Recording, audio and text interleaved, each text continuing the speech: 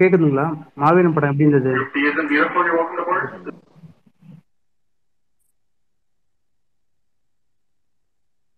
மாவீரன் okay bro first half நல்லாவே இருந்துச்சு. Second half கொஞ்சம் சும்மா தான் அப்படி இருந்துச்சு. எல்லாருமே சொல்லி கார்த்திக் ப்ரோ ரொம்ப லென்த்தா இருந்த மாதிரி இருந்துச்சுல ப்ரோ ஆமாம்மா லென்த் பிரச்சனை இருந்துச்சு. இன்னொன்று செகண்ட் ஹாஃப்ல கொஞ்சம் நிறைய இடத்துல லாஜிக்கு அதெல்லாம் எதுவுமே யோகி பாபோட காமெடி அந்த கோலமாவ கோகிலா அந்த மாதிரி ஓரளவுக்கு கொஞ்சம் நல்லா அந்த மாதிரி இருந்தது இந்த படத்துல. யோகி பாபு காமெடி நல்லாவே இருந்துச்சு.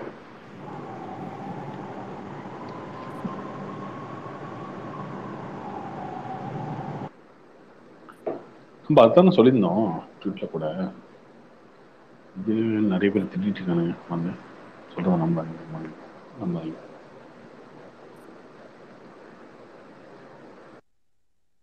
ஹலோ கார்த்திக் ப்ரோ எப்படி இருக்கீங்க? நல்லா இருக்கு துபாயில இருந்து பேசுறேன் பிரவீன். எப்போ ப்ரோ வரீங்க? லாஸ்ட் டைம் வந்தீங்க திரும்பி எப்போ வரீங்க? ஏதாவது ஆடியோ லான்ச் ஏதாவது இருக்கா? துபாயில் எதுவும் இல்லை. இதை வச்சு கண்டிப்பாக வரேன். சரி ப்ரோ சரி ப்ரோ நிறைய ரொம்ப சந்தோஷம் உங்க கூட பேசுனது. பரவாயில்ல. துபாய் சூப்பரான ஊருங்க. ரொம்ப நல்லா நல்ல ஊர் தான் ப்ரோ பட் நம்ம ஊர்ல இல்லாத வளம் இங்க எதுவுமே இல்லை. பட் அதை வச்சு அது சொல்ல நம்ம ஊரோட மெயின்டெனன்ஸே சொல்றேன். கண்ட்ரியோட மெயின்டெனன்ஸ் ஆமா. ப்ரோ கம்மியான பீப்புள் ஸோ அதனால திரும்ப வரணும். வாங்க வாங்க.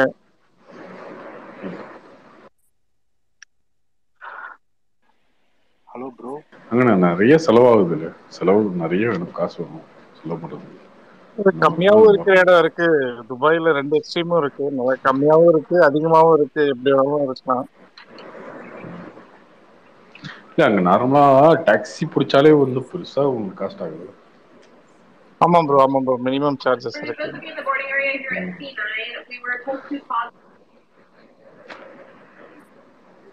பட் சிங்கப்பூர் அதெல்லாம் சேம் தானே ப்ரோ சிங்கப்பூர் மலேசியா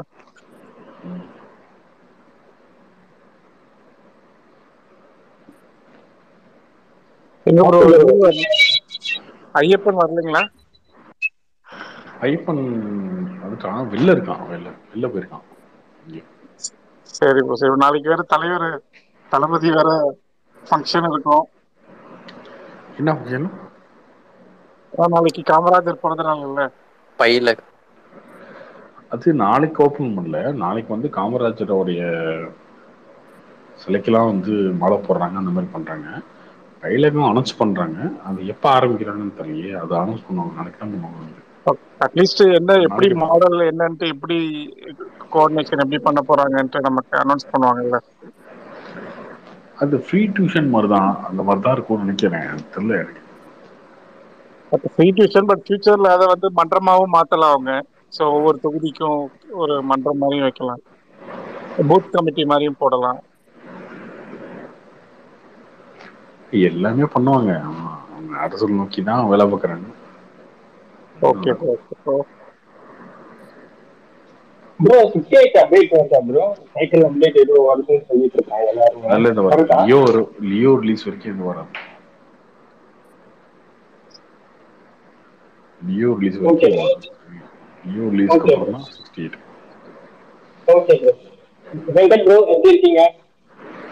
நல்லா இருக்கும் ப்ரோ ஆ ப்ரோ நல்லா இருக்கேன் ப்ரோ நீங்க எப்படி இருக்கீங்க? நல்லா இருக்கேன் ப்ரோ வாய்ஸ் கேட்டுக்கு நல்லா ஆச்சு பாட்டு ஒன்று பாடுங்க. நான் கொஞ்ச நேரத்தில் பாடுறேன். கொஞ்சம் ஒர்க் இருந்துச்சு. அந்த ப்ராஜெக்ட் இன்னைக்கு தான் முடித்தேன் மூணு மாதம் கழிச்சு. ஸோ அதான் இன்னைக்கு. ஓகே ப்ரோ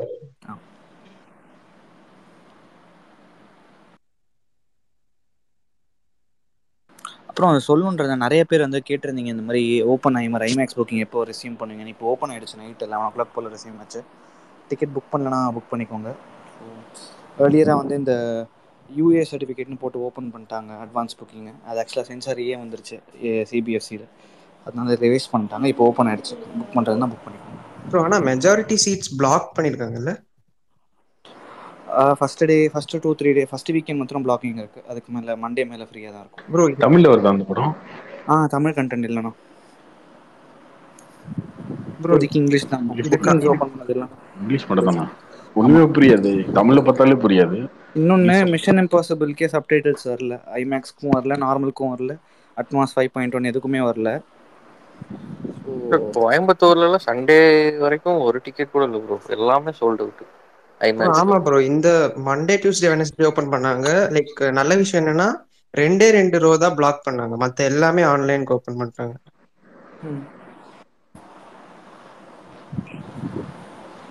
ஆக்சுவலாக இன்னொன்று இப்போ என்னன்னா அந்த படம் பேர் என்ன? கிறிஸ்டோஃப் நோலன் ஓப்பன் ஹைமர் ஓப்பன் அது வந்து தமிழ்னா எப்படி புரியும்? இங்கிலீஷை பு- தமிழ்ல பார்த்தாலே புரியாது. அப்படி இங்கிலீஷ் சொல்லி பார்த்து புரிஞ்சுக்கிறது. நியூக்ளியர் ஃபிசிக்ஸ் இது. ஆமா அது வேற. நியூக்ளியர் பிசிக்ஸ்னு என்ன தெரியாது. படத்தை பார்த்து என்னத்து புரிஞ்சுங்க நியூக்ளியர் ஒன்றும் பாம் வெடிக்கிறது தான் நியூக்ளியர் ஃபிசிக்ஸ் ரெண்டு அப்படிதான் எடுத்து வச்சிருப்பாரு அவரு.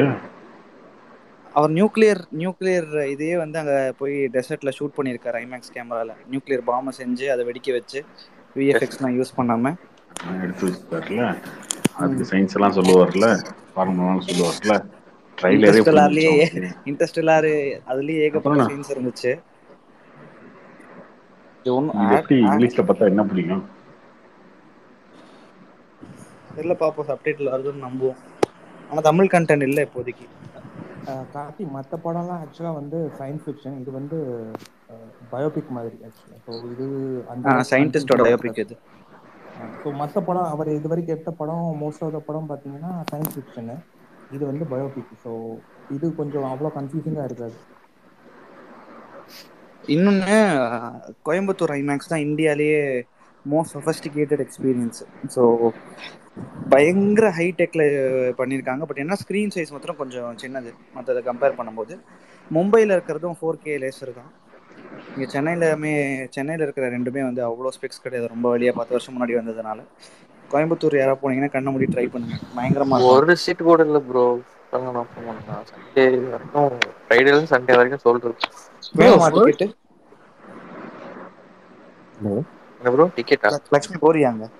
இல்ல ப்ரோ டிக்கெட் புக். பண்ணணும்னா சோல்ட் அவுட் நான் வேணும் சார் ஹலோ கார்த்திகேயனா? ஃபர்ஸ்ட் ஷோ செவன் தேர்ட்டி காலையில போட்டிருக்காங்க ப்ரோ மல்டிப்ளெக்ஸ்க்கு அது அலௌட் ஆக்சுவலி கார்த்திகனா எப்பயுமே அஞ்சு ஷோ அலவுட் ஆமாம் உங்க வீக் டேஸ்ல ஹிந்தி படம் ரிலீஸ் பண்ணா கூட அஞ்சு ஷோ போட்டுருவாங்க. இல்ல ப்ரோ நான் கேக்குறது காலையில ப்ரோ ஆமா, படம். அதுவும் வந்து மூணு மணி நேரம் ஆறு நிமிஷம் நினைக்கிறேன் ரன் டைம் அப்போ நீங்க ஆறு ஷோ ரன் பண்ணணும்னா அப்போ அஞ்சு show mean four plus one show run பண்ணணும்னா அதுக்கேற்ற மாதிரி ஸ்லாட் பண்ணணும். அதுக்கேற்ற மாதிரி போட்டிருப்பாங்க. அவங்க நல்ல எஃப்என்பியும் பிஸ்னஸ் பண்ணும் இல்லையா? ஃபைவ் சிக்ஸ் ஹண்ட்ரட் சீட்டர்னாலுமே எப்படியும் குறைஞ்சது பதினஞ்சு இருபது நிமிஷம் ஆச்சு பிரேக் விடணும். அதுக்கப்புறம் க்ளீனிங் டைம் எல்லாத்தையும் கால்குலேட் பண்ணி பண்ணுவாங்க. ஸோ ஏழரை மணிக்கு போட்டால் கம்ஃபர்டபுளாக இருக்கும்னு சொல்லிட்டு அஞ்சு அஞ்சு ஷோ ஷெட்யூல் பண்ணியிருப்பாங்க. கார்த்திகனா? அந்த ஸ்ரீதர் கார்த்திக் ஒரு அப்படி கருத்து சொல்றாரு இப்போ வர வர கார்த்தி ப்ரோ. ஏன்னா அவர் சைட்ல இருந்து இருக்காருல்ல. ஆமா. அதுக்குதான் நம்மளும் கலாய்க்கிறோமே அப்பப்ப அவரு. இல்ல அவர் தான் உங்களுக்கு க்ளோஸ்னு சொல்றீங்க டேரக்டா பேசுறாங்க க்ளோஸ் தான் ரொம்ப க்ளோஸ் தான். இப்போ கூட அடிச்சா பேசுவாரு. அது இருந்தாலும் அவருடைய அவர் ஒரு விஷயத்தை கருத்து சொல்றாரு நம்ம எதிர்கருத்து சொல்லுவோம். அது எப்பயும் நடக்கும். அது கரெக்ட் தான் கார்த்தி. ஆனா வந்து அவரு அவரோட அவர் அவர் பட- எடுத்த படத்தை கொஞ்சம் காப்பின்னு எல்லாம் சொல்றாங்க. நான் பார்க்கல. பட் அவருக்கு இருக்க படத்தை? எல்லாத்தையும் காப்பி கா ப்ளூ சட்டை மாறன் நீங்க சொல்றது ப்ளூ சட்டை மாறன் சொல்றீங்க. அவர் ஆமா, சொல்றது ஆமா. ஸ்ரீதர் ஆ. சொல்றாரு. Okay okay. கார்த்திகனா அதை உடம்பு ஏத்திருக்காருல எஸ்டிஆர். இந்த படத்துக்காக வேணா எஸ்டிஆர் அடுத்து அந்த படம் தான் நடிக்க போறாரு. ஸோ அந்த படத்துக்காக. Okay okay. Karthi bro Karthi bro Arun Arun பேசுறேன் சொல்லுங்க. சொல்லுங்க கார்த்தி bro. ப்ரோ ம் கேக்குது கேக்குது சொல்லுங்க. ஆ, நான் பெங்களூர்ல இருந்து பேசுறேன் ப்ரோ ஹலோ கேக்குது கேக்குது சொல்லுங்க. ஆ நான் பெங்களூர்ல இருந்து பேசுறேன் ப்ரோ நீங்க ஃபிஃப்டீன் தௌசண்ட் ஃபெஹரி பதினஞ்சாயிரம் நீங்க ஃபாலோவர்ஸ் இருக்கிற போதுல இருந்து உங்களை நான் ஃபாலோ பண்ணிட்டு இருக்கேன். இன்னைக்கு தான் எனக்கு ஸ்பீக்கரே கிடைச்சிருக்கு. ஆமா. நீங்க fifteen thousand one fifteen thousand ten thousand followers இருக்கும்போது உங்களை ஃபாலோ பண்ணுறேன் இன்னைக்கு தான் எனக்கு ஸ்பீக்கரே கிடைச்சிருக்கு. Thank you thank you bro thank you for the host இன்னைக்கு எனக்கு ஸ்பீக்கர் கொடுத்ததுக்கு. இன்னைக்கு மாவீரன் பார்த்தோம் ப்ரோ பெங்களூர்ல நல்ல ரெஸ்பான்ஸ் நல்ல க்ரௌடு எனக்கு பிடிச்சிருந்துச்சு ப்ரோ படம். ஆஃப் ஒரு ஃபைவ் டென் மினிட்ஸ் லேகாக இருந்தது. ஆனால் படம் சாட்டிஸ்ஃபைங் தான் இருந்தது. பெங்களூர்ல நல்ல ஒரு செவன்டி டு எயிட்டி பர்சன்ட் ஆக்குபென்சில தான் பார்த்தேன். நல்லா இருந்துச்சு.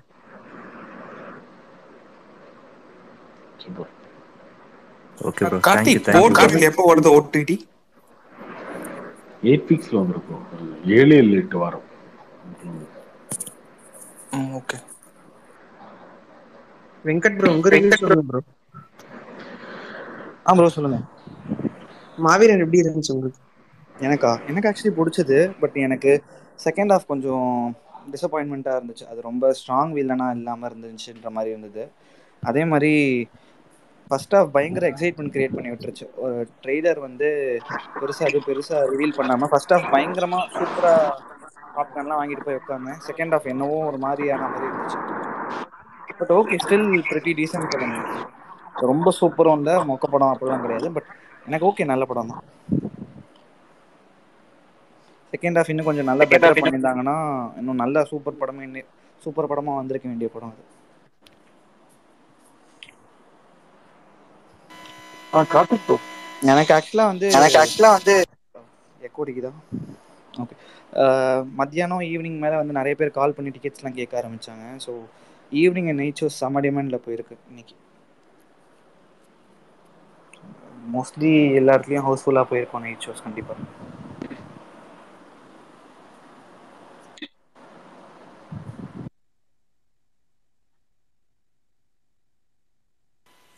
ஆ கார்த்திக் ப்ரோ சொல்லுங்க ப்ரோ ஆ உங்களுக்கு படம் எப்படி ப்ரோ பிடிச்சிருந்ததா எனக்கு அதான் ஃபர்ஸ்ட் ஹாஃப் எனக்கு நல்லா அதான் ஃபர்ஸ்ட் இருந்துச்சு ஹாஃப் நல்லா இருந்துச்சு ஃபர்ஸ்ட் ஹாஃப் இருந்துச்சுங்க செகண்ட் ஹாஃப் வந்து ரொம்ப சுமாராக தான் இருந்துச்சு. நிறைய கொஞ்சம் லாஜிக்கெலாம் எல்லாமே இருந்துச்சு லாஜிக்கே இல்லை செகண்ட் ஹாஃப்ல நிறைய இடத்துல. அதுக்கப்புறம் கொஞ்சம் இன்ட்ரெஸ்டிங்காகவும் இல்லை செகண்ட் ஹாஃப் நல்லா பண்ணியிருந்துருக்கலாம். யூஸ்வலான கமர்ஷியல் கமர்ஷியல் டைரக்டர் என்ன பண்ணுவாரோ அந்த மாதிரி பண்ணிட்டாரு. ஒரு மினிஸ்டருக்கும் காமன் மனுக்கும் சண்டை. அதை வந்து மினிஸ்டர் வந்து வேட்டியை மறிச்சுக்கிட்டு வந்து சண்டை போடுவாரு. விட்டு அப்படின்ற மாதிரி பண்ணிட்டாங்க. ஏன் பண்ணாங்க? இது பண்ணாங்கன்னு தெரியல. அது அந்த கிளைமேக்ஸ் இதெல்லாம் சுத்தமா தெரியல. பட் படத்துல அறிவு இருந்தா பெட்டரா இருந்திருக்கும்னு தோணுது இப்போ. மியூசிக் டேரக்டர் நல்லா தான் போட்டிருந்தாரு. பட் அனிருத் இல்லாதது கொஞ்சம் குறை மாதிரி தெரிஞ்சது. ஏன்னா ஒரு சில பிஜிஎம்லாம் வந்து அந்த அளவுக்கு எக்ஸஸ் அளவுக்கு இல்லை ப்ரோ சில மாஸ் எலிவேஷன் சீன்ஸ்லாம் அந்த-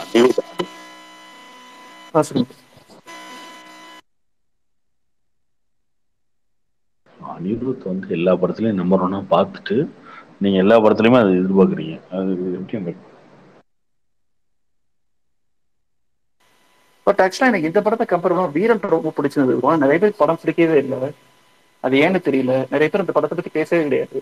தமிழ்ல வந்து ஃபர்ஸ்ட் சூப்பர் ஹீரோ மூவி வந்து ப்ராப்பரான சூப்பர் ஹீரோ மூவி எடுத்திருந்தாங்க. அதுல குறை இருக்கலாம் பட் ஆனா அது யாருமே கண்டுகிட்ட மாதிரி தெரியலையே. அது வந்து சீப்போல ஒரு சாதாரண படம் நினைச்சு எடுத்த மாதிரி தெரிஞ்சு ப்ரோ அது ஏன் நிறைய பேர் பிடிக்கலன்னு எனக்கு நான் படம் பார்த்து சந்தோஷமா இருந்தாங்க விஜய் ப்ரோ எனக்கு யூஸ் பண்றீங்களா இல்ல அந்த மாதிரி ஏதாவது யூஸ் பண்றீங்களா ஏதோ எலக்ட்ரானிக் சவுண்ட்ஸ் வந்துகிட்டே இருக்கு. நீங்க ஹெட்ஃபோன்ஸ் யூஸ் பண்றேன். ஒயர்ட் ஹெட்ஃபோன் யூஸ் பண்றேன். சாரி எடுத்துட்டேன் இப்போ. ஆ ஓகே அதான் இப்போ வீரன் படம் ரொம்ப பிடிச்சிருந்தது. அது நிறைய பேருக்கு ஏன் பிடிக்கலன்னு தெரியல. அந்த படம் ஏன் ஓடலனே தெரியல. ரொம்ப சந்தோஷமா வந்த படம் பார்த்துட்டு. ஏன்னா எனக்கு இந்த டிசி மார்வல் படம்லாம் ரொம்ப பிடிக்கும். அந்த சூப்பர் ஹீரோ மூவிஸ்லாம் எனக்கு பிடிக்கும் ரொம்ப. இப்போ மின்னல் முரளி வந்துச்சு. மின்னல் முரளி அளவுக்கு இல்லைனாலும் பட் தமிழ்ல ஒரு ஃபர்ஸ்ட் அட்டன் பண்ணியிருந்தாங்க சொல்லிட்டு நல்லா நல்லா தான் பண்ணியிருந்தாங்க பிஜிஎம் நல்லா இருந்துச்சு. அந்த ஃபைட் சீன்ஸ்ல சூப்பரா இருந்தது. சினிமோட்டோகிராஃபி எல்லா விஎஃப்எக்ஸும் கொஞ்சம் நல்லா தான் இருந்தது எல்லாமே நல்லா தான் இருந்துச்சு. அந்த படம் ஏன் பிடிக்கல எனக்கு தெரியவே இல்லை ப்ரோ ஏன் தமிழ் படங்கிறதுல வந்து யாரும் ரொம்ப ஓவரா பார்த்துட்டு பிடிக்கலன்னு சொல்லிட்டு அந்த மாதிரி சொல்றாங்களா? இல்ல உண்மையிலேயே அந்த படம் பிடிக்கல? இல்ல எனக்கு தான் அப்படி தோணுதான் தெரியல ப்ரோ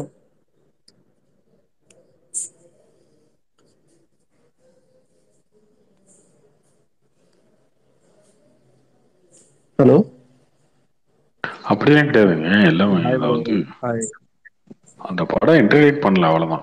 அப்படிதான் பார்க்கணும் நீங்க. ஆ ப்ரோ பட் இது ரொம்ப பிடிச்சிருந்தது. படம் பார்த்துட்டு சரி படம் சூப்பரா இருக்கு அப்படின்னு சொல்லிட்டு வெளில வந்த படம் பார்த்துட்டு சந்தோஷமா வந்து வந்தேன். ஆ, ஒரு சிலருக்கு ஒரு சிலருக்கு அந்த மாதிரி இருக்கும். ஒரு சிலருக்கு வந்து ஒரு சில படங்கள் வந்து ரொம்ப பிடிக்கும். அதுக்கப்புறம் பார்த்தா அது ஓடாது. ஓகே ப்ரோ நல்லா இருக்கு படம். நான் கொஞ்சம் நல்லா கை தட்டி உங்களுக்கு வந்து உங்களுக்கு வந்து வீரன் பிடிச்சிருக்கு. ஆனா வந்து நிறைய ஆடியன்ஸ்க்கு வந்து பெருசா பிடிக்கல. அது எப்படி எந்த மீட்டர் வச்சு நம்ம கணக்கு போறது அப்படின்னா தேட்டர்ல வந்து பார்க்கல. அதுதான். அப்படிதான் கணக்கு போட முடியும்.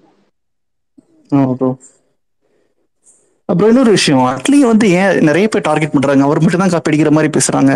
இப்போ மற்ற டேரக்டர் எனக்கு தெரிஞ்சு எந்த டேரக்டருமே வந்து சொந்தமா யோசிக்கிற மாதிரி அது அந்த அளவுக்கு எப்படி ப்ரோ அட்லீஸ்ட் ஏதோ ஒரு படம் வந்ததுனாவே உடனே அதை ட்ரோல் பண்ண ஆரம்பிச்சிடுறாங்க. அடுத்த படத்தோட வந்து காப்பி காப்பின்னு சொல்லிட்டு எடுத்து எடுத்து போட ஆரம்பிச்சிடுறாங்க. மற்ற படத்தோட டேரக்டர்லாம் பார்த்தாலும் அவங்களும் காப்பி தான் அடிச்சிருப்பாங்க மோஸ்ட்லி எல்லா டேரக்டருமே எல்லா சைடையும் பார்க்க தான் போறாங்க. எத்தனையோ இங்கிலீஷ் படம் பார்த்துருப்பாங்க.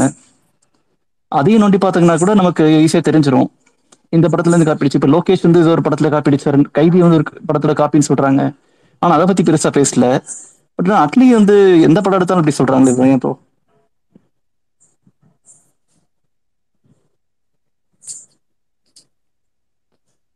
அது ஒரு சில விஷயங்கள் வைரல் ஆகிடும் வைரல் ஆனதுக்கப்புறம் அதை பிடிச்சிக்குவாங்க. மற்றவங்களாம் பார்த்தீங்கன்னா சீன் பை சீன் காப்பி அடிப்பாங்க. அட்லி வந்து என்னன்னா அந்த கான்செப்டை எடுத்துட்டு அந்த கான்செப்டை மாற்றிருப்பார் ராஜாராணி பார்த்தீங்கன்னா மோனோராகம் நெஞ்சதி இல்லாதே இந்த மாதிரி இருக்கும். தெரிய வந்து சத்ரியன். இதெல்லாம் தெரிஞ்சு என்ன தெரியாம தான் அட்லி பண்ணாருலாம் கிடையாது. யாருக்கும் தெரியக்கூடாது. நான் அது காப்பி அடிக்கணும்லாம் இல்லை. அவர் தெரிஞ்சே தான் பண்ணாரு. இதெல்லாம் எல்லாமே தெரிஞ்சு தான் அபூர்வ மெர்சல். மெர்சல் வந்ததுக்கப்புறம் கூட கமலோட போய் படத்தை காட்டிட்டு ஃபோட்டோ எடுக்கும்போது பின்னாடி வந்து அபூர்வ போஸ்டர்லாம் இருக்கும். ஆமா ப்ரோ அது தெரிஞ்சுதான் பண்றாரு. பட் அதுதான் அவருடைய ஐடியாவுமே கூட. அது இவனுங்க ட்ரோல் பண்றானுங்க அவ்வளவுதான். இவனுங்க சும்மா காப்பி காப்பி அடிச்சுட்டே டே நான் அப்படிதான்டா எடுக்கிறேன். என் கான்செப்டே அதான்டா அப்படின்றதான் அவருடைய இது. ப்ரோ இந்த தினேஷ் மாஸ்டர் பத்தி நீங்க என்ன ப்ரோ நினைக்கிறீங்க? எனக்கு அவரோட பர்சனலா ஒரு டான்ஸ் எனக்கு பிடிக்கிறது இல்லை பெருசா. விஜய் படத்துக்கு மோஸ்ட்லி அவரே சூஸ் பண்றாங்க. எனக்கு நாரடியும் இருக்கட்டும் வாத்தி கம்மிங் அது கரெக்டா இருந்தது. ஏன்னா அது சரக்கடிச்சு ஆடுற மாதிரி ஒரு சாங்கா இருந்தது. அதனால வந்து சில மைல்டான ஸ்டெப்ஸ் கொஞ்சம் நல்லா இருந்தது. இப்போ ஷோபி மாஸ்டர்லாம் சூப்பராக போடுறாரு. இப்போ இந்த வாரிசில் கூட ஒரு ஒரு சாங் வரும். ஒரு பிஜிஎம் மட்டும் வருமே அந்த சாங் சூப்பராக இருக்கும். அந்த மாதிரி நிறைய யூஸ் பண்ண மாட்டாங்க விஜய் படத்துக்கு ஏன்னு தெரியலையே.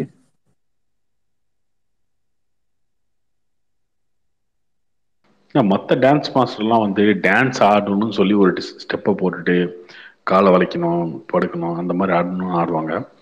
தினேஷ் மாஸ்டர் தான் எனக்கு தெரிஞ்சு எனக்கு ரொம்ப பிடிச்சதே அவர் தான் அவர் மட்டும் தான் பாட்டுக்கு என்ன தேவையோ அந்த மாதிரி நடுவது. சிம்பிளானாலும் நல்லா இருக்கும் சில பாட்டெலாம் எடுத்து பார்த்தீங்கன்னு வச்சுக்கோங்க. இது சொல்லுது இந்த அட்டகத்தில் தினேஷ் ஒரு படம் நடிச்சிருப்பாரு தமிழுக்கு என்ன ஒன்றை எழுத்தும் அதில் ஒரு பாட்டு இருக்கும் பாருங்க ஓப்பனிங் அது அதுவே சூப்பராக பண்ணியிருப்பாரு. அவருக்கு டான்ஸே ஆட தெரியாது அவன் சூப்பர் பண்ணியிருப்பாரு. ஒத்த சொல்லால ஒத்த சொல்லலாம் அவர் தானே ஒத்த சொல்லால. பாட்டுக்கு தகுந்த மாதிரி கொரியோகிராஃப் பண்றது அவர் தான் கார்த்திகேயன் எப்படி இருக்கீங்க? நல்லா இருக்காரு வெரின் இல்ல கருநாள் காய்ச்சி உங்களுக்கு அதுக்கு அனுப்பினது தானே? நீங்க சொன்னீங்க தானே பட் முன்னுக்கு வந்து இவங்க வந்து எல்லாருக்கும் மாவீரன் எல்லா இதுவும் பண்றேன்னு பண்ணி பிறகு ஒரு பத்து இடத்துக்கு மட்டும் பண்ணாங்க.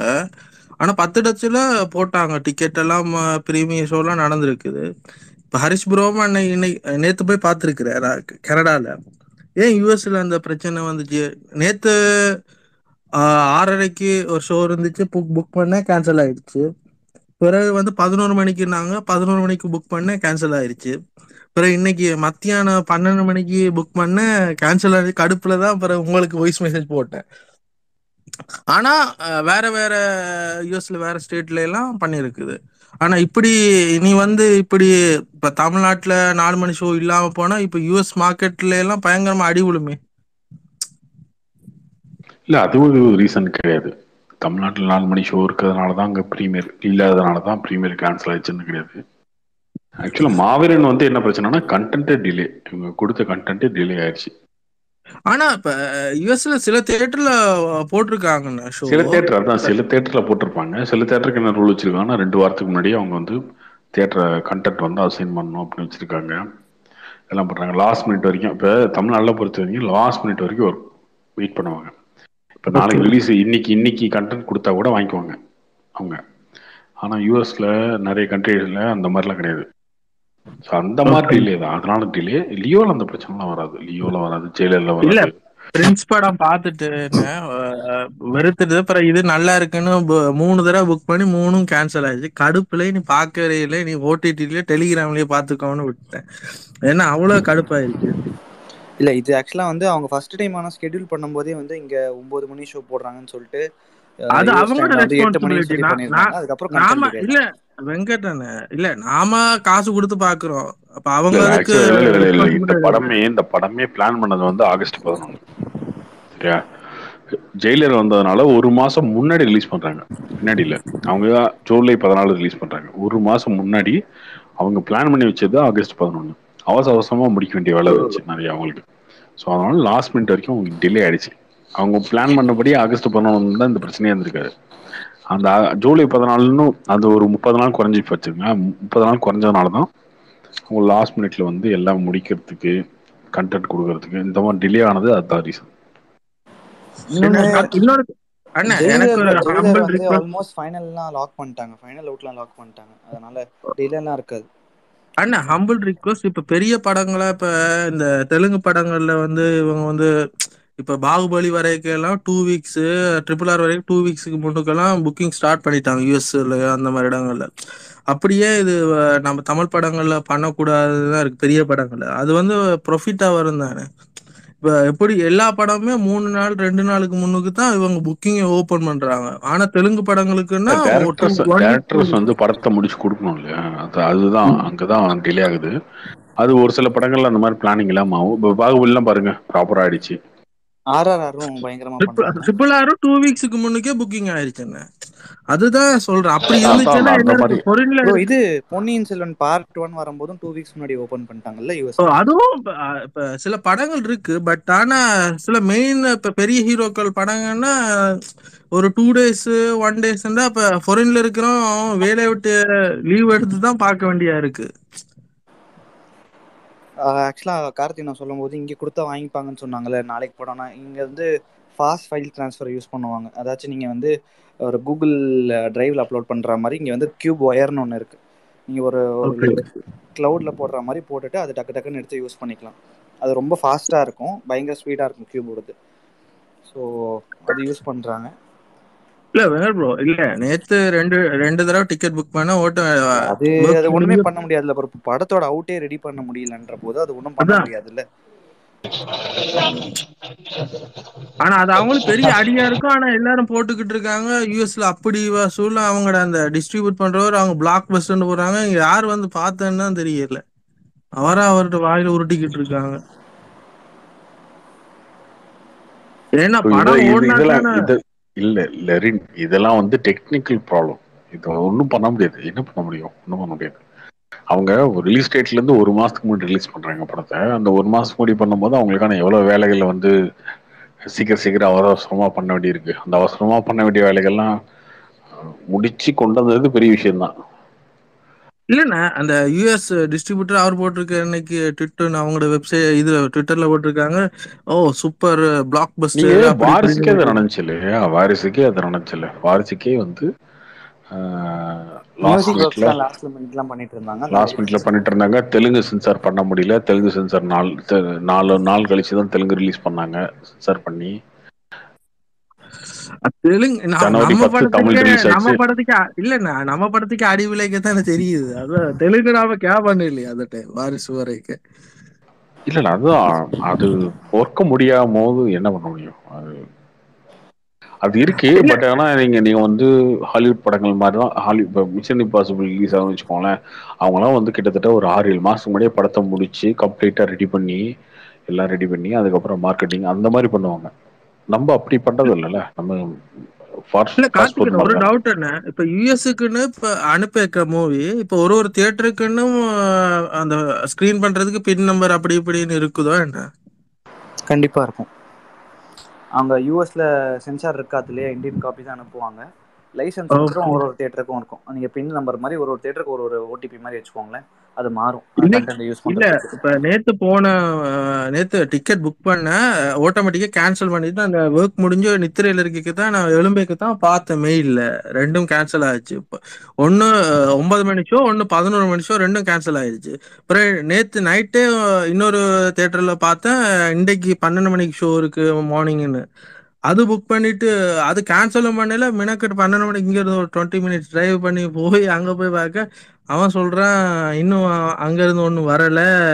நீங்க வேணும்னா கேன்சல் பண்ணுங்க. நீங்க கால் பண்ணி கதைங்கன்றான் பிறகு கடுப்புல தான் பிறகு கார்த்திகேயன்கிட்ட வாய்ஸ் மெசேஜ் போட்டு பேச வந்துட்டேன் ஹலோ கார்த்திகா எப்படி இருக்கீங்க? ப்ரோ லியோலாம் இந்த பிரச்சனை வர ப்ரோ லியோலாம் ஒரு மாசத்துக்கு முன்னாடியே கண்டென்ட் ரெடி பண்றது தான் அவங்க பிளானே அவங்க வந்து ஒரு மாசத்துக்கு முன்னாடியே பண்ணி முடிச்சு. அவங்க வந்து அண்ணாட்ட- ஐமேக்ஸ் எல்லாம் இல்ல இல்ல இல்ல அதெல்லாம் அவர் வந்து தெளிவா இருக்காரு. அவங்க ஐமேக்ஸ்ல இருந்து எல்லாமே பண்ணணும்ன்றதான் அவங்க ஐடியா வச்சிருக்காங்க. அது ஒன் வீக்குக்கு முன்னுக்கே ஒரு புக்கிங் ஓபன் பண்ணாங்கன்னா சந்தோஷமா இருக்கு மனசு அதெல்லாம் அதுக்கு முன்னாடி பண்ணிடுவாங்க அதுக்கு முன்னாடி பண்ணிடுவாங்க ஒன் வீக்ல அவங்க அவங்களுக்கு டுவெண்ட்டி டேஸ் முன்னாடி கொடுக்கணும். ஸோ அவங்களுக்கு அந்த கண்டென்ட் கொடுக்கணுன்ற போதே நார்மல் கண்டென்ட்டும் அவங்க ஈஸியாக ரெடி பண்ணிட்டு தான் போறாங்க. அதுதான் முக்கியம். எனக்கு அதெல்லாம் அவங்க வந்து முன்னாடியே முடிச்சிட்டாங்க ப்ரோ எல்லாம் ப்ராப்பரா பண்ணி நீங்க நினைக்கிறீங்க ஒன் வீக் முன்னாடி இல்ல டூ வீக்ஸ் முன்னாடி கூட அவங்க ரெடி பண்ற மாதிரி புக்கிங்ஸ் ஓப்பன் பண்ற மாதிரி ரெடி பண்ணிடுவாங்க. ஜெயிலரும் பிரைம் மீடியா ரிலீஸ் பண்றாங்க. யூஎஸ்ல பெரிய ஆளுங்க அவங்களும் டிஸ்ட்ரிபியூட் பண்றதுல அவங்களும் ப்ராப்பரா ஸ்லாட்ஸ் போட்டு கொடுத்துருவாங்க வெளியாவே. இல்லண்ணே இவங்களும் பெரிய ஆட்கள் தான் ஆனா இவங்க என்ன செஞ்சாங்கன்னு தான் தெரியல. இல்ல ப்ரோ அதுதான். உங்களுக்கு படத்தோட அவுட்டே ரெடி ஆகும் போது இவங்களை ப்ளேம் பண்ண முடியாதுல்ல? அவங்க ட்விட்டர் போடணும். மெனக்கெட அவங்க முன்னுக்கே டூ வீக்ஸ் த்ரீ வீக்ஸ் முன்னுக்கே போடுறாங்க ட்விட்டர்ல இந்த இடமெல்லாம் பண்ற ஓப்பன் ஆயிடுச்சு புக் பண்ணிக்கலாம்னு. அப்புறம் அவங்க ரெஸ்பான்சிபிலிட்டி இருக்கு தானே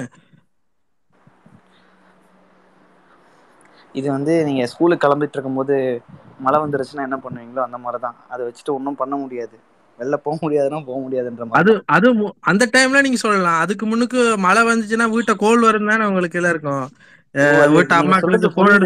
அது பட் இந்த இந்த கேஸ் எதுவும் பண்ண முடியாதுல்ல. உங்களுக்கு படத்தோட அவுட்டே ரெடி ஆகாத போது எதுவும் பண்ண முடியாதுல்ல உங்களுக்கு. அவங்களும் இங்க இருக்கிறவங்க வந்து அவங்கள்ட்ட ப்ராமிஸ் பண்ணுவாங்க இந்த மாதிரி கண்டிப்பா அந்த டைம்ல டெலிவரி பண்ணிட முடியும் அப்படின்னு. டெலிவரி பண்ண முடியாத போது வந்து ஒரு செயின்ல இருக்கிறவங்க எல்லாருமே எஃபெக்ட் ஆறாங்க நீங்க எங்க தான் அங்க இங்க தான் தப்பு நடந்திருக்குன்னு சொல்ல முடிய மாட்டேங்குதுல்ல? பெரிய படங்களுக்கு அப்படி ஆகாது. இந்த வாட்டி இப்படி ஆயிடுச்சு அடுத்த வாட்டி ஆகாது. அவ்வளவுதான் விடுங்க hi bro Kathir bro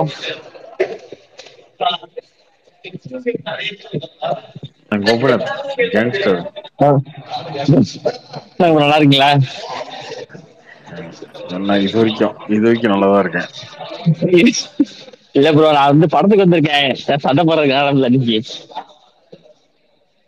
So, படத்துக்கு வந்த படம் பாருங்க. சும்மா ஏங்க வந்து இல்ல இன்டர்வல் வந்தாங்க. இன்டர்வல் வந்து பார்த்தா இன்னைக்கு ஐயோ லட்சுமி. இன்ட்ரோலாம் ஒண்ணுக்கு போ பாப்கார்ன் வாங்கி தின்னு. அந்த மாதிரி ஏதோ.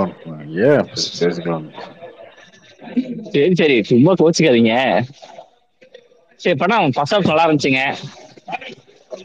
செகண்ட் ஹாஃப் செகண்ட் போடுவாங்க படம் போட்டு பாருங்க. Karthi bro. Karthi bro Gopinath bro வந்து பேட்ச் ஒர்க்குக்கு வந்திருக்காரு அதான். சரி. என்ன வீட்ல அப்பப்போ இந்த மாதிரி நைட் ஷோலாம் போய் சுத்துறது இதெல்லாம் கேக்குறது இல்லையா யாரும்? ஏங்க நான் ஊர்ல இல்லைன்றேன் கோயம்புத்தூர்ல இருக்கேங்க. இப்போ வீட்டை விட்டு துரத்துட்டாங்கல்ல கரெக்ட் கோயம்புத்தூர்ல இருந்து ஓ. கார்த்திக் ப்ரோ? Okay bro. சரி. நான் படம் பார்க்க போறேன். ஆ ஆ. நாளைக்கு நாளைக்கு வரேன் ப்ரோ. பேசலாம். ஆ ஓகே. நிறைய நாளைக்கு வாங்க. பஞ்சாயத்துல நிறைய இருக்கு. ஆ வாங்க வாங்க. நாளைக்கு வாங்க. வெல்கம். கார்த்தி ப்ரோ? என்ன ப்ரோ? சொல்லுங்க ப்ரோ. ஆ ப்ரோ அன்னைக்கு பேசணும்ல லலித் சார் கேரளா ப்ரொமோஷனை பத்தி. பேசுனீங்களா? அது அவங்க எல்லாமே பிளான் பண்றாங்க. எல்லா ஏரியாவும் பண்றாங்க. அதான் நீங்க பர்சனலா சொல்றீங்க சொன்னீங்களா அதான் கேட்டேன். அதுக்கப்புறமா ஏதாவது மீட் பண்ணாங்க எல்லாமே சொல்லிருக்கீங்க எல்லாமே சொல்லிருக்கீங்க அவரு ஒரு வரலாம் தெரியாது. விஜய் விஜய் நான் ஒரு வரலான்னு தெரியாது ப்ரொமோஷன். பண்ணுவாங்க ஹலோ. ஓகே பாருங்க ப்ரோ மேக்ஸிமம். சொல்லுங்க ப்ரோ யாரு யார்?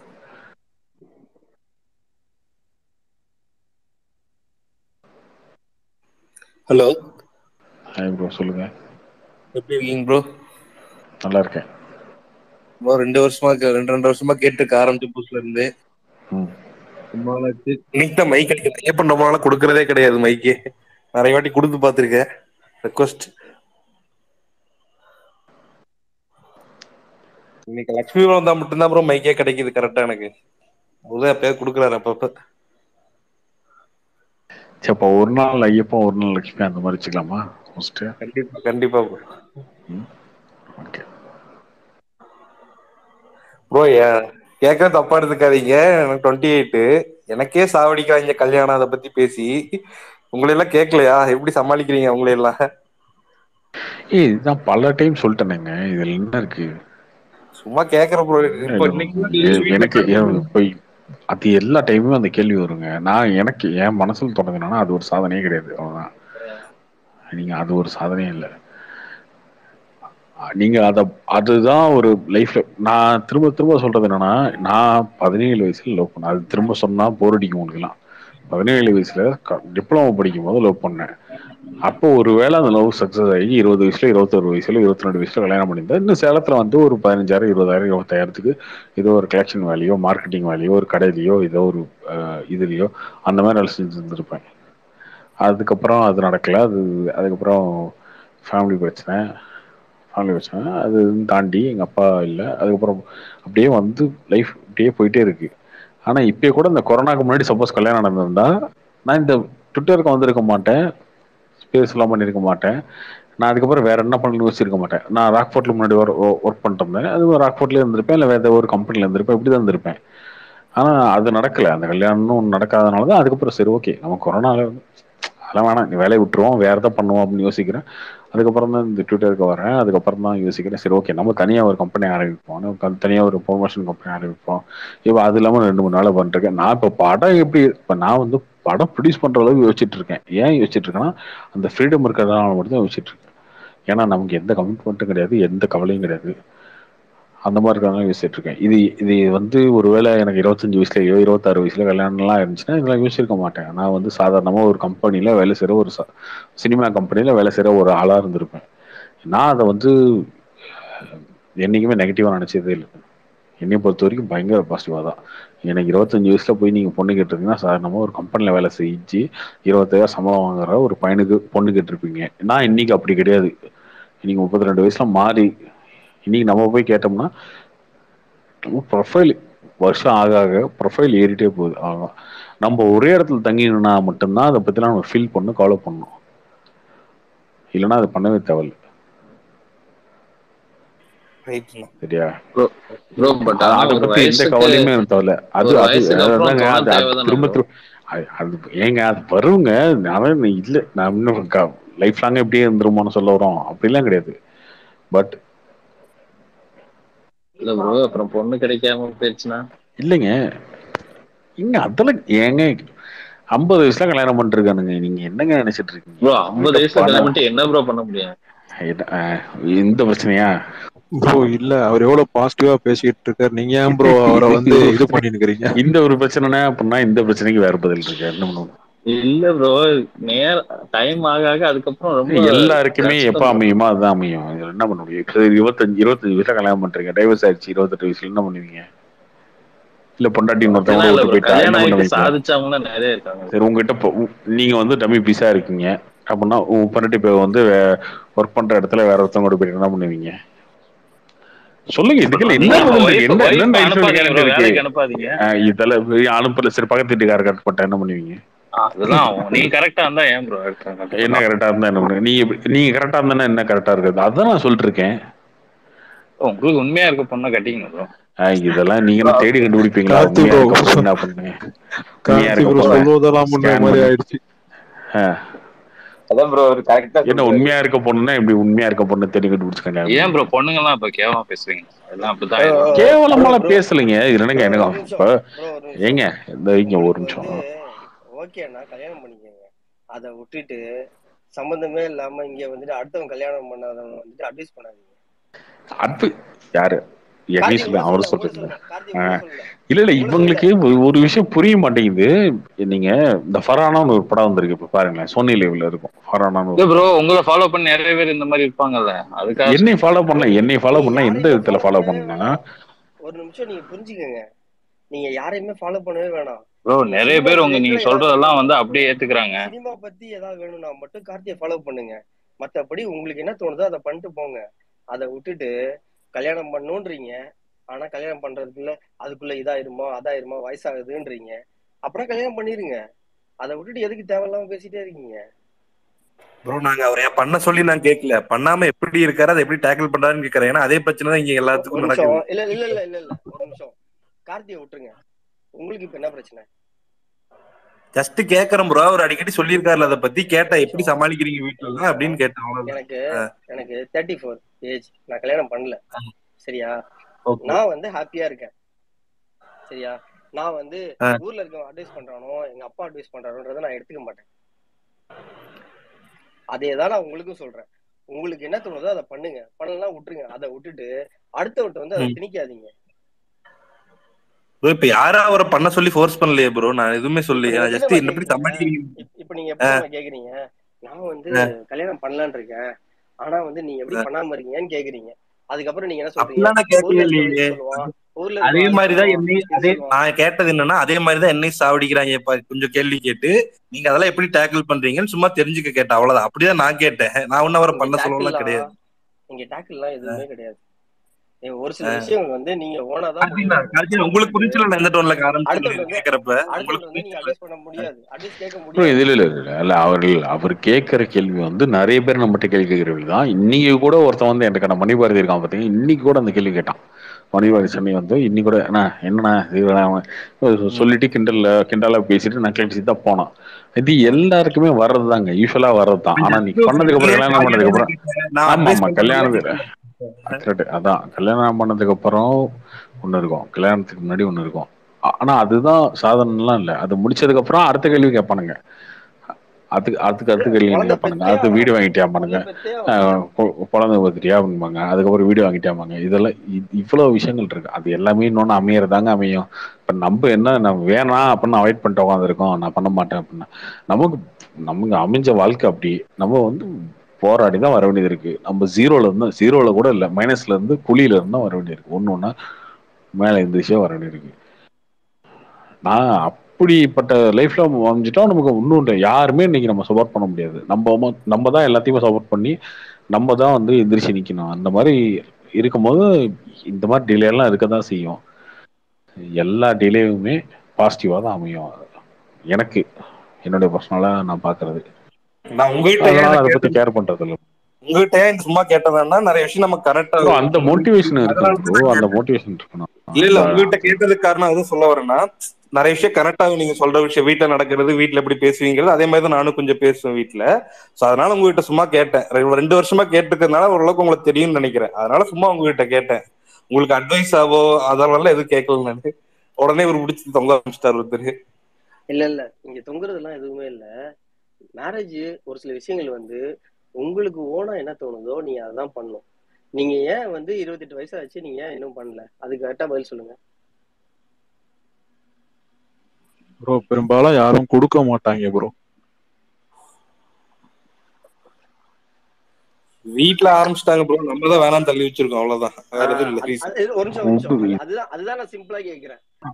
ஏன் ஏன் வந்து வேணாம் தள்ளி வச்சிருக்கீங்க?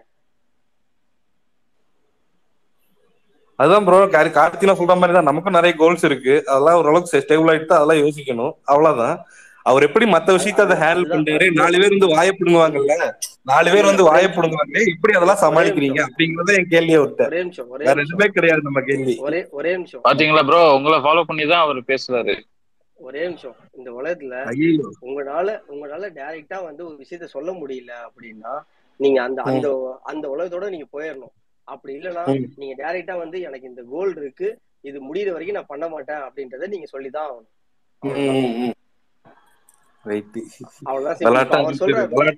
ஒரு டிபேட் செஷன் மாதிரி போயிட்டு இருக்கு. இன்னும் மாத்திக்கோ டாபிக் வேண்டாம் இல்ல இல்ல அப்படி இல்ல. ஆக்சுவலா வந்து நானும் இதே மாதிரி நிறைய இடத்துல வந்து ஃபேஸ் பண்ணிட்டு நான் வந்திருக்கேன். அந்த ஒரு விஷயத்துக்காக தான் நானும் சொல்றேன். நம்ம வந்து ஒண்ணு நீங்க வந்து கூட்டத்தோட ஒத்து நீங்க போயிடணும். அப்படி ஒத்து போக முடியல அப்படின்னா டைரக்டா வந்து இல்ல என்னால முடியாது அப்படின்றத நீங்க டைரக்டா ஓப்பனா சொல்லிட்டு போயிடணும். இங்கிட்டும் இல்லாம அங்கிட்டும் இல்லாம இருக்கிறப்பதான் நம்ம வந்து தடுமாறுறது. இப்ப அவரு டைரக்டா சொல்றாருல்ல கார்த்தி வந்து என்னால முடியாது. நான் வந்து எனக்கு இது இருக்கு இது இருக்குன்னு சொல்றாருல்ல. அதே மாதிரி நீங்களும் சொல்லுங்க ப்ராப்ளம் சால்வ் எனக்கு ஒண்ணுமே இல்லைங்க. எனக்கு என்ன இருக்கு? இல்ல நானும் சொல்றீங்க. நீங்க சொல்றீங்கல்ல. எனக்கு ப்ராப்ளம் இருக்கு எனக்கு. அது அதுதான் நானும் சொல்றேன். நீங்க இப்ப டேரக்டா சொல்றீங்கல்ல. அதே மாதிரி அவரும் சொல்லிட்டாருன்னா பிரச்சனையே இல்ல.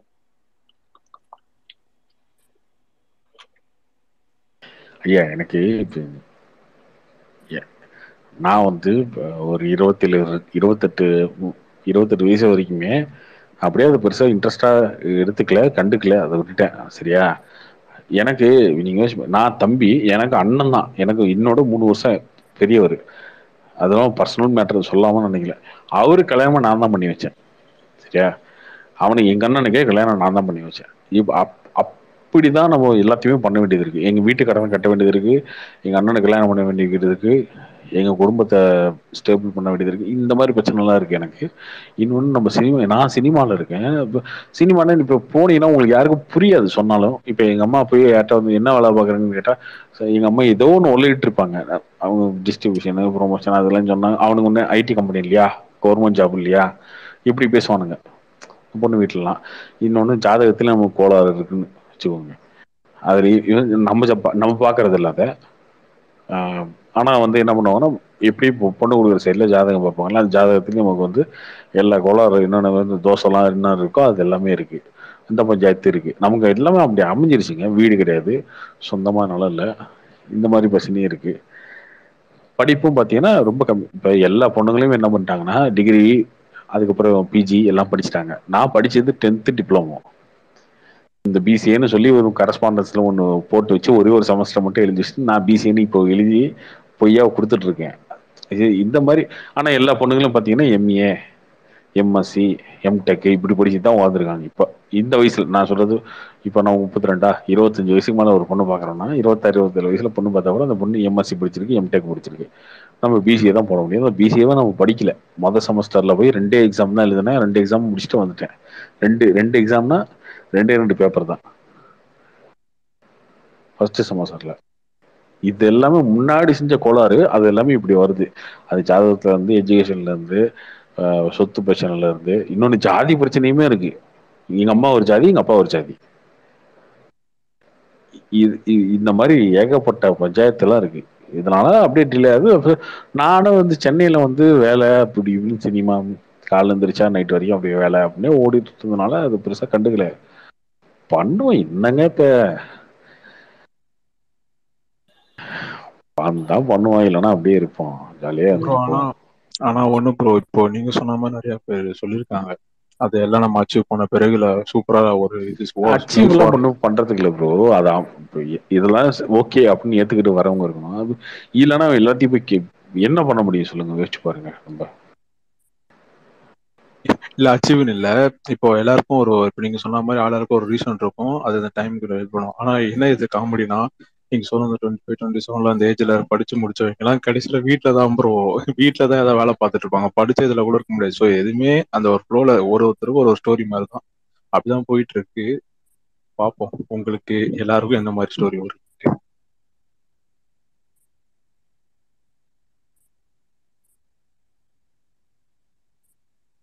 ஒரு ஸ்டோரி இல்ல. நம்ம அடுத்து படம் எடுத்து பத்தி யோசிப்போம். உங்களுக்கு இல்ல ப்ரோ அது உங்க உங்களுக்கு சொல்ல ப்ரோ. அவர் சொன்னதுக்கு சொல்றேன் ஒரு ஒருத்தருக்கும் கோலே நம்ம கோலே அப்படிதான் அவ்வளவுதான். நீங்க சொல்லுவீங்களே ஒரு கல்யாணத்துக்கெல்லாம் போகும்போது ஆஹ் நம்மளை பத்தி இன்னொருத்தன் வந்து கல்யாணம் உனக்கு எப்பா கல்யாணம் அப்படின்னு கேட்டு ஃபீல் பண்ணுவாங்க அந்த மாதிரி இடத்துல நம்ம போய் எப்படி திரும்ப நிக்கணும் நம்ம ஒரு கார்ல போய் நின்னுட்டு ஐயாயிரம் பத்தாயிரம் மொய் வச்சுட்டு வந்தீங்கன்னு வச்சுக்கோங்களேன் அவனே வந்து பில்டப்பா போய் நின்னீங்கன்னா அவனே உங்களை பார்த்து கேட்கிற கேள்வி வந்து அப்படி கேட்க மாட்டான். ஓ என்ன எங்க இருக்காரு? என்ன என்ன வேலை பார்க்கறாரு? அப்படின்னு அப்படி கேட்பான் நீங்க உங்களை பத்தி தப்பா பேசுறவன் உங்களை பத்தி கேலி பண்றவனை மட்டுமே நீங்க பாக்குறீங்க. வந்து உங்களை கல்யாணம் ஆனவனே கூட அஹ், பாரு நான் கல்யாணம் ஆகும் பெருசா சென்னை என் ஃப்ரெண்ட்ஸு நிறைய பேர் நீ உனக்கு என்ன வச்சா நீ போய் சென்னையில வந்து நல்லா சம்பாரிச்சிட்டு எல்லாம் பயங்கரமா இருக்க. நான் தேவையில்லாம மாட்டிக்கிட்டேன் குளிக்கிறேன் அவன் புலம்புறானு இப்போ இப்போ சேலம் போனாலே என்ன பண்ணுவோம்னா நான் வந்துட்டேன்னு சொல்லி இவனுங்கெல்லாம் வீட்ல எல்லாம் பர்மிஷன் கேட்டு வந்து என் கூட சரக்கு அடிப்பானுங்க. சரக்கு அடிக்கும்போது என்கிட்ட புலம்பிட்டு உட்காந்துருப்பானுங்க புலம்போது என்ன தெரியுமா சொல்லுவானுங்க? "ஏ, நான் தானே மாட்டிக்கிட்டேன் சீக்கிரம். நீ பண்ணாத கல்யாணம் பண்ணு." இப்ப கூட இப்ப சேலம் போனாலும் ரீசெண்டா அதான் சொல்றாங்க. இப்ப அதுக்காக நம்ம வந்து அது தப்புன்னு சொல்லல. அதை பத்தி எல்லாம் ஃபீலே பண்ணக்கூடாது bro. நம்ம நினைச்சோம்.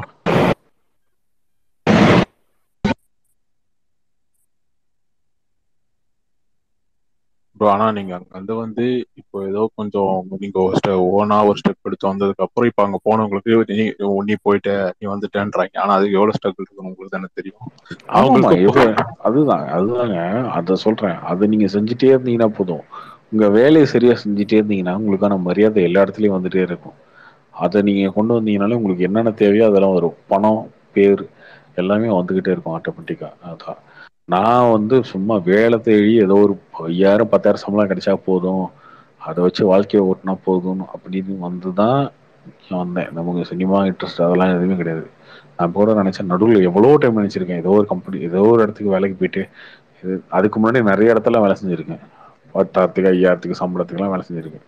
அதெல்லாம் மீறி வந்து அப்படியே கொஞ்சம் கொஞ்சமாக நமக்கு ஒன்றும் பெருசாக குவாலிஃபிகேஷன் இல்லை படிப்பில். எதுவுமே இல்லை. ரொம்ப பிலோ ஆவரேஜ் ஃபேமிலி அப்படியே கொஞ்சம் கொஞ்சம் வந்திருக்கோம். இன்னைக்கு வந்து நம்ம வந்து ஒரு விஜய் படம் எடுக்கிற ப்ரொடியூசர்கிட்ட டேரக்டாக பேச முடியுது. ஒரு ஒரு பெரிய பெரிய ப்ரொடக்ஷன் கம்பெனியோட டேரெக்டாக பேச முடியுது. நம்மளை பற்றி எல்லாருக்கும் தெரியுது. இங்கே சினிமான் இருக்கவங்களுக்கு தெரியுது. இதெல்லாம் இன்னைக்கு யோசிச்சு பார்க்கும்போது எப்படின்னா இந்த ட்ராவல் வந்து பெருசாக தெரியும். அவன் என்னுடைய ஃப்ரெண்ட்ஸு நிறைய பேர் வந்து ஃபாரின்லாம் ஒர்க் பண்ணுறான் ஒருத்தன் சிங்கப்பூர்லாம்.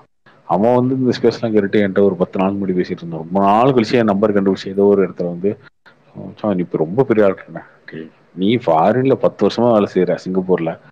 நான் இங்கதான் சுத்திட்டு இருக்கேன். அவன் வந்து என்னை பெருமையா பேசுறான். நான் வெங்கட் ப்ரோ பாடி ரொம்ப நாள் ஆச்சு. பாட சொல்லுங்க இன்னைக்கு. ரொம்ப நாள் ஆச்சு. இங்க எவ்வளவு முக்கியமான மேட்ரு பேசிக்கிட்டு இருக்காங்க. நீங்க தானா மாமன்னல் வர மாதிரி பாட்டு கேட்டுனுக்குறீங்க டாபிக் மாத்தி விட்டுருவோம் தெரியாம ஆரம்பிச்சிட்டேன்னு ஒரு மாதிரி இருந்துச்சு. அதுதான் உள்ள சொன்னது. வெங்கட் ப்ரோ ப்ளீஸ் நான் பாடுறேன். கொஞ்ச நேரத்தில் பாடுறேன். கொஞ்சம் ஒர்க் பண்ணிருக்கேன் கொஞ்ச நேரத்தில் பாடுறேன் அப்படின்னு. சார் அது இங்க இருக்க நிறைய பேத்துக்கு யங்ஸ்டர்ஸ்க்கு அந்த பிரச்சனை இருக்குன்னு இப்போ இருபத்தஞ்சு வயசுல இருந்து முப்பது வயசுல இருக்கவங்களுக்கு நிறைய பேத்துக்கு அந்த பிரச்சனை இருக்கு. நீங்க கல்யாணம்ன்றது சாதனையா பார்க்காத தயவு செஞ்சு பார்க்காத யா ஒண்ணுமே பார்க்காதீங்க. முதல்ல நீங்க என்ன செஞ்சிருக்கீங்க லைஃப்ல அதுக்குன்னு நீங்கள் வந்து உன்னை வீடு கட்டி கல்யாணம் பண்ணோம் கார் வாங்கிட்டு கல்யாணம் பண்ணோம் எனக்கு ஒரு நிலம் வாங்கிட்டு கல்யாணம் பண்ணோம் அப்படிலாம் நீங்கள் கோல்லாம் வச்சுக்க தேவையில்ல. பட் நீங்கள் உங்கள் குரோத் நோ குரோத்தை நோக்கி போயிட்டே இருக்கீங்க வளர்ந்துகிட்டே இருக்கீங்க உங்கள் வேலையை கரெக்டாக பார்த்துட்டே இருக்கீங்க. இவ்வளோ ஒருத்தன் அப்படி பேசிட்டான் இப்படி பேசிட்டான்னு பார்க்காம வேலை செஞ்சுட்டே இருக்கணும். அந்த வேலையை வந்து கரெக்டாக தெளிவாக பண்ணி ஒரு ஒரு நாளும் இம்ப்ரூவ்மெண்ட் ஆகிட்டே இருக்கீங்க அப்படின்னா நீங்கள் கல்யாணன்றது செகண்டரியாக மைண்ட்லேருந்து எடுத்துருங்க. அதுவாக நடக்கிறப்ப நடக்கும். நடக்கும்போது சூப்பராக நடக்கும். கார்த்திக் நான் வந்து அதான் சொன்னேன் அஞ்சு வருஷத்துக்கு முன்னாடி கல்யாணம் பண்ணியிருந்தா ரெண்டு லட்ச ரூபா கல்யாணம் பண்ணியிருப்பேன். ரெண்டு லட்ச ரூபாய்க்கு ஒரு கோயிலில் ஒரு கல்யாணத்தை பண்ணிட்டு ஏதோ ஒரு சின்ன ஒரு பக்கத்தில் ஒரு இது. இன்னைக்கு என் கல்யாணம் பண்ணி இருபத்தஞ்சு லட்சம் செலவாகும். எனக்கு இருக்க ஃப்ரெண்ட் சர்க்கிள் வச்சு சொல்கிறேன் சரியா? அப்போ இப்போ நான் யோசிக்கிறதே இப்படி இருக்கு. இன்னும் சப்போஸ் இன்னும் ரெண்டு மூணு வருஷம் கழிச்சாச்சுன்னா என்ன ஆச்சு எங்க நான் ஃப- எங்க ஃபைவ் ஸ்டார் ஹோட்டலில் வைக்கணுமா இங்கே எனக்கு தெரியாது. நீங்கள் உங்களை ஒரு டார்கெட் மட்டும் யோசிச்சுக்கோங்க. நீ இந்த ஒரு சின்ன சர்க்கிள்குள்ளேயே சுற்றிட்டு இருக்காங்க நான் இன்னொரு எக்ஸாம்பிள் சொல்லட்டுமா? இங்கே இருக்க சினிமாவில் இருக்க நிறைய பேருக்கு இன்னும் நிறைய பேர் பார்த்தீங்கன்னா கல்யாணம் ஆகாமல் நிறைய பேர் சாதிச்சிருக்காங்க கல்யாணம் ஆகாமல் அந்த அந்த பீக் டைமில் வந்து சினிமாவை பற்றி நிறைய சினிமாக்குள்ளே நிறைய வந்து ரன் ஆகி சம்பாரிச்சவங்க நிறைய பேர் இருப்பாங்க. சினிமாவில் இருக்கவங்கலாம் ரொம்ப லேட்டாக தான் பண்ணிக்குவாங்க. கார்த்திக் சிம்பிளா சொல்லி முடிங்க. செலிபிரிட்டினா லேட்டா தான் கல்யாணம் பண்ணுவோம் அப்படின்னு. அப்படிலாம் இல்லை நான் ஏதோ ஒரு ரெண்டு மூணு பேர்த்துக்கு எக்ஸாம்பிள் இருக்கலாம்னு பார்த்தேன். சரி ஏன் இழுத்துக்கிட்டு அவங்க பேர் தேவையில்லாம அப்படின்னு விட்டேன். நீங்க சொல்லலாம் யாரு? ஒருத்தர் அவரு கன்ஃபார்ம் அவரு தான் சொல்லி ஆகணும். அவரு தலைவர் தானே ப்ரோ இவரு சூர்யா எஸ் ஜே சூர்யா. இல்ல இல்ல அவரு இல்ல இல்ல.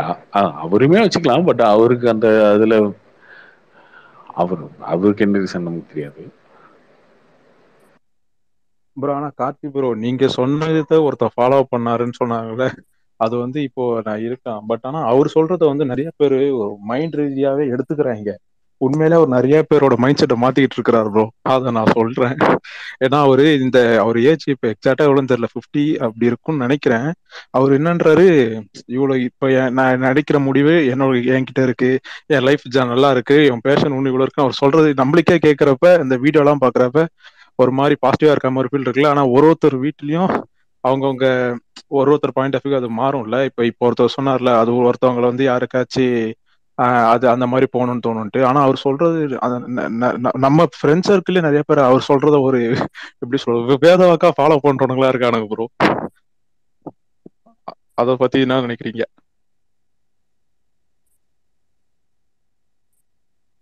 அப்புறம் அவர் மாதிரிலாம் இருக்க முடியாது. அதெல்லாம் தப்பு. ஆமா ப்ரோ அது நீங்க சொன்னீங்க அந்த இருக்கு. அவரு சும்மா சொன்னாங்க. நான் சும்மா சொல்ல வந்தேங்க நான் வேற பேரை சொல்ல வந்தேன் நீங்க நீங்களா அவர் சொல்லிட்டு இருந்தீங்க அவர் கிடையாது. இல்ல இல்ல. நான் வந்து நீங்க வேற பேர் சொல்ல வந்திருப்பீங்க. ஏன்னா அவர் வீடியோல இன்ஸ்டாகிராம் அதுல அவர் வீடியோ வந்து போடுறாங்களா ப்ரோ அதை பார்த்து நிறைய பேர் ஆமா நான் சொல்லிடுறேன். பேரே என்ன இருக்கு? எங்க ஜெகதீஷ்க்கு எனக்கு கல்யாணம் ஆகலைங்க. அவர் எனக்கு தெரிஞ்ச ஒரு விஷயம் ரெண்டு விஷயம் அதிகம் நினைக்கிறேன் என்னோட. ஜெகதீஷ் இருக்கும். இல்லைன்னா எனக்கு எனக்கு மேலதான் இருக்கும். ஈக்குவலாக இருக்கும். ஜெகதீஷ் ரொம்ப நார்மலா வந்தவர் தான். ரொம்ப ரொம்ப நார்மலா இப்ப என்னை மாதிரி தான் வந்திருப்பாருன்னு வச்சுக்கோங்களேன். அவருடைய பேக்ரவுண்ட் நமக்கு தெரியல. நான் சேலம் அவர் ஈரோடு. அவ்வளவுதான். அதே டேட் நானா ஒரு டிசம் எனக்கு ரொம்ப ரொம்ப க்ளோஸாக பழக ஆரம்பிச்சேன்னா பேசும்போதெல்லாம் வந்து ரொம்ப க்ளோஸாக பேசுவாரு. ப்ரோ நானும் நீங்களும் ஒரே டேட் டேட் ஆஃப் பர்த் அவர் டிசம்பர் பதினொன்று நான் டிசம்பர் பதினொன்று தான். ரொம்ப நார்மல் ஃபேமிலியிலேருந்து வந்த ஒருத்தர் தான். இன்னைக்கு விஜய் வச்சு படம் எடுத்துட்டு இருக்காரு. கோ ப்ரொடியூஸ் பண்ணி எடுத்துட்டு இருக்காரு. விஜய் சேதுபதி ஐம்பதாவது படத்தோட கோ ப்ரொடியூசர் அவர் தான். அஞ்சு படம் எடுத்துட்டு இருக்காரு. நீ ஆஹ், அவரு அந்த மாதிரி நம்ம யோசிக்கணும் அதான் நீங்க அதை விட்டுட்டு அந்த மாதிரி நீங்க வந்து பெரிய மல்டி இருந்து வந்து சினிமா எடுத்தவங்க பார்க்க தேவையில்ல. இந்த மாதிரி சாதாரணமா இருந்து வந்தவங்க சினிமாவில் வந்தவங்க அப்படி யோசிக்கணும். ப்ரோ கார்த்தி ப்ரோ ஒரு டவுட் ப்ரோ இந்த மாவீரனுக்கு எப்போ வந்தது? அதுக்கு முன்னாடி இந்த ரெண்டு மூணு ப்ராஜெக்ட்ல வந்து இப்போ இந்த மாவீரன் அந்த ப்ரொடியூசர் வந்து ஏடியாட்டு காசு இல்லாதப்ப இருந்து மா மாரிசுல கூட வந்து வந்தாரு. இப்போ இந்த படத்தை ஏதோ மினிமமா ஏதோ ஒரு அமௌண்ட் வாங்கி ப்ரொடியூஸ் பண்ணாருன்னு சொல்றாங்க. ஆல்ரெடி எஸ்கே கூட ஒருத்தர் இருந்தாரு. அப்புறம் இந்த இ- நீங்க சொன்ன இவரு கூட ரொம்ப டவுன்ல இருந்து வந்து இப்போ ஒரு படம் ப்ரொடியூஸ் பண்ணாங்க அவங்களுக்கு எப்படி அந்த டவுன்ல இருந்து இப்படி இவ்வளவு பெரிய ப்ராஜெக்ட் அவ்வளவு கோடி ரூபாய் இது பண்ற அளவுக்கு அவங்க என்ன ப- எப்படி பண்ணுவாங்க? ஃபினான்ஸ் பண்ணி பண்ணுவாங்க. ஓகே எப்படி அவங்களுக்கு அந்த ஒரு இது இருக்கும்? ஒரு டேர்ன் ஓவர் மாதிரி அவங்களுக்கு எப்படி ஒரு படம் எடுக்கிற அளவுக்கு அவங்களுக்கு எப்படி ஒரு ஒரு ஃபண்டோ அந்த ப்ராசஸ் எப்படி இருக்கும்னு கேக்குறேன். டவுன்ல இருந்து இவ்வளவு பெரிய ப்ராஜெக்ட்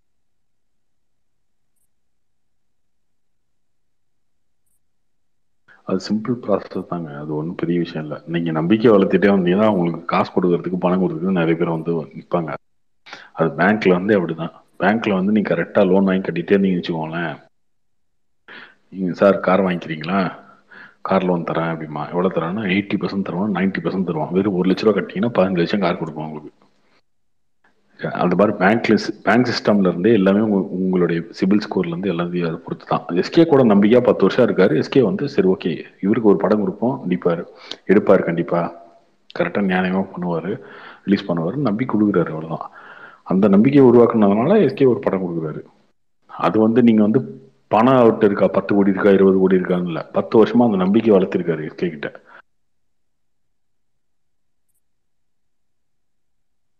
எஸ்கே மாதிரி ஒரு ஹீரோ டேட் கொடுத்தாலே போதுங்க. நீங்க காசே உங்களுக்கு தேவையில்ல. ஈஸியா ஃபைனான்ஸ் எல்லா இடத்துலயும் வாங்கிடலாம். ஓ அப்போ எல்லாத்துலயுமே அந்த மா அந்த மார்க்கெட் ஹீரோ அவங்க இப்போ நான் நீங்க கமிட்மெண்ட் கொடுக்குறீங்கன்னா அப்போ நான் எப்படியாச்சும் அந்த படத்தை எடுத்து என்னோட அச்சீவ்மெண்ட் மாதிரி நான் அதை பண்ணி முடிச்சேன்னா எனக்கும் அது ஒரு கேட் மாதிரி இருக்கும். உ- உங்களை உங்களோட நம்பிக்கையை காப்பாத்துன மாதிரி இருக்கும். அப்படிதானே ப்ரோ இன்னைக்கு ஒரு பெரிய ஒரு டேட் கிடைச்சிச்சுனாலே உங்களுக்கு டிஜிட்டல் வாங்கிடுவாங்க. ஆமா அட்வான்ஸ் கொடுத்துருவான். சேட்டலைட் வாங்கிடுவான். ஒன்னு அட்வான்ஸ் கொடுத்துருவான். இன்னைக்கு ஒன்றும் இல்லை கமலஹாசன் படம். இப்பதான் ஆரம்பிக்கிறாங்க. அதுக்குள்ள நூற்றி இருபத்தஞ்சு கோடி வித்துட்டாங்க.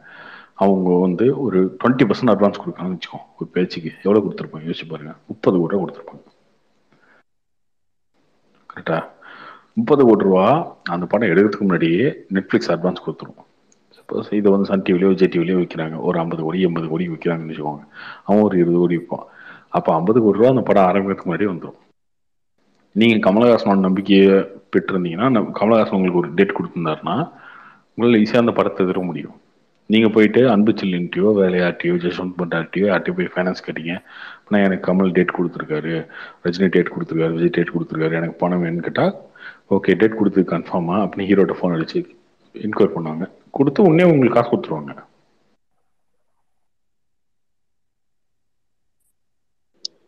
அதுக்கப்புறம் அதுக்கப்புறம் நீங்க படம் எடுத்துட முடியும். நீங்க கையில பணம் வைக்கணும்னு அவசியமே இல்லை. பணம் வச்சுட்டு தான் படம் பண்ணணும்னு அவசியமே இல்லை.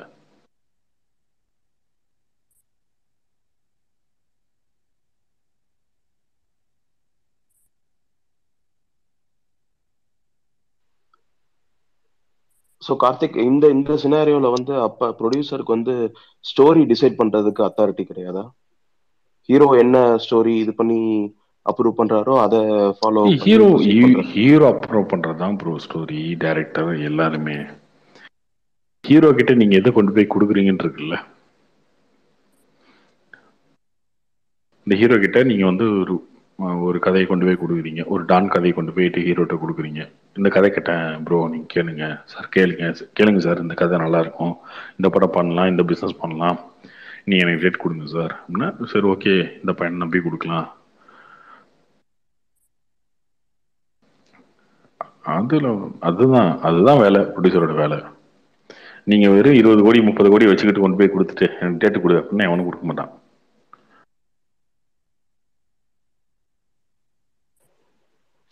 ஓகே ப்ரோ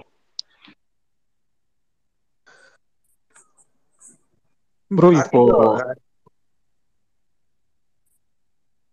ப்ரோ இப்போ நீங்க இல்ல ப்ரோ இப்போ வந்து இந்த படம் இன்னைக்கு வந்து நல்லா போயிட்டு இருக்கு ஓரளவு பாசிட்டிவா இருக்கணும்னு இன்னைக்கு ஒரு சிலர் அந்த பழைய கிளிப் எல்லாம் எடுத்து போட்டுக்கிட்டு இருக்காங்க. அதை பார்த்தேன்.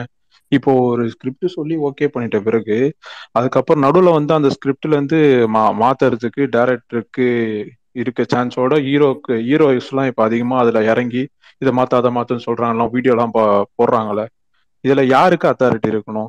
டைரக்டருக்கு இருக்கணுமா. இல்ல ஹீரோ யாருக்குமே கிடையாதுங்க. அப்படிலாம் யாருக்குமே கிடையாது. எல்லாருமே எல்லாருக்கும் தானே. இப்ப படம் ஓடலன்னா யார் படம் ஓடலன்னு சொல்ல போறீங்க? சிவகார்த்திகேயன் படம் தான் ஓட ஓடலன்னு சொல்ல போறீங்க. அப்படிதான் சொல்ல போறீங்க. அப்ப ஹீரோக்கு அத்தாரிட்டியே கிடையாது இதுல. ஹீரோக்கு வந்து அதை கேட்கறது இல்லையா? இல்ல இப்ப அவரு இருக்கு நீங்க கதை எழுதிட்டீங்கன்றதுக்காக அந்த கதையை அப்படியே நடிக்கணுமா? அது சட்டம் இருக்கான்னு அப்படி. இல்ல அப்படி இல்ல ப்ரோ இப்போ அப்ப டைரக்டர் அவர் சொல்றது பாசிட்டிவாகுதா நெகட்டிவாகுதான்னு தான் பார்க்கணும் அவ்வளவுதான். அவர் சொல்றது சரியா இருக்கா தப்பா இருக்கா அவ்வளவுதான். அப்படிதான் பார்க்க முடியும். நீங்க தப்பானதுக்கு அப்புறம் புலம்புவீங்க. நிறைய படங்கள்லாம் வந்து ஹீரோ வந்து மாத்தி அந்த படத்தை சக்சஸ் பண்ணியிருக்காங்க. அது அதுவும் இருக்கு. அந்த அந்த சினாரியும் இருக்கு இங்க. கரெக்டா நீங்க அதை விட்டுட்டு நீங்க இப்ப எந்திரன்லாம் சொல்லுவாரு ரஜினி சங்கர் ஒரு பேட்டியில் சொல்லியிருக்காரு நான் எந்திரனை வந்து டோட்டலாக வந்து சயின்ஸ் ஃபிக்ஷனாகவும் அப்படிதான் இருந்தேன் ரஜினி வந்து இல்ல இல்ல அதெல்லாம் வேலைக்கு ஆகுதுங்க என்னுடைய மாஸ் வைங்க.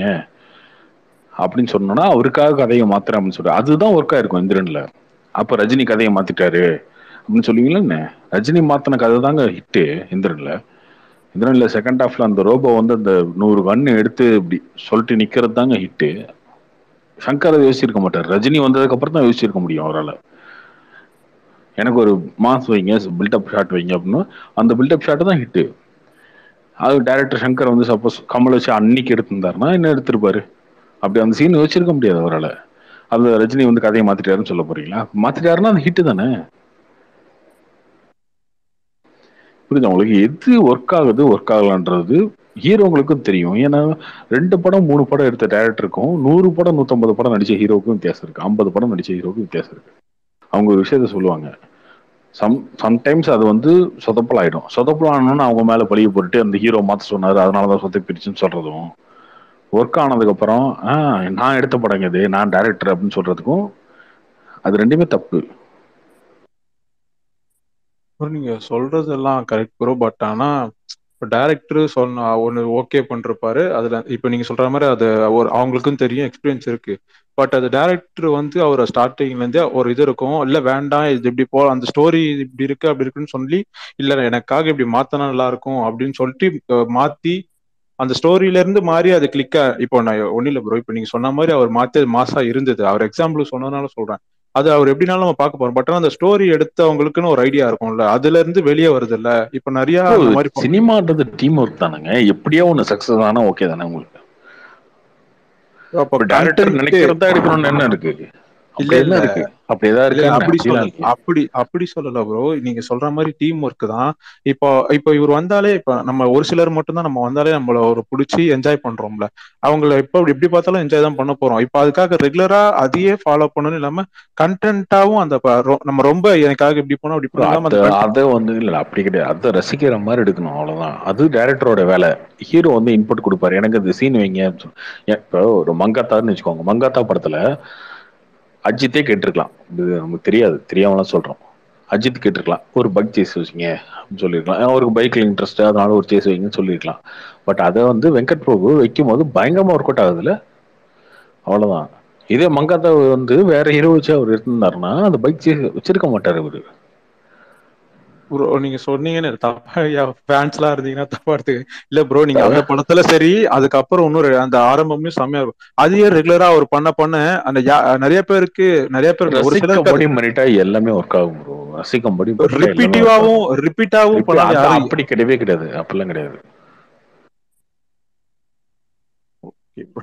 விஜய்க்கு இன்ட்ரோ சாங்ன்றது ரிப்பீட்டிவ் தான். அவ்வளவுதான். அறுபது அறுபது படமா அதுதான் நடக்குது. அது அது ரசிக்கப்படி தானே இருக்கு. வேற என்ன?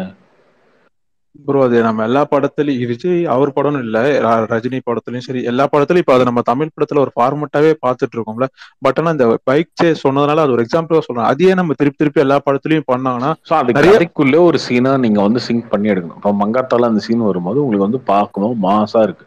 ஆரம்பத்தில் பார்க்கணும் மாசா இருக்கு. அந்த மாதிரி எடுக்கணும். அவர் சொல்லிட்டாருன்றதுக்காக ஒரு சீனை வச்சு எடுக்கக்கூடாது. அவர் சொல்றாரு ஓகே ரைட்டு அப்போ ஒரு சீன் எடுக்கணும். அந்த சீனை வந்து கொரியோகிராஃப் பண்ணணும். அதை வந்து கரெக்டாக எடுக்கணும். அதை எடுத்து மாசா வந்து கொண்டு வரணும். ஃபேன்ஸ் ஏங்க முதல்ல ஃபேன்ஸ் அதை தாங்க என்ஜாய் பண்ணுவாங்க. ஃபேன்ஸ் வந்து ஹீரோ தான் என்ஜாய் பண்ணுறாங்க மாஸ் ஹீரோவை பொறுத்த வரைக்கும். நீங்கள் கேட்குற பிரச்சனை எல்லாமே மாஸ் ஹீரோ படத்தில் வர பிரச்சனை தான். மாஸ் ஹீரோ மட்டும் தான் கதையை மாற்ற முடியும். சீன் கதையை மாற்ற முடியாது சீனை மாற்ற முடியும். அப்போ மாஸ் ஹீரோ என்ன சொல்லுவாங்கன்னா என் ஃபேன்ஸுக்கு பிடிச்ச மாதிரி ஒரு சீன் சொல்லுவாங்க ஒரு பாட்டு சொல்லுவாங்க. இந்த குற்றச்சாட்டு தான் நிறைய சினிமா வந்துட்டே இருக்கு திரும்ப திரும்ப. அவர் அதை சொன்னார் இதை சொன்னார் அவர் கதையை மாற்ற சொன்னாருன்னு. பட் அவர் வந்து என்ன சொல்றாரு என் ஃபேன்ஸுக்கு இது பிடிக்கும் இது வைங்க எனக்கு ஒரு ஃபைட் வைங்க எனக்கு ஒரு பாட்டு வைங்க அப்படின்னு சொல்லுவாருங்க. ஆனா அதை வந்து கரெக்டா எடுத்துட்டீங்கன்னா ரசிச்சிட போறாங்க அவ்வளவுதான். அதுதான் டைரக்டரோட வேலை. ப்ரோ இப்போ fan- இப்போ இல்ல இல்ல ஐயோ இது இது வந்து நான் எடுத்ததுனாலதான் என் படமே போயிடுச்சுன்றது எந்த படம் அப்படியே தான் இருக்கா என்ன? இல்ல இல்ல அப்படி கேட்கல ப்ரோ இப்போ இப்போ எல்லாரும் நீங்க சொன்ன மாதிரி எல்லாருமே ஃபேன்ஸுக்காக தான் பண்றாங்க. இப்போ வந்து நம்மளுக்கு உங்க இப்போ இப்போ ஒரு ஒருத்தர் இப்போ ஒரு இப்போ நீங்களே இருக்கீங்க ப்ரோ உங்க ஃபேன் வச்சுக்கோங்களேன். இப்போ நான் நான் இல்ல நாங்க நாங்க ஒரு பத்து பேர் வந்து இந்த ஒரு ஒரு எட்டு பேருக்கு பிடிக்குது ரெண்டு பேர் பிடிக்கல அடுத்த இதுல ஒரு நாலு பேர் அஞ்சு பேரும் உங்களுக்கு தெரியும்ல அது அது வந்து வச்சே ஆகணும். நீங்க சொன்ன மாதிரி அது வச்சே ஆகணும்னு இருக்கக்கூடாதுல இப்ப லாஸ்ட் ஒரு ரெண்டு படத்துல அவர் சொன்னதுனால சொல்றேன். அது கொஞ்சம் கொஞ்சமா அந்த கிரேஸ் குறைஞ்சிட்டு கிரேஸ் குறைஞ்சிட்டு இருக்குல்ல ரிப்பீட்டிவா இருக்கிறதுனால நீங்க சொ- நீங்களே நிறைய இதுல சொல்லியிருக்கீங்க. அவரோட இருக்கிற ஸ்டேஜுக்கு ரேஞ்சுக்கு அவரே கொஞ்சம் கம்மி பண்ணிட்டு இருக்க மாதிரி சில இதுல சொல்லியிருக்கீங்க. இப்போ இந்த நேர்கொண்ட பார்வையில அது ஒரு சீனா வரும் அது செம்மையா அந்த வலிமையில வந்து அவர் நிறைய அந்த மாதிரி ஒர்க் பண்ணிருக்காரு ஆனா அது நிறைய பேர் என்ஜாய் பண்றாங்க தவிர ஆனா அந்த அது அசப் எப்படி சொல்றது பார்த்து சலிச்சா மாதிரி அவர் போடுற எஃபர்ட்டுக்கே அது இது இல்லாம போயிடுதுல அப்போ அதை மாத்திக்கணும்ல. நீங்க சொன்னதுனால அவரை வச்சு சொல்றேன். அந்த மாதிரி எல்லாருக்கும் ஒரு ஒரு இது ஒரு. ஒருத்தர் மட்டும் இல்ல இல்ல நீங்க சொன்னதுனால சொல்றேன் ப்ரோ இல்ல அந்த மாதிரி ஒரு ஒருத்தருக்கும் ஒண்ணு இருக்குல்ல. இப்போ நிறைய படம் இப்போ எல்~ எல்லாருமே அது ஒரு கண்டென்ட் அதுக்குள்ள அவங்கவுங்க ஸ்பேஸ் இருக்கணும். இப்ப இந்த படத்துல கூட எஸ்கேக்கான ஸ்பேஸ் கொஞ்சம் இருக்கு. ஆனா முந்த படங்கள் அளவுக்கு இல்ல. அதுவே கொஞ்சம் இவர் எடுத்த அந்த ஒரு ஸ்டெப்புன்னு தான் நினைக்கிறேன். சோ அந்த மாதிரி கொஞ்சம் கொஞ்சம் எல்லாரும் கொஞ்சம் பண்ணா நம்ம நம்ம நல்லா இருக்கும்ல அப்படின்னு தோணுச்சு. அதனால சொல்றேன். ஏகே மட்டும் சொல்றேன்னு இல்ல. புதுசா ஒண்ணுமே பண்ண முடியாது. புதுசா பண்ணு புதுசா பண்ணா இவரு மாதிரிதான் பார்த்திவன் மாதிரிதான் பண்ணிட்டு இருக்கணும். ஒரே ஷர்ட்ல படம் ஒரே ஒருத்தர் நடிக்கிற படம் ஒரே ஒருத்தர் நடிக்கிற படம் ஒரே ஷர்ட்ல படம் யாருமே இல்லாத படம். டயலாக் இல்லாத படம். இப்படி வந்து புதுசு புதுசாக யோசிக்கணும் அப்படின்னா கேனத்தனமா உட்காந்துக்கிட்டு இல்லையா புதுசா என்ன பண்ணலாம்? ஒரு டயலாக் எல்லாம் படம் எடுத்துருவோமா? ஓகே ரைட்டு புதுசா. இது இது கேமரா வழியா படம் எடுத்துடலாம்? இப்படி யோசிச்சுட்டு இருக்க முடியாது எல்லாத்தையும். நீங்க இருக்கிறதுல என்ன அதுல பெஸ்டா புதுசா என்ன பண்றீங்க? அதுதான். நீங்க வச்சுதான் ஒரு கமர்ஷியல் நீங்க ஹீரோ பெரிய ஹீரோ வச்சுதான் கமர்ஷியல் படம் மட்டும்தான் எடுக்க முடியும். வேற எதுவும் எடுக்க முடியாது. சரியா? விஜய் அஜித் ரஜினி எல்லாருமே சொல்றேன் ரஜினி எல்லாரும் வச்சு சூர்யா வச்சு எல்லாம் கமர்ஷியல் படம் தான் எடுக்க முடியும். நீங்க வேற எடுக்கவே முடியாது. நீங்க உட்காந்துட்டு அவங்கள உட்காந்து உட்கார வச்சுட்டு மண்டேல எடுக்க முடியாது. பெரியர் பெருமாள் எடுக்க முடியாது. பெரியவர் பெருமாள்ல வந்து விஜய் நடிக்க சொல்ல முடியாது. அஜித் நடிக்க சொல்ல முடியாது. அவங்கள வச்சு கமர்ஷியல் படம் தான் எடுக்க முடியும். அந்த கமர்ஷியல் படத்துக்குள்ள என்ன புதுசா பண்ண முடியும்? அவங்களுக்கு ஃபைட்டு வச்சு தான் ஆகணும் ஓப்பனிங் சாங் வச்சு தான் ஆகணும். அவங்களுக்கு ஒரு ஹீரோயின் வச்சு தான் ஆகணும். இன்ட்ரோல் பேக் மாசா வச்சு தான் ஆகணும். இதெல்லாம் வச்சு தான் ஆகணும். இதுக்குள்ள என்ன புதுசா பண்றீங்க? அவ்வளவுதான். புதுசா பண்றேன்றதுக்காக நீங்க வந்து சம்மந்தம் இல்லாம கண்டென்ட்டா படம் நடிக்கல ப்ரோ என்ன நடிக்க முடியும்? நீங்க இப்ப நடிச்சாலும் பார்க்க போறீங்களா? நேர்கொண்டு போற பாத்தீங்களா யாராவது? ப்ரோ கண்டென்ட்டா சொல்லல ப்ரோ நீங்க அந்தந்த இப்ப திடீர்னு இப்படி பண்ணலாம் அப்படி பண்ணலாம்னு சொல்லுவாங்கல்ல அது நீங்க சொல்ற மாதிரி அது- யாருமே சொல்ல மாட்டாங்க. bro. அப்படிலாம் அதெல்லாம் வந்து சும்மா போலியா பிரச்சாரம் பண்றது அந்த அந்த மாதிரி தான் திடீர்னு வந்து இந்த சினிமால காட்டுவாங்களே யாராவது? எனக்கு இந்த சீன் வை இந்த சீன் வை யாராவது சினிமால ஒரு சீன்ல காட்டுவாங்க அந்த மாதிரிலாம் யாரும் பண்ண மாட்டாங்க. அந்த அவங்களுக்குமே கதை தெரியலங்க எல்லா ஹீரோவும் கதை கேட்டு தாங்க கமிட் பண்றாங்க. அந்த கமிட் பண்ணதுக்கப்புறம் என்ன சொல்லுவாங்கன்னா அதிகபட்சம் எனக்கு ஒரு சாங் வைங்கன்னு சொல்லுவாங்க ஃபைட் வைங்கன்னு சொல்லுவாங்க அப்படி வைங்கன்னு சொல்லுவாங்க. இப்படி இது சின்ன சின்ன சேஞ்சஸ் தான் பண்ணுவாங்களே தவிர வேற எதுவும் பண்ண மாட்டாங்க. அதுவுமே கரெக்டா பிடிச்சிருக்குன்னா அவங்க ஒத்துக்குவாங்க. இப்ப இந்த நீங்க கத்தி படத்துல கத்தி படத்துல இன்ட்ரோ சாங்கே கிடையாது விஜய்க்கு. ஆமா எடுத்தோடனே எடுத்தோடனே ஹேமந்த் எடுத்தோடனே சமந்தா பார்ப்பாரு. அது அது வந்து ஒரு சாங் வரும் ஏர்போர்ட்ல கண்டிப்பா முருகதாஸ் வந்து சொல்லியிருப்பாரு. "ஓ- எனக்கு ஓப்பனிங் சாங் இல்லைன்னு விஜய் கேட்டிருக்கலாம். கேட்டோன்னே இல்ல சார் இந்த கதையில வந்து இடம் இல்லை சார். அப்படியா சரி அந்த சாங் மட்டும் ஏதோ டான்ஸ் ஆன மாதிரி வச்சிருங்க. அப்படின்னு சொல்லிட்டு முடிச்சிருப்பாரு அவர் தான் அப்படிதான் அந்த பாட்டு வந்திருக்கும். ப்ரோ அது ஆனா அவர் சொல்ல. இவர் ஒண்ணு சொல்ல அது ஒரு மாதிரி நல்லா வந்து செட் அவங்கள கன்வின்ஸ் பண்ணவங்க இல்லைங்க. அவங்க கன்வின்ஸ் பண்ண அவ்வளவுதான். இல்ல இல்ல சார் இதுல வந்து வைக்க முடியாது சார் இதை பண்ண முடியாது சார் இதுல வந்து இந்த மாதிரி இருக்கு இந்த மாதிரி இருக்கு. ஓகே ரைட்டு அவங்களே என்ன சொல்லுவாங்க? சரிங்க ஓகே அப்படின்றவங்க. இப்ப எனக்கு தெரிஞ்சு நான் சொல்றேன் லியோலயும் இன்ட்ரெஸ்ட் சாங் இருக்காது. நான் இந்த பாட்டை கேட்டதை நான் சொல்றேன். இந்த இந்த பாட்டு கண்டிப்பா ஒரு பிளாஷ்பேக்கோ அந்த மாதிரி ஒரு சீக்வன்ஸ்ல தான் வரும்னு வச்சுக்கோங்க. ஒரு பிரச்சனை. இதுலயும் கிடையாது. ஜெயிலர்லயும் இன்ட்ரோ சாங் கிடையாது. அப்போ அந்த கதை வந்து அவங்களுக்கு கன்வின்ஸ் பண்ணிடுச்சுன்னா அவங்க என்ன கேட்க போறாங்க? சரி ஓகே இந்த கதையில உண்மைதான் கரெக்ட் தான். அவன் சொல்ற மாதிரி கதையிலே இடம் இல்லை. அவன் இல்ல இல்ல எனக்கு வச்சுதான் ஆகணும். நான் அடிச்சா தாங்க மாட்டேன் நாலு மாசத்துக்கு மட்டும் ஒரு பாட்டுக்கு என்ன சொல்ல முடியும்? ஏ இடம் இல்லையா அங்க சரிங்க ஓகே ஓகே ப்ரோ அப்படின்னு விட்டுருவாங்க அவ்வளவுதான். நீங்க கன்வின்ஸ் பண்றதால தான் இருக்கு. டைரக்டருக்கு தாங்க அந்த வேலை. டைரக்டர் அதை பண்ணிட்டா அது ஓகே யாருமே கேட்க போறது இல்லை. மாநாட்டுல கிடையாது. சாங்கே கிடையாது. சிம்பு எல்லா பாட்டும் உட்காந்து ஆடிட்டு இருப்பார்ல. மாநாட்டுல சாங்கே கிடையாது. டான்ஸ் ஆடுறதுக்கு. ஒரே ஒரு சாங் தான் இருக்கும். அந்த கல்யாணத்தில் ஆட ஆடுற சாங் தான். ஏன் சிம்பு நடிக்கலையா? அந்த கதை வந்து ஹீரோவை கன்வின்ஸ் பண்ணுங்க. அந்த கதை வந்து இல்ல இல்ல இந்த கதையில கிடையாதுங்க. இது பண்ணலாம். ஹீரோ ஒத்துக்க தான் போறாங்க. எந்த ஹீரோ ஒத்துக்கல? எந்த ஹீரோ ஒத்துக்காம நடிச்சிட்டாங்க?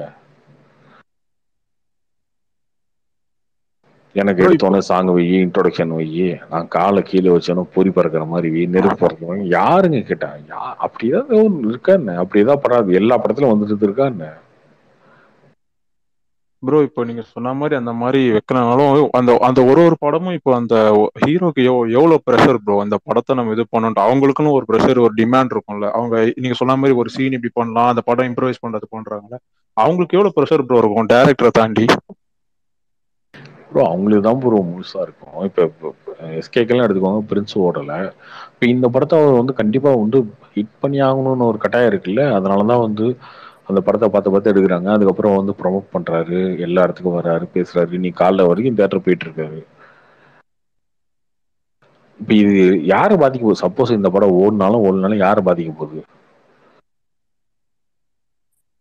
இவரை பாதிக்க போகும் இப்போ இது நல்ல படம் இந்த படம் வந்து அவர் போன படத்தோட நல்லா இருந்தாலும் இது ஐடியாவா நல்ல படம் தான் இது. இப்போ இந்த படத்துக்கு வந்து அவ்வளோவா க்ரௌடு இது ஈவினிங்ல இருந்து தான் பிக்கப் ஆகுதுன்னு போடுறாங்க.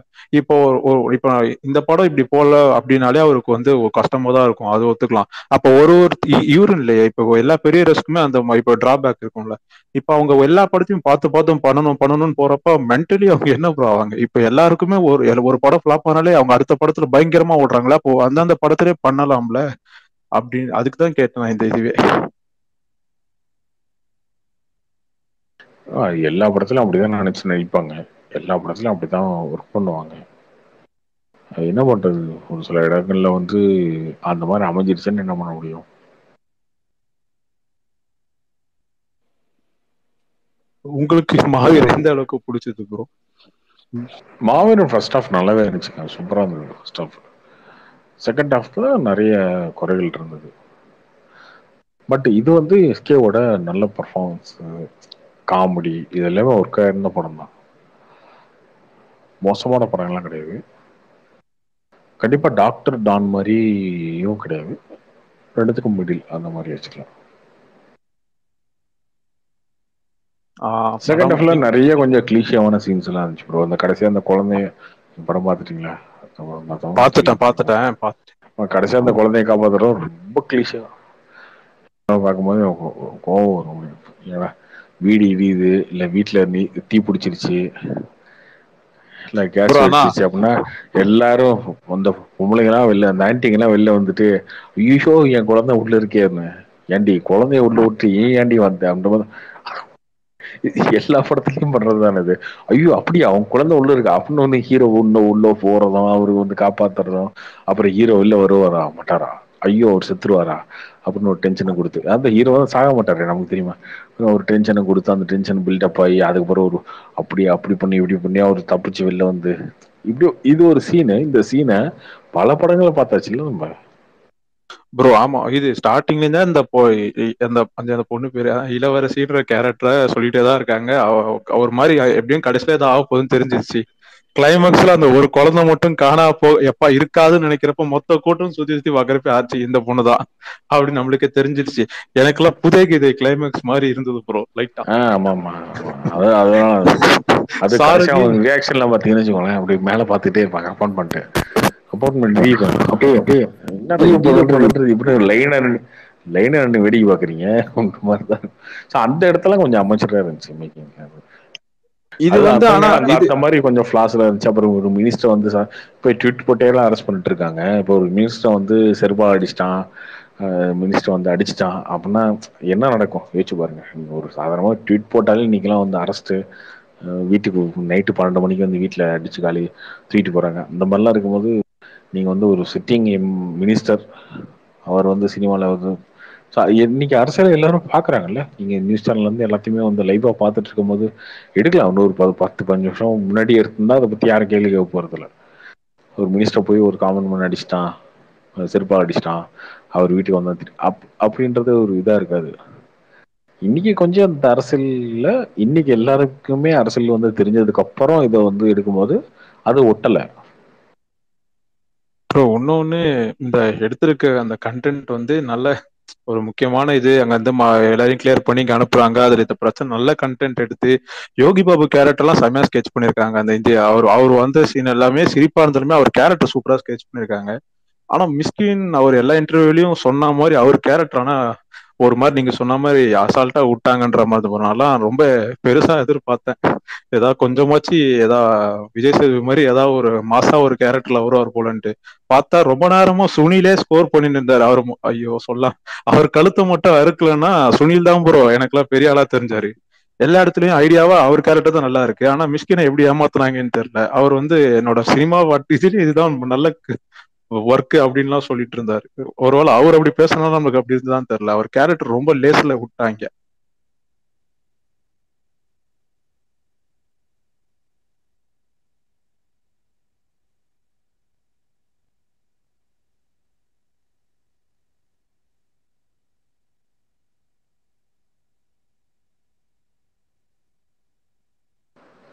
ஆனா மத்தபடி ஐடியாவா நல்ல ஐடியா தான் அந்த படம் ஃபர்ஸ்ட் ஆஃப்லாம் நல்லா என்டர்டைன்மெண்ட்டாக இருந்துச்சு.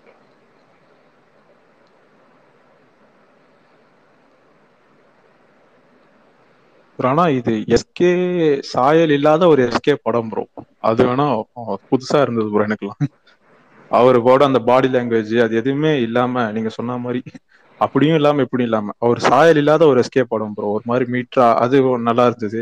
மத்தபடி நீங்க சொன்ன மாதிரி ஃபிளாலாம் இருந்ததுதான். ஆனா மியூசிக்கை வந்து கண்டிப்பா சொல்லணும் ப்ரோ ஏன்னா அந்த லான்ச்லயுமே அவர் அவ்வளவா யாருமே பெருசா பேசின மாதிரி நான் பார்க்கல. அவர் ஆனா படத்துல சூப்பரா பண்ணிருக்காரு. நான் அவரு அவருக்கு வந்து ஸ்பெஷலா யாரா முடிஞ்சா ஏதாவது கன்வே பண்றேங்க ப்ரோ பாவம் ப்ரோ மீதி எல்லாருக்குமே ஏதாவது கிரெடிட் கிடைச்சதுன்னு நினைக்கிறேன். மியூசிக் டைரக்டர் தான் பா- அவருக்கு நல்லா பண்ணியிருந்தார். படத்தை நம்ம பார்க்கறதுக்கே மெயின் ரீசனே அவர் தான் நினைக்கிறேன். அந்த வாய்ஸ் கேட்கறப்போ ஒரு ஒரு பேக் நாய்ஸ் மாதிரி ஒன்று வரும். அது இல்லாதப்ப நம்மளுக்கே காது ரிலீஃப் ஆன மாதிரி இருக்கும். அதை தேட்டர்ல பாக்குறப்ப நல்லா இருந்தது. அவருக்கு ஸ்பெஷல் இது முடிஞ்சா அவர்கிட்ட சொல்றேங்க.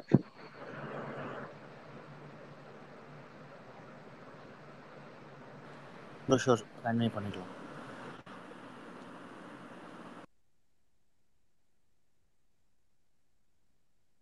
அப்படி ஃபுல்லாவே கழட்டு சொல்லு.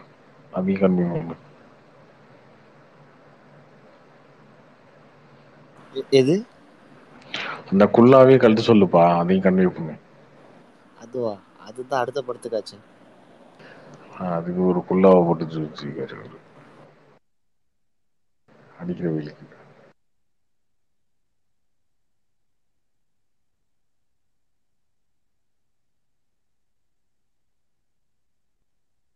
இந்த படத்துல வந்து விஜய் சேதுபதி வாய்ஸ் ஓவர் நல்லாவே இருந்துச்சுங்க. நான் கூட நான் வந்து இந்த அவெஞ்சர்ஸ்ல பண்ண மாதிரி தலைவன் கிரிஞ்சு பண்ணிடுவாரு வாய்ஸ் ஓவர்ல அப்படின்னு நினைச்சேன். டப்பிங்ல அதெல்லாம் பண்ணல. ரொம்ப ரொம்ப சூப்பராக பண்ணிருந்தாரு. ப்ரோ ஆமா ப்ரோ ஆனா நிறைய டாக்கு அவரா இவரா நிறைய ரோ இதெல்லாம் போயிட்டு இருந்தது. ஏங்க இதை நான் முன்னாடியே சொன்னது தாங்க நிறைய பேர் வந்து திட்டினானுங்க அப்படின்னு டெலிட் பண்ணிட்டாங்க அந்த ட்வீட்டை நான் ஒரு அஞ்சாறு மாசத்துக்கு முன்னாடி போட்டோம்னு வைக்கிறேன் விஜய் சேதுபதி இன் எஸ்கே ஃபிலிம்னு ஏதோ ஒன்று போட்டேன். போட்டதுக்கு இல்லவே இல்லை. அது அப்படி இப்படியும் ஃபேக் நியூஸ் அப்படின்னு போட்டானுங்க. சரி ஓகே அப்படின்னு டெலிட் பண்ணி விட்டேன்.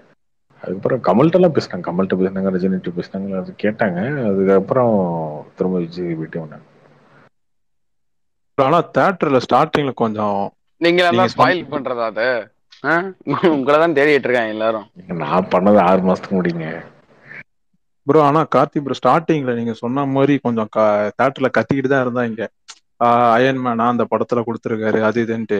ஆனா படம் போக போக அவர் வாய்ஸ் வந்து உண்மையிலே அந்த அந்த அந்த கதை அந்த தமிழ் அந்த அந்த எஸ்கேவே சொல்லுவாரு யாரோ தூய தமிழ ஒருத்தன் வந்து பேசிட்டு இருக்காங்க அது வந்து இவர் பேசுனதுனால தான் மட்டும்தான் கேட்க முடிஞ்சதுன்னு எனக்கு தோணுச்சு ப்ரோ வேற யாரு பேசியிருந்தாலும் அப்படி இருந்திருக்காதுன்னு தோணுச்சு. அது மு- ஹண்ட்ரட் ஏ- பர்சன்ட் எனக்கும் அதே தோணுச்சு. படம் முடியிறப்பெல்லாம் அந்த பீச் ஆண்டெல்லாம் சரி அந்த தண்ணியாண்ட ஒரு ஃபைட் வரும் பாருங்களேன். அப்பெல்லாம் இவர் வாய்ஸ் நம்ம மிஸ் பண்ண ஆரம்பிக்கிற மாதிரி ஒரு ஃபீல் ஆச்சு. ஒரு கேரக்டராகவே படம் ஃபுல்லா வருந்தா போல அப்படின்ற மாதிரி இருந்தது. வேற யார் வாய்ஸும் அந்த காமிக்ஸ்ல வர அந்த ஸ்லாங்ல தமிழ்ல வேற யாரும் பேசியிருக்க மாட்டாங்கன்றதான் உண்மை. மாவீரனுக்கு இவர் வாய்ஸ் ஒரு பெரிய அட்வான்டேஜ்னு தோணுச்சு ப்ரோ ஆமா. வேற யாரு கொடுத்திருந்தாலும் நல்லா இருந்திருக்காது. என்ன கலாச்சாரமே அவர் வாய்ஸ் படத்துக்கு ஒரு கேரக்டர் மாதிரி. ஆனா ஒருத்தர் சொல்லியிருந்தார் கார்த்தி ப்ரோ அந்த அவங்களுமே ஃபர்ஸ்ட் எடுத்தோடனே டைட்டில் கார்ட்லயே வந்து மக்கள் செல்வம் விஜய் சேதுபதி குரலில் எஸ்கே சிவகார்த்திகேயன் நடிக்கும் ஃபர்ஸ்ட் விஜய் சேதுபதி பேரை போட்டுட்டு தான் அதுக்கு அடுத்து சிவகார்த்திகேயன் பேரே போட்டாங்க. எனக்கு ஒரே ஒரு டவுட் இப்போ அந்த நேம் எலிவேட் முந்தானத்தை என்னமோ சொன்னாங்கல்ல இவர் தான் பேசுறாரு அதுக்கப்புறம் இந்த மாதிரி போடணும் ஐடியா இருந்ததா? இது ஒரு சும்மா ஒரு இது முன்னாடியே பண்ணிருப்பாங்க. அப்படி அதுதான் bro. ஏன்னா நிறைய பேர் அப்படி சொல்றாங்களே. ஏன்னா இவர் பேர் போட்டு ஒரு ரெண்டு பேருமே இப்போ ஒரே நேரத்துல ஒரு ஸ்டாரா இருக்காங்கல்ல. அவர் பேரை போடணும்ட்டு முன்னாடியே இருந்ததா? இல்ல இது ஒரு ப்ரமோஷன் மாதிரி இருந்ததுல அதனால படம் முன்னாடியே போயிருக்கும் தானே பிரதர் சென்சாருக்கு போகும்போது இதை கொடுத்தானே அமைச்சிருப்பாங்க முன்னாடி- முன்னாடியே பண்ணிருப்பாங்க. முன்னாடியே பண்ணிருப்பாங்க. சூப்பர் நான் நல்ல அவர். ஃப்ரீயா பேசி கொடுத்தாராமே படத்துக்கு. ஆமா. எதுலயோ சொல்லியிருந்தாரு. அதுதான். ஏன்னா அது மென்ஷன் பண்ணதே இவங்க ரெண்டு பேருக்கு நல்ல ஒரு பாண்டு நல்லா இருந்தது ப்ரோ ஏன்னா அவ்வளவு பெரிய ரெண்டு பேருமே ஒரு ஸ்டார் இவர் வாய்ஸ் கொடுத்து அந்த படம் நான் அப்புறம் ஆனா ஒருத்தர் போட்டிருந்தாரு கார்த்திக் அது மட்டும் சொல்றேன். அந்த வீரமே ஜெயம்னு ஒரு ஸ்டார்டிங்ல இருந்து ஒரு கேரக்டர் போடுறாங்களே. அது கடைசியில விஜய் விஜய் சேதுபதி தான் அவங்க அப்பாவா இருக்கும். ஒரு மாசான ஏதோ ஒரு அஞ்சு நிமிஷம் கட்டு மாதிரி வந்திருந்தாருன்னா ஒண்ணும் ஒரு மாஸ் மூமெண்ட் ஆயிட்டு இருக்கும் ரெண்டு பேரும் ஒரே படத்துல இருந்து- நல்லா இருந்தது ஆனா அந்த ஐடியா ஏன்னா நீங்க சொன்னாம செகண்ட் ஹாஃப்ல நிறைய லேக் இருந்ததுல்ல.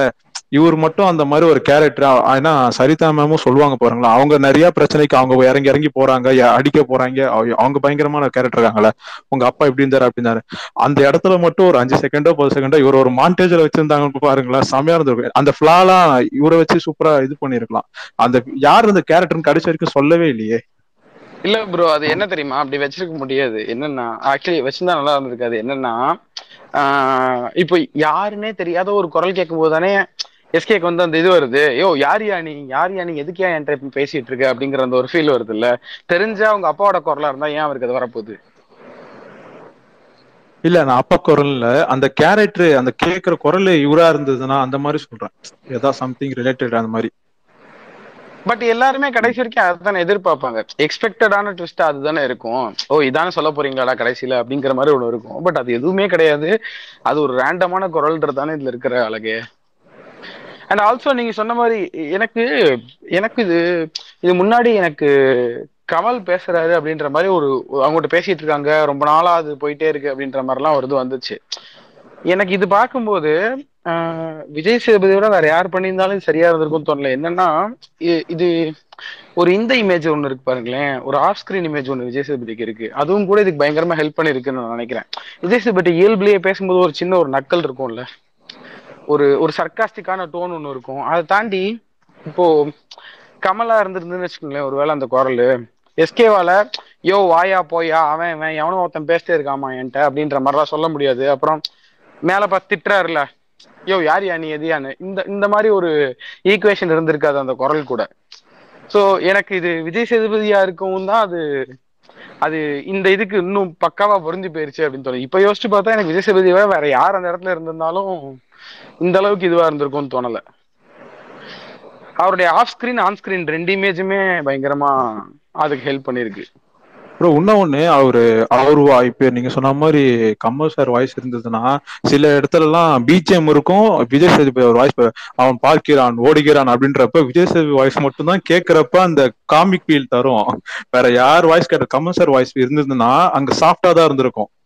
இந்த பொன்னியின் செல்வன் ஸ்டார்டிங்ல பேசுவார்ல ஒரு மாதிரி சாஃப்டா ஆளுமையோட நம்ம அது மியூசிக் மாதிரி இருக்காது.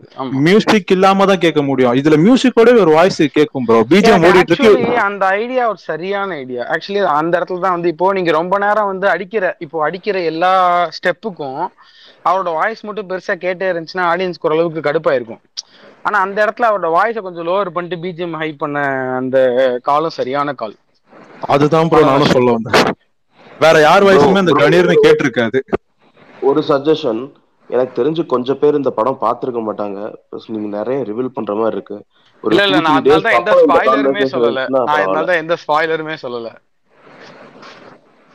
எஸ்கே பார்த்து பேசுறாரு மக்கள் செல்வன் கோயில்ன்றதெல்லாம் ஏற்கனவே ப்ரொமோஷன் கேம்பெயின்லயே வந்துருச்சுன்றதுனால தான் அதெல்லாம் பேசிட்டு இருக்கேன். மத்தபடிக்கு நான் இந்த இந்த இந்த இந்த மூவியோட கான்வர்சேஷன் கொஞ்சம் ரொம்ப ரொம்ப ரொம்ப நேரமா போயிட்டு இருக்கு. கொஞ்சம் ஸோ கொஞ்சம் ரிவீல் பண்ற மாதிரி இருக்கு. ஸோ இந்த கான்வர்சேஷன் எனக்கு தெரிஞ்ச ஒரு டூ த்ரீ டேஸ்க்கு அப்புறம் மேக்ஸிமம் நிறைய பேர் பார்த்துருவாங்க. அதுக்கப்புறம் பண்ணுனா பரவாயில்லன்னு நீங்க சொல்றது கரெக்டு தான்.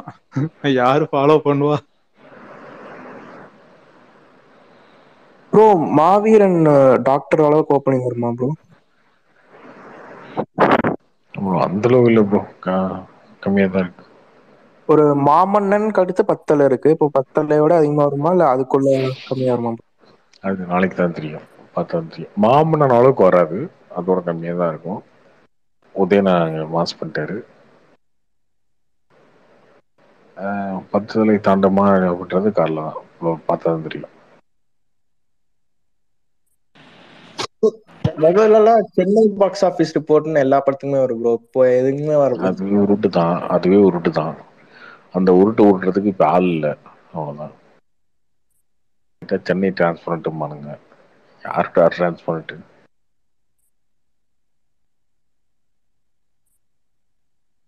இப்ப யாரு என்ன போட்டாலுமே நாங்க போல இவ்வளவு பேர் தான் பார்த்தாங்கன்ட்டு எல்லாருமே ஓப்பனா பேச வந்ததுக்கு அப்புறம் அந்த மாதிரி போடுறது கொஞ்சம் நினைக்கிறேன் வரும். அந்த டிரான்ஸ்பரன்சின்றது நீங்க எதிர்பார்க்கறது உங்க வீட்டுக்கு வந்து ஒரு ஆப்பை கொடுத்து ப்ரோ இந்த ஆப்ல வந்து எல்லா படத்தோட கலெக்ஷனையும் நீங்க பாத்துக்கோங்கலாம் வராது. இந்த டிரான்ஸ்பர்ஸ் இப்படி தான் உருவாகும். இப்படிதான் முன்னாடி சென்னை சிக்ஸ்டி பாக்ஸ் ஆஃபீஸ்னு ஒன்று உருட்டுவாங்க. சென்னை இவ்வளோ ஆச்சு இவ்வளோ ஆச்சுன்னு. எப்படி போட்டிங்கன்னு ஆ, சென்னை கலெக்ஷன் தெரியாதாங்க. சென்னையில தான் எல்லாம் ஆன்லைன் டிக்கெட் ஆன்லைன் டிக்கெட் தான்டா. உனக்கு எப்பறம் தெரியும்? ப்ரோ அது அது ஏங்க சென்னை டிரான்ஸ்பரன்சி போயிட்டு தானங்க ப்ரோ அது அது ஆன்லைன்ல தான் விற்கிறாங்க டிக்கெட் அப்படின்னு அதுவே வந்து சும்மா இவனுங்களாம் வந்து ஒரு கணக்கு வச்சுக்கிட்டு புத்த மதிப்பாக அடிச்சு வர்றது தான் அது இப்போ இல்லை. எந்த எந்த பாக்ஸ் ஆஃபீஸ் கலெக்ஷனுமே யாருக்கும் அக்யூரேட்டாக தெரியாது.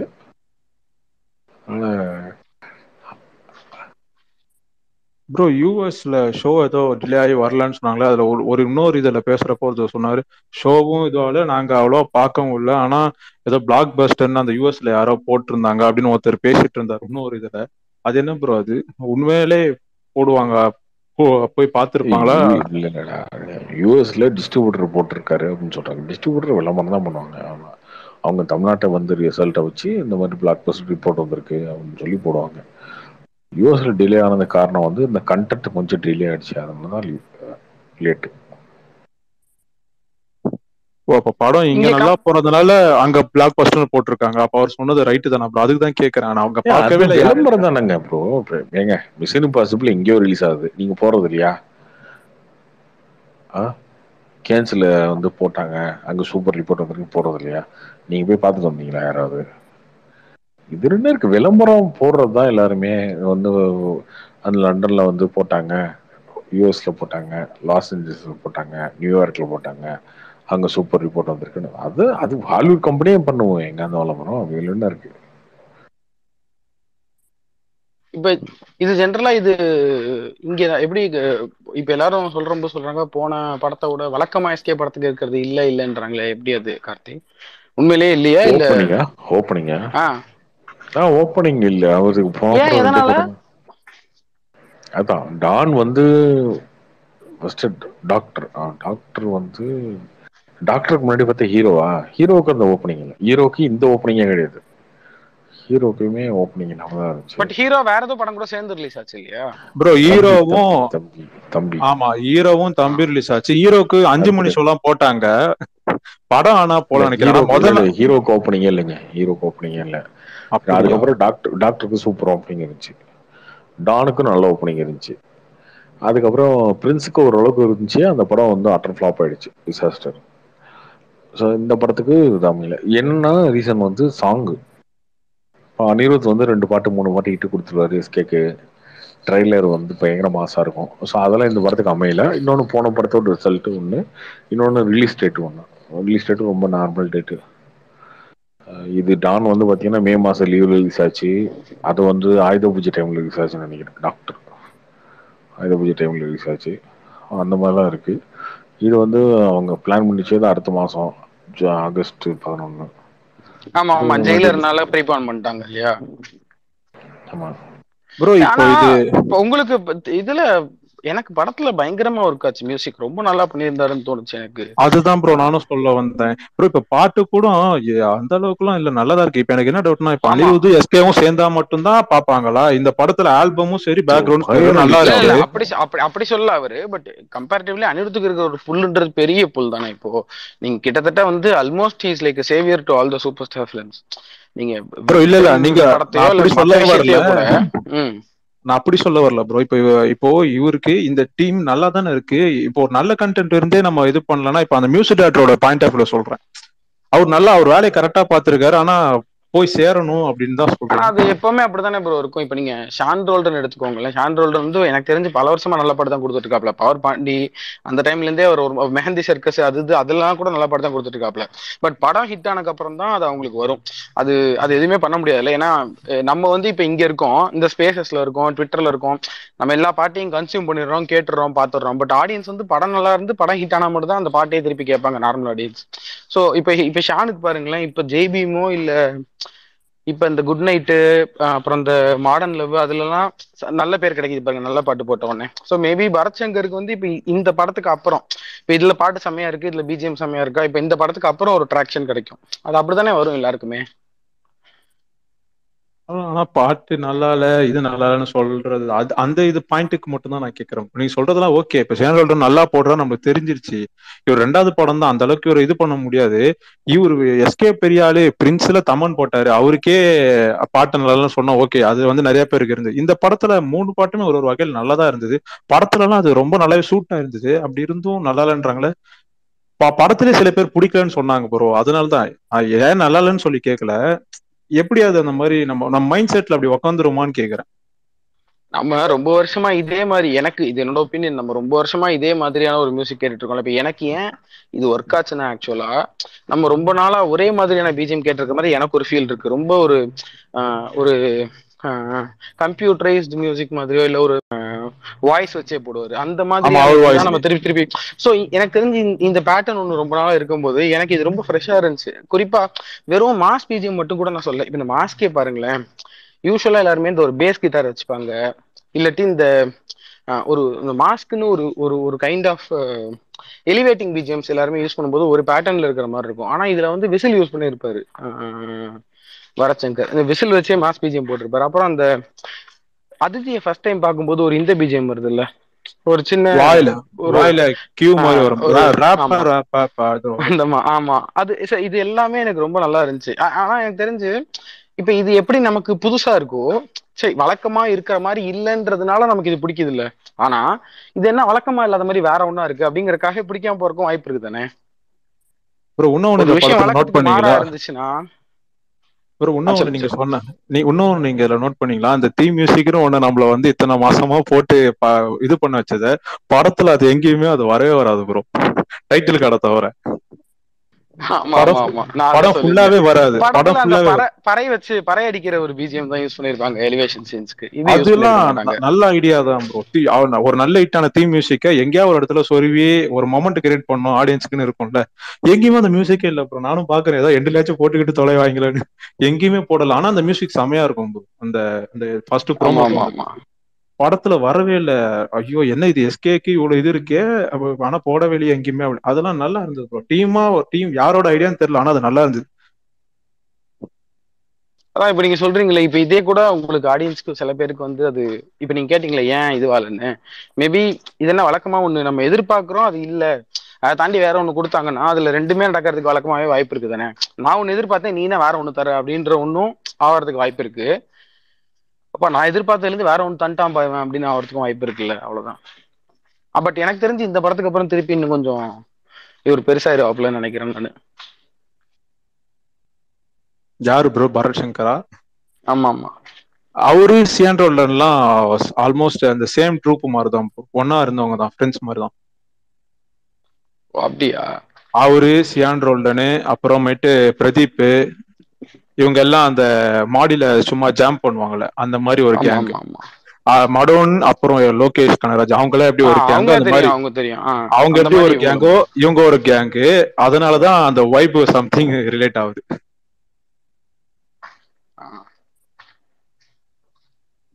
ஆனா இப்ப கார்த்தி நாளைக்கு கவனிச்சிங்களா? நாளைக்கு கம்பேரிட்டிவ்லி இது புக்கிங் எல்லாம் சூப்பர் ஆயிடுச்சு.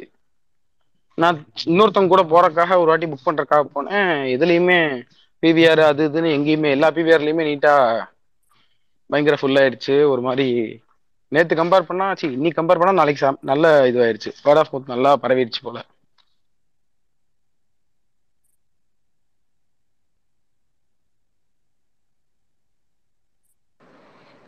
ஆமா இந்த முன்னல் நல்லா இருக்கும் அதுக்கப்புறம் பார்க்கணும் மண்டே பார்த்ததுக்கு அப்புறம் தான் தெரியும்.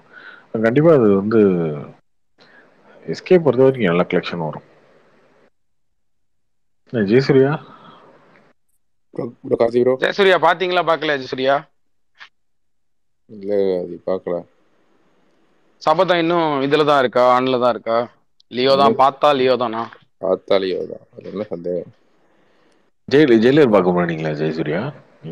இல்ல இல்ல டெய்லர் முதல்ல லாஸ்ட் ரெண்டே படம் தான். ஒன்னு ஜவான் இன்னொன்னு இது. ஜவான் வந்து ஜவான் முன்னாடி வருது இல்ல? அது அது அப்ப பார்த்தா சபதம் கேன்சலா இல்ல அதுவும் பார்க்க மாட்டேன். என்ன இது பார்க்க சொல்லுவீங்க? இப்படி அட்லிக்கே துரோகம் பண்றீங்க? எனக்கு புரியலையே. எல்லாத்துக்கும் மேல எங்க எங்க அண்ணனுக்கு நான் தானே பண்ணுவேன். இது என்னையா? இது ஒரு சபதம் இது? இல்ல ப்ரோ அவர் வந்து ஜவானுக்கு பாப்பியா இல்லையா? டிவில ஓடிடில ஏதாவது ஒரு படம் பாப்பியா இல்ல இதையும் பார்க்க எந்த- மாட்டியா எந்த படமும் பார்க்கல இன்னும் கடைசியா பார்த்த படம் வாரிசு. கடைசியா பார்த்த படம் வாரிசா? ஓடிடில பார்த்தா கூட சபதம் கேன்சல் ஆயிருமா? ஆமா ஆமா. ப்ரோ இல்ல ஆதி ப்ரோ அவர் அவர் வந்து அட்லி அண்ணனுக்காக ஜவானுக்கு ஒரு குத்து லியோல ஒரு குத்து பாரு டீலோ நான் உன்கிட்ட பேசக்கூடாதுன்னு நினைச்சேன். நீ கலைத்தாயின் கடைசி பையன்னு எனக்கு தெரியும். பரத் சங்கருக்கு என்னென்ன பேசிட்டு இருக்கேன்னு எல்லா எல்லா எல்லா வரலாறும் தெரியும். இப்போ அனிருதுன்னு சொன்னோடனே உனக்கு மூக்கு வேர்த்துருச்சுன்றதும் தெரியும். ப்ரோ நான் இருக்கிறேன் சொல்லல. ப்ரோ இது அவர் சொன்னதால விளையாட்டுக்கு சொன்னது. அந்த விளையாட்டுக்கெல்லாம் எனக்கும் தெரியும். கலைத்தாய்க்கு சேவை பண்ணுங்க. நிறையா கலைமாமணி வாங்குங்க. அப்படியே தாம்பரத்தோட முடிச்சுக்கோங்க. கமர்ஷியல் பற்றிலாம் பேசாதீங்க. சும்மா. சரி இப்ப என்ன இப்ப வாரிசுக்கு அப்புறம் நீ லியோ தான் பாப்பியா? ஆமா. சரி அவ ஓடிடில கூட பார்க்க மாட்டேன். டிவில இல்ல சரி இவ்வளவு நீங்க சொல்றீங்க அனிருத்துக்கா ஜெயிலர் பார்க்க மாட்டீங்களா? என்னது இது? எனக்கு புரியலையே. கஷ்டம்தான் என்ன பண்றது? எல்லாத்துக்கும் முன்னாடி நமக்கு பிடிச்சது தளபதி தானே? அப்ப அவருக்கு தானே உண்மையா இப்ப இது என்ன சபரிமலைக்கு மாலை போட்ட மாதிரி? இது என்ன வேண்டுதல்? நல்லா இருக்கே சபரிமலைக்கு. இதை அன்னைக்கு ட்வீட்டா போட்டுக்கிறேன். நன்றி. சபரிமலைக்கு மாலை போட்ட மாதிரி இது விரதம் கலைஞ்சிருச்சு அப்படின்னு போட்டுக்கிறேன். இதுக்கு இது? இது யார் நீயா எடுத்துக்கிட்டியா? உனக்கு அன்னைக்கு விளக்கம் கொடு அன்னைக்கு விளக்கம் கொடுத்தேன் இல்லைங்க திரும்ப புதுசா என்ன கேக்குறீங்க கார்த்தி என்ன புது கதை கேக்குற மாதிரி கேக்குறீங்க? இப்பதானே நேத்து சொன்னாரு ஸ்பேஸ்ல. முந்தான தானே சொன்னேன். ஞாபகம் இல்ல தோழர்.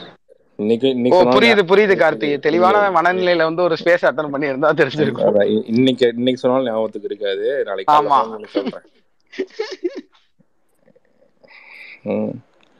இந்த டீலோ எனக்கு ஞாபகம் இருக்காது. இது வந்து கேப்டன் மில்லர் இந்த இந்த பைக் புல்லட்டு இதே மாதிரி தான் வந்து சந்தோஷ் நாடு முடி சந்தோஷ் நார் எனக்கு சொன்னேன்னு சொல்ல போறீங்க. நீங்க ஆனா என்ன நினைச்சு பேசுறீங்கன்னா ப்ரோ தெரியல. சும்மா விளையாட்டுக்கு பேசுறதெல்லாம் இல்ல இல்ல புரியலையே.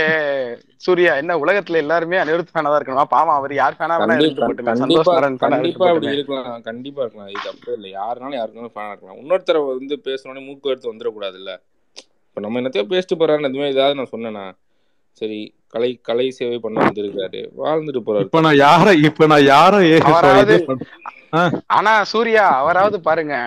அவராவது அனிருத் படம் எல்லாம் பாக்குறாரு அனிருத் பாட்டுலாம் கேக்குறாரு. நீங்க பாருங்க பார்க்காம அனிருத்துக்கு துரோகம் பண்றீங்க எனக்கு புரியலையே. இது பாட்டு கேட்காம இருந்தது இல்லையே. இப்போ கூட அது என்ன பாட்டு? இந்த பாட்டு காவாலா? அதுக்கெல்லாம் ஜாலியா கேட்டு தானே இருக்கேன். கொஞ்சம். டான்ஸ் காவாலா கொஞ்சம் பாட்டு காவாலான்னு. அப்ப அப்ப அட்லி படம் அட்லி படம் பார்க்காம இருக்க போறீங்க? கபிலன் வெர்ஷன் கேக்குறீங்களா இல்ல அனிருத் வெர்ஷன் கேக்குறீங்களா? ரெண்டுமே கேட்டுட்டு இருக்கேன் ஆக்சுவலா வந்து இது ஒரு இது லூப்ல ஓடும். அதுக்கப்புறம் திரும்ப அங்க போகும். அவரு புரியல இது என்னது? கபிலன் வருஷன் கேட்டது இல்லையா? கபிலன் வைரமுத்து மாதிரி கபிலன் ஜீரோ ஜீரோ செவன் ஒருத்தர் இருக்காரு. யாருங்க அது? என்ன அது? இது எப்படின்னா கபிலன் அதே அதே மாதிரி ஒருத்தர் இருக்காரு இங்க ட்விட்டர்ல ட்விட்டர் கபிலன். யார் ட்விட்டர் கபிலனா? அதான் சொல்றது கவனிங்க அதுக்கப்புறம் ஆராய்ச்சி பண்ணுங்க. அவர் எப்படின்னா அப்படியே வரிசையா பேசுவாரு. பேசி முடிச்சுட்டு அந்த பொண்ணு ஏங்குது சினுங்குது சிரிக்குது தெறிக்குது பால்ஸ் நீங்களாம் அதுவா அது பாத்திருக்கீங்களா கேட்டிருக்கேன் கேட்டிருக்கேன். இருங்க கார்த்தி ஒரு பேசி நாள் வாட்ஸ்அப்ல அனுப்பிச்சு விட்டாரு. நீங்களாம் பார்த்திருக்கீங்களா இல்லையான்னு எனக்கு தெரியல. வேர்ல்டு கப்ல வர ஷக்கீரா வாக்கா வாக்கா நீங்க அந்த பாட்டு பார்த்திருப்பீங்க. அந்த மாதிரி ஐயோ முடியல. மனப்பாடங்க. தலைவரே நீங்க திரும்ப திரும்ப பேசுனீங்க. நான் கேட்டேன். அந்த மாதிரி இருக்கு எனக்கு. அது புக் மார்க் பண்ணி வச்சிருக்கேன். அப்படி ஆமா ஆமா. நான் நான் கேட்டேன் கேட்டேன். ஜாலியா இருந்துச்சு. கார்த்தி ட்வீட்டை புக் மார்க் பண்ணி வச்சிருக்கேன். எப்பயாவது எனக்கு கொஞ்சம் ஏதாவது பிரச்சனையா இருந்துச்சு ஏதாவதுன்னா அதை எடுத்து ஓபன் பண்ணி டப்புன்னு கேட்டுறது. இன்னைக்கு ஒண்ணு வந்துச்சு பாத்தீங்களா? லாஃப்டர் தெரப்பி ஜெயசூர்யா அது லாஃப் தெரப்பி பாத்தீங்களா? ஆ பார்த்தேன் பார்த்தேன் பார்த்தேன் அது ட்வீட் பண்ண நினைச்சேன். சரி அது ரொம்ப நம்ம நமக்கு அதுல அவங்க பண்றதுல ஏதோ பட் என்னாச்சு? ஏன் என்ன பண்ற என்ன எதனால அது? கார்த்தி மேல காண்டா ஏதாவது கார்த்தி மேல அவங்க முரட்டுக்காண்டு. கார்த்தி வந்து கார்த்தியோட பேரே அங்க வேற. கார்த்தி வந்து என்னை மன்னித்து விடுங்கள் ட்வீட் போட்டா அவர் ட்விட்டர் விட்டு போயிடுறாராம். என்னத்த சொல்ல அது பாவம் அவரு அவருக்கு வருத்தங்க. கார்த்திக் வந்து அவரோட ஃபேஸ்ல வந்து பேச மாட்டேங்கிறாரு. பழையபடி இல்ல அப்படின்னு சொல்லிட்டு அவர் வருத்தப்படுறாரு. ஒரு வருத்தத்தின் இது என்ன இது எதுவும் இது எதுவும் இது என்ன இது எதுவும் கேங் வார் மாதிரியா அது? என்ன என்ன பண்றது? சிங்கிள் சிங்கிள்ஸ் இல்ல கும்பல் சண்டை கிழிச்சு கிழிச்சு கழிச்சு போட்டேன். அந்த மாதிரி அதான் என்ன என்ன கேங் வார் இது? ஆக்சுவலி என்ன வராது யார அண்ணாத்தல் ஆரம்பிச்சது. நீங்க அண்ணாத்த நல்லாலும் இது ஒரு பிரச்சனையா இன்னைக்கு வரைக்கும் ராஜா ராணில ஒரு டைலாக் வரும்ல மச்சான் அவன் ஏன் தெரியுமாடா உன்னை பிடிக்கல பிடிக்கலன்றா? ஏன்டா? ஏன்னா அவளுக்கு உன்னை பிடிக்கலடா அப்படின்னு அந்த மாதிரி. ஐயோ ஆதி. நல்லா தானே சொல்ல முடியும். ஐயோ ஆதி. இன்னையில இருந்து உங்களையும் உங்களுக்கு பிடிக்காது. இப்ப நீங்க சரி எனக்கு ஒரு டவுட் இப்ப எல்லாருமே தானே அண்ணாத்த வந்து நிறைய பேர் நல்லா இல்லைன்னு இல்ல, சொன்னாங்கல்ல. இல்ல, ஏன் அவங்களுக்கு கார்த்திகை மட்டும் நல்லா டார்கெட் இருக்கு. அப்ப இவர் ஏதோ ஒண்ணு இவர் ஏதோ ஒண்ணு பண்ணிருக்காரு அப்ப. இல்ல இல்ல இல்ல இல்ல. அவங்களுக்கு நல்லா இல்ல அது. ஓகே அது ஓகே சூர்யா. நான் என்ன சொல்றேன்? இப்ப நம்ம நிறைய பேர் நல்லா இல்லைன்னு சொல்றோம்னு வச்சுக்கோங்க. இல்ல அவங்களுக்கு ஏன் கார்த்திகை மட்டும் இது பண்ணாங்க? கார்த்தி ஏன்னா கார்த்தி வந்து அன்னைக்கு ஸ்பேஸ் அப்பதான் ட்ரெண்ட்ல இருந்தாரு அந்த ஓ. அன்னைக்கு இன்ஃபுளுசர் ஒரு இதா கரெக்ட் கரெக்ட் கரெக்ட் நம்மள மாதிரி சாதாரண ஐடிக்கள் சொல்லலாம். இவர் வந்து சொல்லலாமா? தப்பு இல்ல.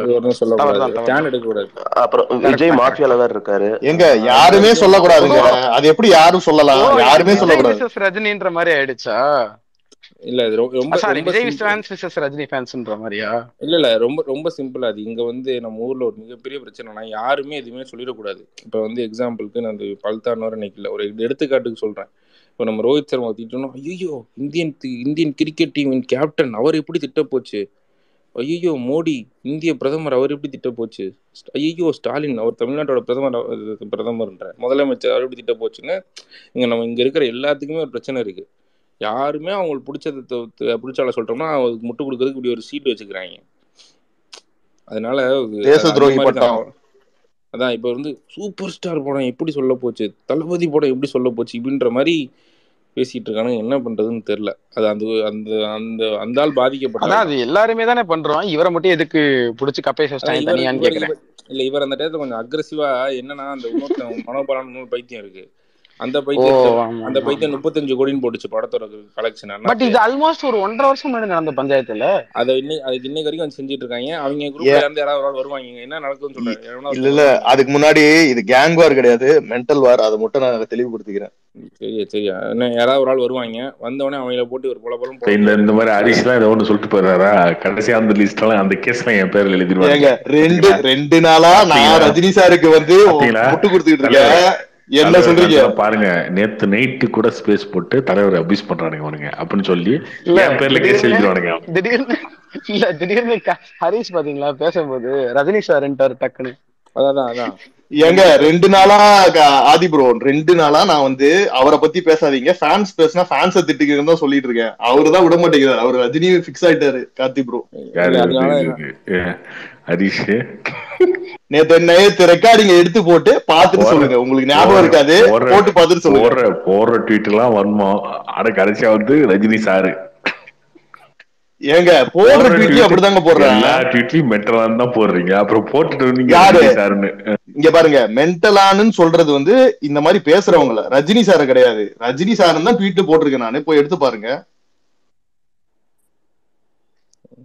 பேச்சு கொடுக்கும்போது வேணாலும் என்ன பேசுங்க கடைசியா கார்த்தி அவனுங்க என் மேலதான் இந்த கோவப்படுவானுங்க சினிமாக்காரங்க எல்லாம் பேசும்போதே ஒரு இது பேசுவாங்க தெரியுமா? மணிஷார் மணிஷார்ன்ட்டு பேசுவாங்க தெரியுமா? அந்த மாதிரி அப்படியே இதுவாவே ரஜினி சார் ரஜினி சார்ன்ட்டே தான் பேசுறாரு. அது எப்ப பார்த்தாலும் பழகுறீங்க கமல் சாருன்னு சொல்றது. கமல் சொல்லலையே. அதனாலதான் நம்ம யார் யாரு சொல்லிருக்கோமா விஜய் அஜித் கமல் அப்படித்தானே பேசணும். பேசி வந்து ஆதி எனக்கெல்லாம் வந்து பயங்கர கோவம் வரும். வேலை பார்த்ததுக்கு அப்புறம் மணி சார் மணி சார்னு ஒன்று சொன்னா எனக்கு அவனை பிடிக்கவே பிடிக்காது. என்ன மணி சார் என்ன எனக்கு புரியல.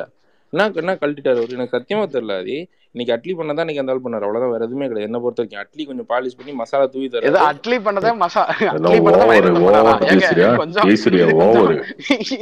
இது கொஞ்சம் நீங்க இஷ்டம் வாய் இருக்குன்னு இஷ்டத்துக்கு பேசுவேன் நீங்க? நாயகன் நம்ம அட்லி பண்ணார? என்னைய? என்னது என்ன அதுக்காக.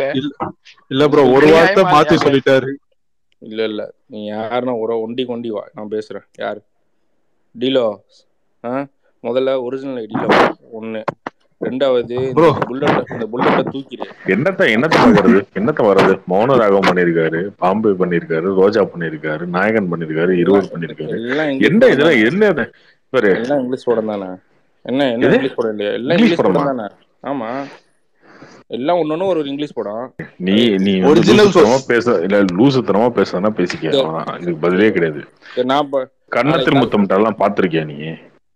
நீ என்ன நீ சும்மா ஏதாவது இன்னைக்கு வந்து இன்னைக்கும் கூட இல்ல இல்ல இருக்கிற ஒரே பிலிம் மேக்கர் அவர் தான் படமான்றது ஒரு பெரிய டாபிக் இல்ல அப்படி கிடையாது அப்படி கிடையாது. அது இல்ல பண்ணாரு நீங்களே அது என்ன புரியல. இல்ல இல்ல தோழர் எல்லாருக்குமே ஃபிளாப் அட்லியை ஹிட்லாம் பார்த்து வரும் கடல் கடல்லாம் வந்து மொக்கர் தான். இல்ல கடல்லாம் கடல்லாம் மொக்க படம் தான். அதெல்லாம் எல்லாம் ஓகே. பட் ஆனா இன்னைக்குமே இருபது முப்பது வருஷம் ஆச்சா மணிரத்னம் ஃபீல்டுக்கு வந்து. இன்னைக்குமே அவர் எடுக்கிற மேக்கிங் இங்க இன்னைக்கு இருக்க யங்ஸ்டர்ஸ் எடுக்க முடியல. அவர் எடுக்கிற மேக்கிங்க நீங்க பேச முடியுங்க நான் பேசுறேன். ஃபர்ஸ்ட் பாயிண்ட் சும்மா இல்ல இல்ல அவரை அவரை அவரை சொல் அவர் அவரோட இதை சொல்ல விடுங்க. அதாவது இப்படி சொல்ல விடுவாரு. டக்குன்னு கொத்தடிமான்னு அடிச்சிருவாரு அவ்வளவுதான். இது அடுத்தவன் பேசுறது பேசுறது கிடையாதுல்ல. ஏ சரி சரி. சொல்லுங்க சொல்லுங்க. உங்க வேற என்ன வேற என்ன? இல்ல அதை சொல்ல விடுங்க ஃபர்ஸ்ட் நான் ஃபர்ஸ்ட் அட்லி அட்லியை பார்த்து தான் மிதத்தில் எடுத்தாரு நான் சொல்லல. அது ஃபர்ஸ்ட் தெளிவுபடுத்திக்கிறேன். இவருக்கு அவருக்கு வித்தியாசம் கிடையாதுன்னு தான் என்னோட பாயிண்ட் ஒன்று ரெண்டாவது நான் நீங்க சொல்றீங்களே நான் இந்த பாத்தீங்களா அதை பாத்தீங்களான்னு. அவர் எடுத்த நான் முப்பது நாற்பது படத்தையும் சும்மா உட்காந்து பார்க்கல. Conversation with Mani Ratnam. மணிரத்னம் எழுதின ஒரு புக் இருக்கு. எழுதுனதுன்னா பேட்டி கொடுத்து அதை பத்தி எழுதின புக் இருக்கு. அந்த புக்கை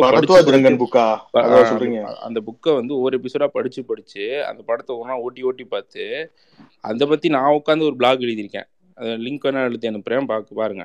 அவர் ஒவ்வொரு படத்துக்கும் ஒரு இங்கிலீஷ் படத்தோட ரெஃபரன்ஸ் சொல்லுவார். இப்போ எக்ஸாம்பிளுக்கு நாயகன் பண்றதுக்கு முன்னாடி காட்ஃபாதரையும் காட் ஒரு ஃபாதர் காட் ஃபாதர் காட்ஃபாதரையும் ஒரு இங்கிலீஷ் இன்னொரு இங்கிலீஷ் படம் இருக்கு.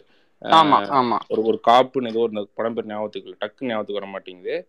அது வில் ஸ்மித் படமோ சம்திங் ஞாபகம் இல்லை. இந்த மாதிரி ஒவ்வொரு படத்தையுமே அங்கேருந்து இன்ஸ்பயர் ஆகி இன்ஸ்பயர் ஆகி தான் ஒரு படம் பண்ணியிருக்கேன்றதை அவர் வெளிப்படையாகவே ஒத்துருக்காரு. நீங்க சொன்னப்ப சொன்னதுல இருவரும் கன்னத்தின் முத்தம் என்றாலும் இங்க இருக்கிற கதை இங்க இருக்கிற கதையை தவிர ரோஜா. ரோ- ரோஜா அதான் சொல்ல வந்தேன் அதுக்குள்ள டக்குன்னு முடிச்சிருங்க. பாம்பே அலைப்பாயுதே. அலைப்பாயுதே சொல்லு. இங்கிலீஷ் படம் அலைப்பாயுதே இங்கிலீஷ் படம் ஓகே கண்மணி இங்கிலீஷ் படம் சரி. ராவணன். வந்து பழைய இந்த இங்க இருக்கிற ஏதோ ஒரு புராண கதை அப்புறம் இன்னொரு படம் இருக்கு. என்ன புராண கதை? ஏப்பா தளபதியே அப்படிதான்ப்பா தளபதியே தளபதி வந்து தான் சொல்றேன் ப- ப- கர்ணனோட கதை. இப்ப எல்லாமே இன்ஸ்பிரேஷன் தான் அவ்வளவுதான்.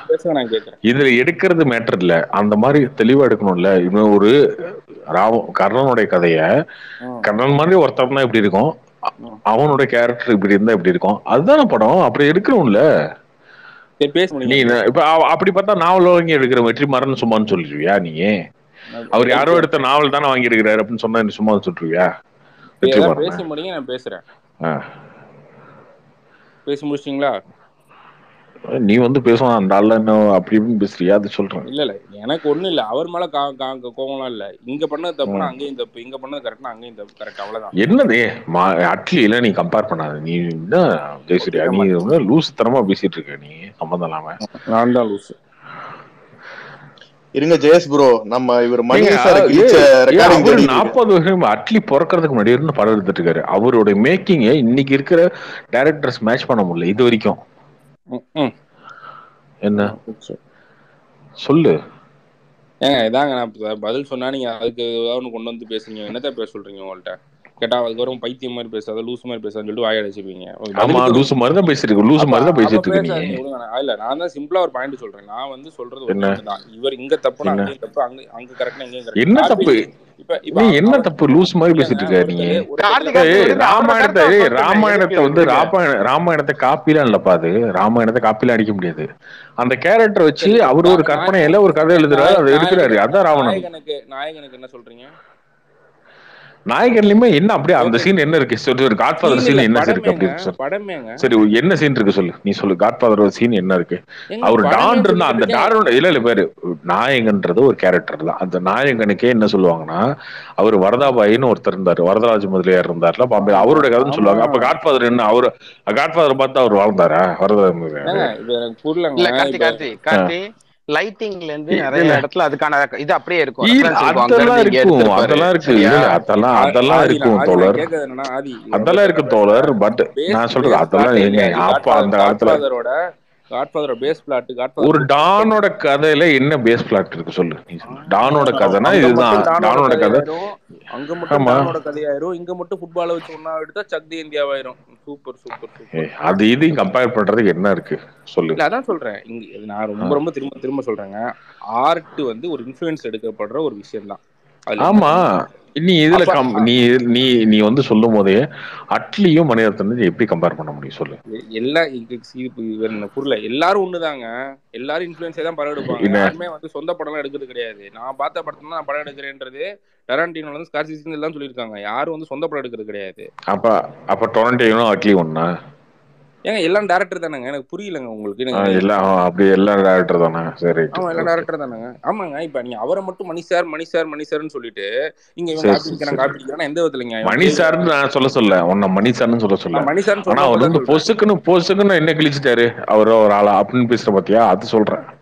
மணி சாரா வந்து நானும் மணி சார் சொல்றேன். அவரை வந்து நானும் அதான் சொல்றேன். அவருக்கு குடுக்கற மரியாதையை அட்லிக்கும் குடுக்கறதுல தப்பு இல்லைங்கிறாரு. என்னங்க ஜெயசூர்யா என்ன பேசும்போது நீ நீங்களும் அது மனுஷன் மனுஷன் அதான் இருக்கீங்க இப்படி இப்படி அட்லிக்கு கொடுக்கணும். அவருக்கு கொடுக்கறது எதுங்க அட்லி கொடுக்கணும். என்னங்க அது இருக்குது அவரும் ஷாருக் கான வச்சு எடுத்தாரு இன்னைக்கு இவரும் எடுத்துட்டாரு. ஏன் கொடுக்க கூடாது மரியாதை? அதான் தூக்கிட்டு வந்துடுறாங்க மேக்கிங் என்ன இது என்ன இந்த பாருங்க என் தலைவன் காலம் ஒரு துரோகி. பாயிண்டா இருக்கு இது யார் சொன்னது? இல்ல ஆதி ஆதி என் தலைவன் ஒருத்தன் இருக்கான். காலம் ஒரு துரோகி கொடும்பாவி நோய் நேரம் ஒரு நோய் அப்படின்னு சொல்லி ஆஹ் இந்த டீலோலாம் அதுக்கு ஃபயர் விடுவான் அந்த படத்துக்கு. அந்த படத்தை வந்து இவங்க மேக்கிங் வந்து பயங்கரம். நம்ம ஆமா ஆதி இன்னைக்கு கூட ஒருத்தர் ஃப்ரெண்ட் வந்து பேசிட்டு இருந்தேன். அந்த- அந்த எடுத்த அந்த படம் வந்து மேக்கிங் வைஸ் வந்து என்னமோ கொண்டு போயிருக்கலாம். என்னமோ புது மேக்கிங் கூட தமிழ் சினிமா காட்டியிருக்கலாம். ஆனால் அந்த அந்த மேக்கிங் உரிய ஸ்கிரிப்டோ அந்த மேக்கிங் உரிய சப்ஸ்டன்ஸோ அந்த படத்தில் கிடையவே கிடையாது. ரொம்ப ரொம்ப தின்னான பிளாட் அது. சரி சரி அது அதனால அதனால? அதனால அது நீங்க மேக்கிங் சும்மா ஒரு ஒயிட் ஆங்கிள் ஷாட்டும் கருப்பு கலர்ல டிஐ பண்ணி டார்க்ல எந்த படத்துல இருந்துச்சு சொல்லு. மணிரத்னம் படத்துல எந்த படத்துல அந்த மாதிரி இருந்துச்சு சொல்லு. ஏங்க எனக்கு புரியலங்க. கடல் என்னங்க? கடல் என்னங்க பிளாட் நீங்க மணி சரி, நீ சொல்லு நீ நான் சொல்றேன் நான் சொல்றேன் நீ சொல்லு. நான் சொல்றேன் நீ சொல்லு. சொல்லுங்க. நீ படம் பார்த்துட்டு நீ சொல்லு. நீ சொன்னதுக்கு அப்புறம் நான் சொல்றேன் சொல்லு. அதான் கடல் என்னன்னு கேக்குறேன்ல உனக்கு என்ன தெரிஞ்சு சொல்லு அதுக்கப்புறம் நான் பதில் சொல்றேன் சொல்லு. கடல்ல என்னங்க பிளாட் இருந்துச்சு ஃபர்ஸ்ட் சத்தியமா யோசிச்சா எனக்கு புரியல எனக்கும் தெரியல நானும் யோசிக்கிறேன் இப்பதான். அது பைபிள்ல இருக்க ஒரு கதையை வச்சு எடுத்தாரு சரியா? அவன் ஒரு என்ன கதைன்னு கேக்குறீங்களா? நான் கதையை சொல்லல. க- கடல்ல என்ன பிளாட் அதான் அது பிளாட் அது அந்த பிளாட்டை வச்சு தான் எடுத்தாரு. அது ஒர்க் ஆகல. அது விடு. அந்த படம் ஃபிளாப் தான். அது இல்ல உங்களுக்கு எல்லாம் அந்த படம் இவ்வளவு தூரம் ஞாபகம் இருக்குன்றதே எனக்கு அதிசயமா ஆச்சரியமா அது ஒர்க் ஆகல. எனக்கு ஆர்ஜே பாலாஜி. ரிவ்யூ தான் ஞாபகம் இருக்கு. அது ஒன்றும் இல்லையே. காற்று வெளியிட்டு அதோட மொக்க படம் தான். அதுக்கு என்ன பண்ண முடியும்? அந்த மாதிரி தான் ஆதி எனக்கு இன்னொன்னு சொல்லுங்க. செக்கச்சவனவனம் இருக்குல்ல? அந்த படம் அந்த படம் வந்து இதே காட்ஃபாதர் மாதிரியே இரு- இருக்கிற சாயல்ல இருந்து ஒரு டிவியேஷன் இருக்கிற கதை தானே? செக்கச்சவனவனமும் இல்ல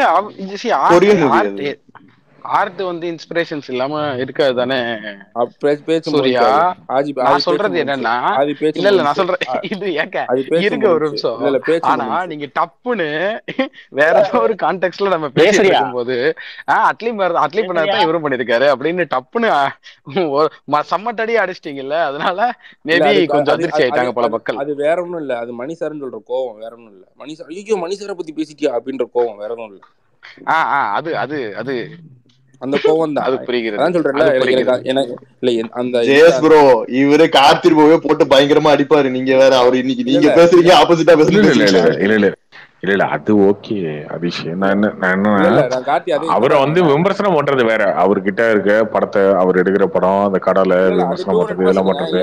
அதெல்லாம் ஓகே நீ பொசுக்குன்னு வந்து ஒரு நாற்பது வருஷமா ஒரு ஆளு படம் எடுத்துட்டு இருக்காரு. இன்னைக்குமே வந்து இன்னைக்கு இருக்க யங்ஸ்டர்ஸோட டஃப் கொடுத்துட்டு உட்காந்துருக்காரு நீ இப்போ அவர் என்ன கிழிச்சிட்டாரு அப்படின்னு அப்படி பேசக்கூடாதுல்ல அந்த மாதிரி?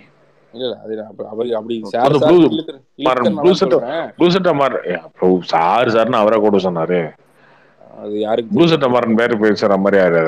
ஆமா இல்ல அதாங்க சொல்றேன். எனக்கு எந்த அளவுக்கு அவரை பிடிக்கும்னா அந்த புக்கை ஒவ்வொரு ஒவ்வொரு ஒவ்வொரு படமா பார்த்து பார்த்து அந்த புக்ல ஒன்னொன்னையும் ஓட்டி ஓட்டி ஓட்டி பார்த்தேன். நான் சொல்றது பல்லவி அணு பல்லவில இருந்து உணர்வு இன்னொரு கன்னடா படம் இருக்கும் பகல் இன்னொரு படம் இருக்கும். அந்த படம் வரைக்குமே சத்திரியன்லாம் பார்த்திருக்கேன் இதுக்காண்டி உட்காந்து இல்ல இத்தனைக்கும் அந்த கடல் மூவில வந்து பிளாக் ஷர்ட் போடுற போது ஈவலா இருப்பாரு அதுக்கப்புறம் ஒயிட் ஷர்ட் போடுவாரு உள்ள ஒயிட் இருக்கும் பிளாக் இருக்கும் இந்த லெவல்ல வந்து நல்லா இப்பயுமே அது எனக்குலாம் இந்த படம் இந்த இந்த போன வருஷம் ஒரு படம் ஓடிச்சு நான் நம்மால் படம். அந்த படம் ஓடினதுக்கு அந்த படத்தோட மெரிட்லாம் எனக்கு எனக்கு இல்லை. அந்த படம் அந்த படம் பயங்கரமா இருந்துச்சு அப்படின்றதுலாம் எனக்கு நம்பிக்கை இல்லை. அந்த புக்கோட மெரிட்டுக்கு ஓடிச்சு. அந்த படத்தோட மெரிட்டா ரெண்டாவது பாட்டும் ஓடி இருக்கணும் அந்த புக்கு வந்து ஓடிடுச்சு. ரெண்டாவது பாட்டம் ரெண்டாவது பாட்டம் என்ன கம்மியா ஓடிடுச்சு சொல்லு. ரெண்டாவது பாட்டு கம்மியா என்ன கம்மியா ஓடிடுச்சு? முத பாட்டு பாட்டு வந்து நூறு கோடி நூறு கோடி தான் தமிழ்நாடு. தமிழ்நாடு இரநூறு கோடி. முத பாட்டு நூறு கோடி ஆயிருக்கு அவ்வளவுதான். நூறு ஆனா கோ எவ்வளவு கலெக்டா இருக்கு அதை பாரு நீ. சரி சார். சூப்பர் சார் ஒரே ஒரு கேள்வி சார் இது என்ன பேச்சு? இல்ல சார் அதான் பேச்சு தான் சார் பாகுபலி ஒன் வந்துச்சு. கேஜிஎஃப் ஒன் வந்துச்சு. ரெண்டாவது பாட்டு வரப்ப அந்த expectation Baahubali one two compare பண்ணாத. அவங்க. அவங்க இல்ல அது ஓகே தான். ஃபர்ஸ்ட் ஃபர்ஸ்ட் ஃபர்ஸ்ட் பார்ட் அளவுக்கு செகண்ட் பார்ட் ஓடல. அது உண்மைதான். ஓடல சார் அது ஓடல. அது வந்து அந்த அளவுக்கு இம்ப்ரெஸ் பண்ணல மக்களை அவ்வளவுதான். அதான் சொல்றேன் சார். அந்த புக்கோட மெரிட்டுக்கு அந்த ஃபர்ஸ்ட் பார்ட்ல என்ன நீ பேசுறது எப்படி தெரியுமா இருக்கு? நான் போன மேட்ச்ல வந்து இருநூறு அடிச்சான். இந்த மேட்ச்ல இந்த மேட்ச்ல நூறு தான் அடிச்சான். இருநூறு அடிக்கலையே? அப்படி பேசிட்டு இருக்க நீ. இல்ல சார் மேட்ச் இது நீங்க அப்படி ஒப்பிட முடியாது சார். நீ அப்படிதான் பேசிட்டு இருக்க. நீ எப்படி பேசிட்டு இருக்க? போன மேட்ச்ல ரோஹித் சர்மா இருநூறு அடிச்சான். இந்த மேட்ச்ல நூறு தானே அடிச்சான். அதான போன மேட்ச்ல அடிச்ச மாதிரி இல்ல ப்ரோ லாஜிக் படி ஃபர்ஸ்ட் பார்ட்டோட செகண்ட் பார்ட் அதிகமா கலெக்ட் பண்ணிருக்கணுங்கிறது எக்ஸ்பெக்டேஷன்ல ஒரு காமன் எக்ஸ்பெக்டேஷன் இருக்கும் அது இருக்கும். அது கண்டிப்பா இருக்கும். அதுக்கான அது- நிறைய அது- ஏன் சரியா? விஷயங்கள் இருக்கு. அதை விட செகண்ட் பார்ட் ஏய், but ஆனா படமாவே- ரீசன் மெயினா படமாவே- கதையை அவங்க குழப்பிட்டாங்கன்றதுதான் ஆ ஆமா. 200% படமாவுமே இதானே. படமாவுமே செகண்ட் பார்ட் கம்மியா தானே கார்த்தி இருந்துச்சு. ஃபர்ஸ்ட் பார்ட் அளவுக்கு இல்ல இல்ல. இல்ல அது அது அது கதையே. அப்படித்தாங்க. ஒண்ணும் பண்ண அது அந்த கதையை. நீங்க இப்போ வரைக்கும் என்ன சொல்ல. கதையவே அந்த கதையே வந்து கான்வர்சேஷன் தான் இருக்கு. அதுல வார் கிடையாது ஒண்ணும் கிடையாது. அதோட கதையோட எண்டு தெரிஞ்சிருச்சு. அந்த ஃபர்ஸ்ட் பார்ட்டுக்கு என்ன ஹைப் வந்தது என்ன காரணம் அப்படின்னா இந்த இந்த இந்த தஞ்சை எப்படி காமிச்சிருப்பாங்க நாகப்பட்டினத்தை எப்படி காமிச்சிருப்பாங்க 200% ஸ்ரீலங்கா எப்படி காமிச்சிருப்பாங்க. நீங்க எக்ஸ்பெக்டனே ராஜராஜ எக்ஸ்பெக்டேஷனே சோழன் விட்டுருங்களேன். நீங்க படத்தை உள்ள போய் பாத்தீங்கன்னாலும் படமாவுமே வந்து ஃபர்ஸ்ட் பார்ட் இருந்த அளவுக்கு செகண்ட் பார்ட் இல்ல தானே? உங்களுக்கு உங்களுக்கு இருந்துச்சான்னு கேக்குறேன். இல்ல, ஆனா. சில அதுல பேர் இல்ல. அதுல கதையே இல்ல புக்கே வந்து அப்படிதான் இருக்கும்னு சொல்றாங்க ப்ரோ அந்த புக்கே வந்து ப்ரோ புக்லயே கதை கிடையாது. புக்லயே கதை கிடையாது. ஓ புக்லயே வந்து அவ்வளவுதான் இருக்கு கதை. அதுல அது ஒரு கிளைமேக்ஸ் இருக்காதுங்க. ஒரு பேங்கா ஒரு பேங்கான கிளைமேக்ஸ் இருக்காதுங்க அந்த புக்ல அது மாசான ஒரு கிளைமேக்ஸ் இருக்காது. சாதாரணமா ஒரு யார் எப்படி செத்தாருன்னு தெரியாது.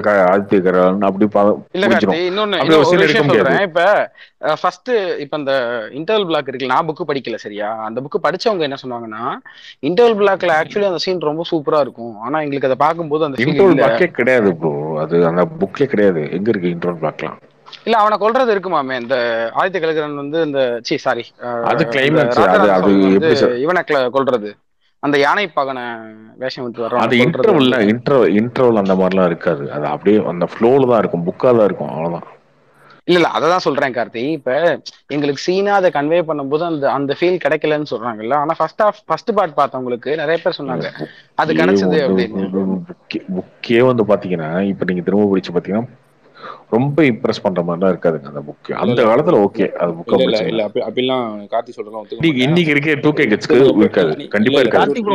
ஒரே ஒரு ஒரே ஒரு சொல்றேன். கோபி கோபிநாத் ஒரு நிமிஷம்.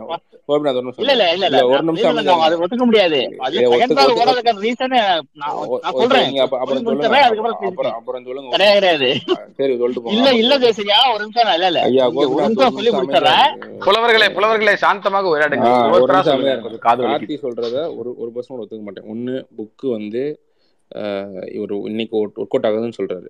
இன்னைக்கு தமிழ் பாட்காஸ்ட்ல வந்து one of the highest listened podcast வந்து பொன்னியின் செல்வன் ஆடியோ புக்கு தான். ஒன்று ரெண்டாவது கனியும் கனின்னு ஒரு இந்த குக் வித் கோமாளி டேரக்டர் திருவோட ஒய்ஃப் வந்து யூடியூப்ல ஒரு சீரிஸ் பண்றாங்க. அந்த பொன்னியின் செல்வன் கதையை பத்தி எடுத்து. இன்னைக்கு வரைக்கும் அந்த கதை கதையோட வியூவர்ஷிப் வந்து ஒவ்வொரு ஒவ்வொரு எபிசோடுமே ஃபோர் ஹண்ட்ரட் ஃபோர் ஃபோர் லேக்லேருந்து ஃபைவ் லேக் வியூஸ் போகுது. அந்த புக்குக்கு இன்னைக்கு மெரிட். நான் பேசி முடிச்சுக்கிறேன். ஒரு நிமிஷம் இருங்க அதுக்கப்புறம் ஐயோ அது இருக்கு ஜெயசூரி அது படமா எப்படி எடுப்ப நீ ஒரு நிமிஷம் ஒரு நிமிஷம் நான் படமா என்ன எடுப்ப?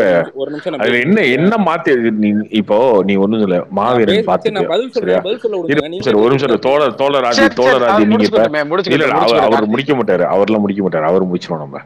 தோழராஜி நீ மாவீரன் பாத்துட்டீங்க மாவீரன் சொல்ல மாவீரன் பாத்துட்டீங்க மாவீரன் பாத்துட்டீங்க நான் உங்ககிட்ட கேக்குறேன். எங்க மாவீரன்ல என்னென்ன குறை இருக்கு இப்படி எடுத்திருக்கலாம் அப்படி இருக்கலாம் நீங்க ஒரு ஒரு விமர்சனம் சொல்லுவீங்க இப்படி எடுத்திருக்கலாங்க அப்படி எடுத்திருக்கலாம் உங்க கருத்து சொல்லுவீங்க. பொன்னியின் செல்வன் என்ன மாத்தி எடுக்க முடியும் சொல்லுங்க. என்ன சொல்ல மாத்தி எடுக்கலாம்? சொல்லே விடாம நீங்களே எப்படி அதுதான் சொல்ல வரேன்றாரு. சொல்லட்டும் சொல்லட்டும் சொல்லட்டும் விடுங்க சொல்லட்டும். சும்மா சொல்ல விடாம இல்ல இப்ப அதுக்கு முன்னாடி இன்னொன்னு சொல்றேன் அது தான் அந்த ஃபர்ஸ்ட் பார்ட் ஓடினதுக்குரிய மெரிட் வந்து அந்த படத்தோட ஸ்க்ரீன் பிளேயோ அந்த படத்தோட ஒரு இதுவோ கிடையாது. அந்த படம் அந்த புக்குக்குன்னு ஒரு மெரிட் இருக்கு. இத்தனை வருஷமா வந்து அதோட ரீடர் ரீடர் வால்யூம்ன்றது ரொம்ப ஜாஸ்தி. தமிழ்நாட்டில் one of the most read book அது. அது ஒன்று இவர் கேட்டாலும் ஒரு கேள்வி அதுக்கு பதில் சொல்கிறேன் என்ன மாற்றி எடுத்துட முடியும்னு? அந்த ஃபர்ஸ்ட் பார்ட்டில் வந்து ஜெயம் ரவியோட அந்த அந்த குழந்தைய வந்து தூக்குற சீனை வந்து குழந்தை அந்த ஊமை து- ராணியா யாரோ ஒரு அம்மா தூக்கி தூக்கி நிறுத்துற ஒரு சீன் தான் இன்ஸ்பயர் ஆகி பாகுபலியில் ராஜமௌழி எடுத்திருப்பார். இங்கே வந்து வெறும் ஒரு டயலாகாக அதை பிளேஸ் பண்ணியிருப்பார் இவர். அவர் அது ஒரு சீனா எடுத்துட்டாங்களே. எடுத்ததுக்கு அப்புறம் எப்படி இருக்க முடியும்? பேசி முடியும். அப்புறம் அதுக்கப்புறம் நீங்க அதை கேள்வி கேளுங்க.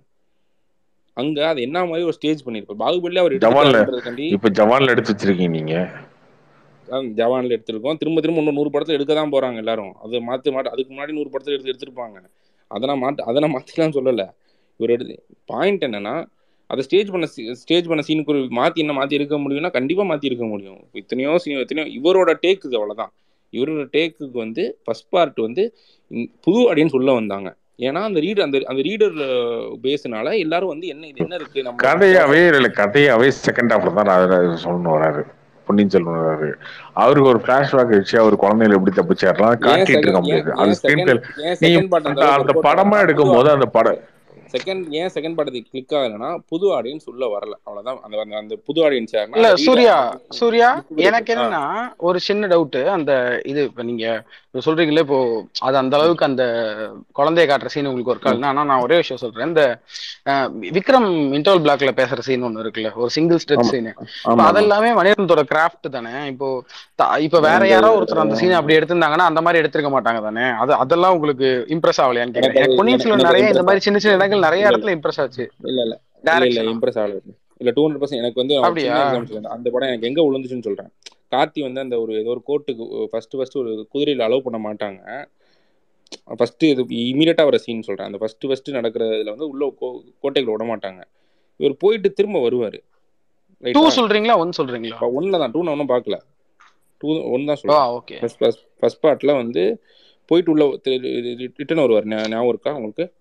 அந்த ஃபர்ஸ்ட் ஓ அந்த இந்த பாட்டு இந்த இதுக்கு நீ. நான் தான் வாரிசுக்கு அப்புறம் இந்த படம் பார்க்கலன்னு முதல்ல சொல்லிட்டு தானே பேசிக்கிட்டு இருக்கேன். அதுவே தெரியாம திரும்ப திரும்ப சொன்னதே சொல்லிட்டு இருந்தா. ஏங்க டூவே பார்க்காம எப்படிங்க கிராஃப்ட் நல்லா இல்லைன்னு சொல்றீங்க? எனக்கு புரியலையே. நான் நான் படம் பாட்டு பார்த்துட்டு நல்லா இல்லைன்னு சொல்றேன். அதுல வேற அதுல ஒரு ஒரு நியாயம் இருக்கு. இல்ல இல்ல இல்ல இல்ல இல்ல. நான் ஃபர்ஸ்ட் பார்ட்டை தானே பேசியிருக்கேன் படம் பார்க்காம நான் எப்படி பேசிட்டு ரெண்டாவது பார்ட் எங்க நான் மென்ஷன் பண்ணேன்?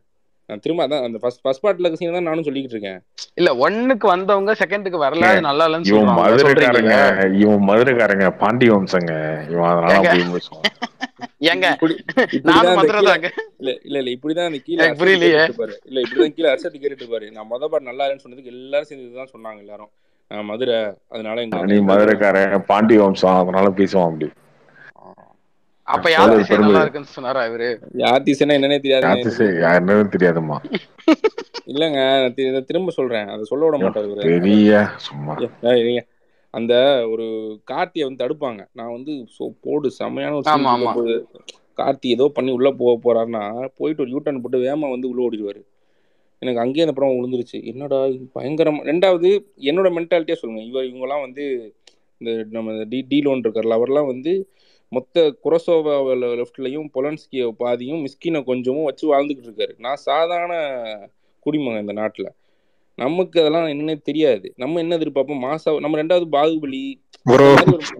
நான் இதுல வரவே இல்லை. என்ன ஏன் ப்ரோ எடுக்கிறீங்க? நீங்க பேச அவரை வந்ததை மட்டும் பேசுங்க.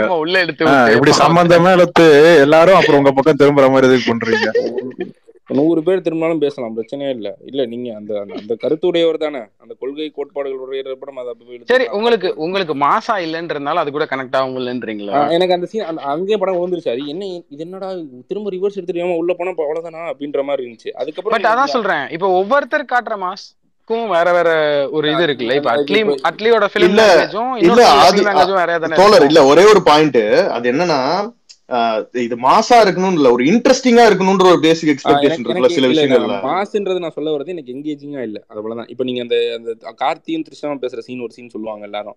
அதுவுமே எனக்கு இங்க விழுந்து இங்க மென்டலா நான் ப்ரிப்பேர் ஆனது வேற ஒண்ணுக்கு. டெக்னிக்கலா நான் இன்னும் சொல்ல போனா மென்டலா நான் ஒரு பீரியாடிக்கல் ஃபிலிம்ல ப்ரிப்பேர் ஆனது ஓகே அதோட நான் இந்த படம் பார்க்கவே வேணான்ற ஒரு மைண்ட் செட்ல இருந்தேன். இந்த ஆடி லான்ச்சில் ஒரு ரஜினி பேச ரஜினி சார் பேசினார்ல அந்த ஒரு இம்பாக்ட் தான் நான் போய் படமே ஃபர்ஸ்டே ஃபர்ஸ்ட் பார்த்தேன்.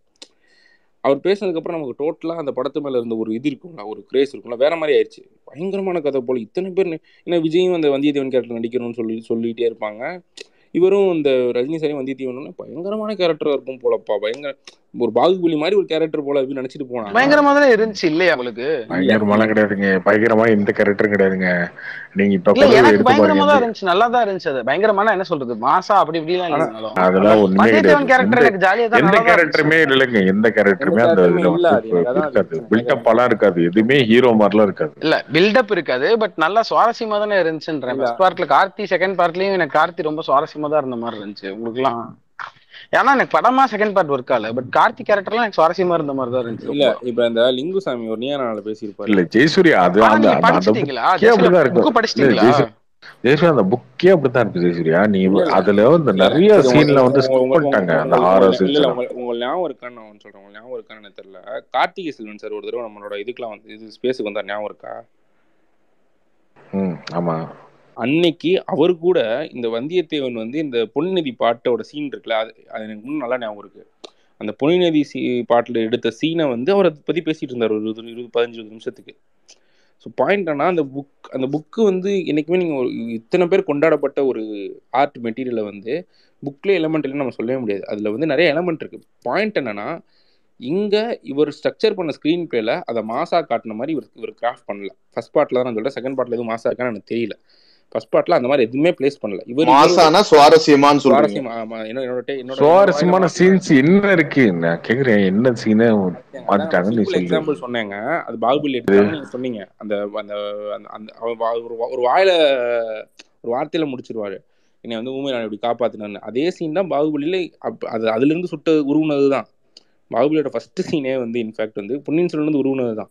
ஆனா அங்க காட்டின விதம் ஒன்று இருக்குல்ல. இங்க இவரோட இவரோட கிராஃப்டும் இவரோட டேக்கும் என்னைக்குமே வந்து இப்படிதான் இருந்திருக்கு ஒரு ஒரு லைட்டர் டோன்லயும் ஒரு சாஃப்டர் டோன்லயும் தான் இருந்திருக்கு அது உங்களுக்கு நமக்கு அவரோட ஃபிலிம் லாங்குவேஜ் செட் ஆகல இல்லீங்களா? எனக்கு இன்ஃபேக்ட் இல்ல அது அது அப்படிதான் காட்ட முடியும் ஜெயசூர்யா. நீ யோசிச்சு பாரு செகண்ட் ஹாஃப்ல தான் இன்ட்ரோ பொன்னியின் அவர் வந்து அவருக்கு ஒரு பிளாஷ்பேக் வச்சு குழந்தைய தூக்கி காட்டுறேன்னு சொன்னா என்ன மாசம் தரப்போகுது அதுல சொல்லு அது யோசிச்சு எடுத்து காட்டினாதாங்க சொல்லு. என்ன எடுத்து காட்டினா காட்டான்னு தெரியும் பாகுபலியில ஓப்பனிங் ஷாட்டே அதுதான் ஓப்பனிங் ஷாட்டே அதுதான். அது அதை காட்டுமோ உனக்கு மாசம் தெரியும்.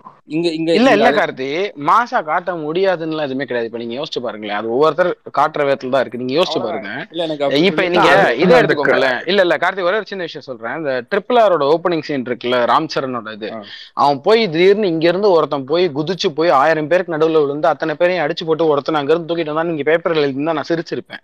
இதெல்லாம் ஒரு சீனாடா அப்படின்னு. ஆனா அந்த ஆள் அதை கன்வின்சிங்கா எடுத்து காட்டிட்டாப்ல நீங்க இந்த ஆயிரம் பேருக்கு நடுவுல ஒருத்தன் போய் ஒரே ஒரு ஆள ஒரு போலீஸ்காரன் தூக்கிட்டு வரான்றது இருக்குல்ல அது பிலிம் லாங்குவேஜ்ல தான் இருக்குன்றேன். இப்ப நீங்க மாவீரன் கதையை எடுத்துக்கோங்க.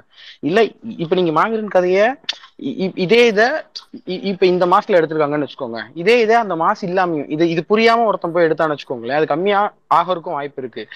ஜெயசூர்யா சொல்றதுன்னா இந்த பிலிம் லாங்குவேஜ் செட் ஆகலன்னு சொல்றாருல அது எனக்கு புரிஞ்சுக்க முடியுது. ஆனா இத மாசா எடுக்க முடியாதுன்னு ஒரு சீன் கிடையவே கிடையாது. கிடையாது கிடையாது ஒரு சீனை இல்ல அதே மாதிரி அந்த ட்ரிபிள் ஆர் சீனை மட்டும் சரி சாரி சொல்லுங்க. இல்ல இல்ல எனக்கு இதுல இன்னொன்னு சொல்லிடுறேன். இதுல வந்து என்னோட இன்ஹிபிஷன் ஒன்று இருக்கு. இப்ப நான் வந்து செட் ஆகி நான் அப்படி செட் ஆகி இருக்கிற ஒரு மைண்ட் செட்னு ஒன்று இருக்குல்ல அது ஒரு பிரச்சனை. இப்ப எனக்கு வந்து பாஷாவா தளபதின்னு கேட்டால் நான் பாஷா தான் சொல்லுவேன். ஆனா நீங்க நாயகனா இல்ல வேற ஏதாவது ஒரு படமா சொன்னா நாயகன் சொல்லுவேன். என்னால வந்து கமல்ன்ற ஒரு கேரக்டர் அங்க பொருத்தி பார்த்து அதை என்ஜாய் பண்ண முடியுது. ஆனா ரஜினி அப்படி ஸ்லோவா பேசி அந்த அந்த அந்த அந்த இதுல என்னால பார்க்கவே முடியல. ஐயோ தலைவா நீ வேமா பேசு தலைவா நீ மாஸ் தலைவா நீ ஏன் நீ ஏன் தலைவா இப்படி பேசிட்டு இருக்குன்னு தான் அந்த படம் பார்க்குறப்ப தோணுது. ஆனா அதே நேரத்தில் நாய நாயகன் பார்க்குறப்ப நமக்கு வந்து சார் மனுஷன் வாழ்றான் நடிச்சு நடிச்சு அப்படின்றது நமக்கு தோணுது. நம்ம ஒரு ஒரு- லேமேன் பெர்ஸ்பெக்டிவ் நம்மளால நம்மளால அப்படி தான் பொருத்தி பார்க்க முடியுது. இன்ஃபேக்ட் இருவர் வந்து one of the finest film கிராஃப்டாக எடுத்துட்டிங்கன்னா என்னது பொருள் என்னது?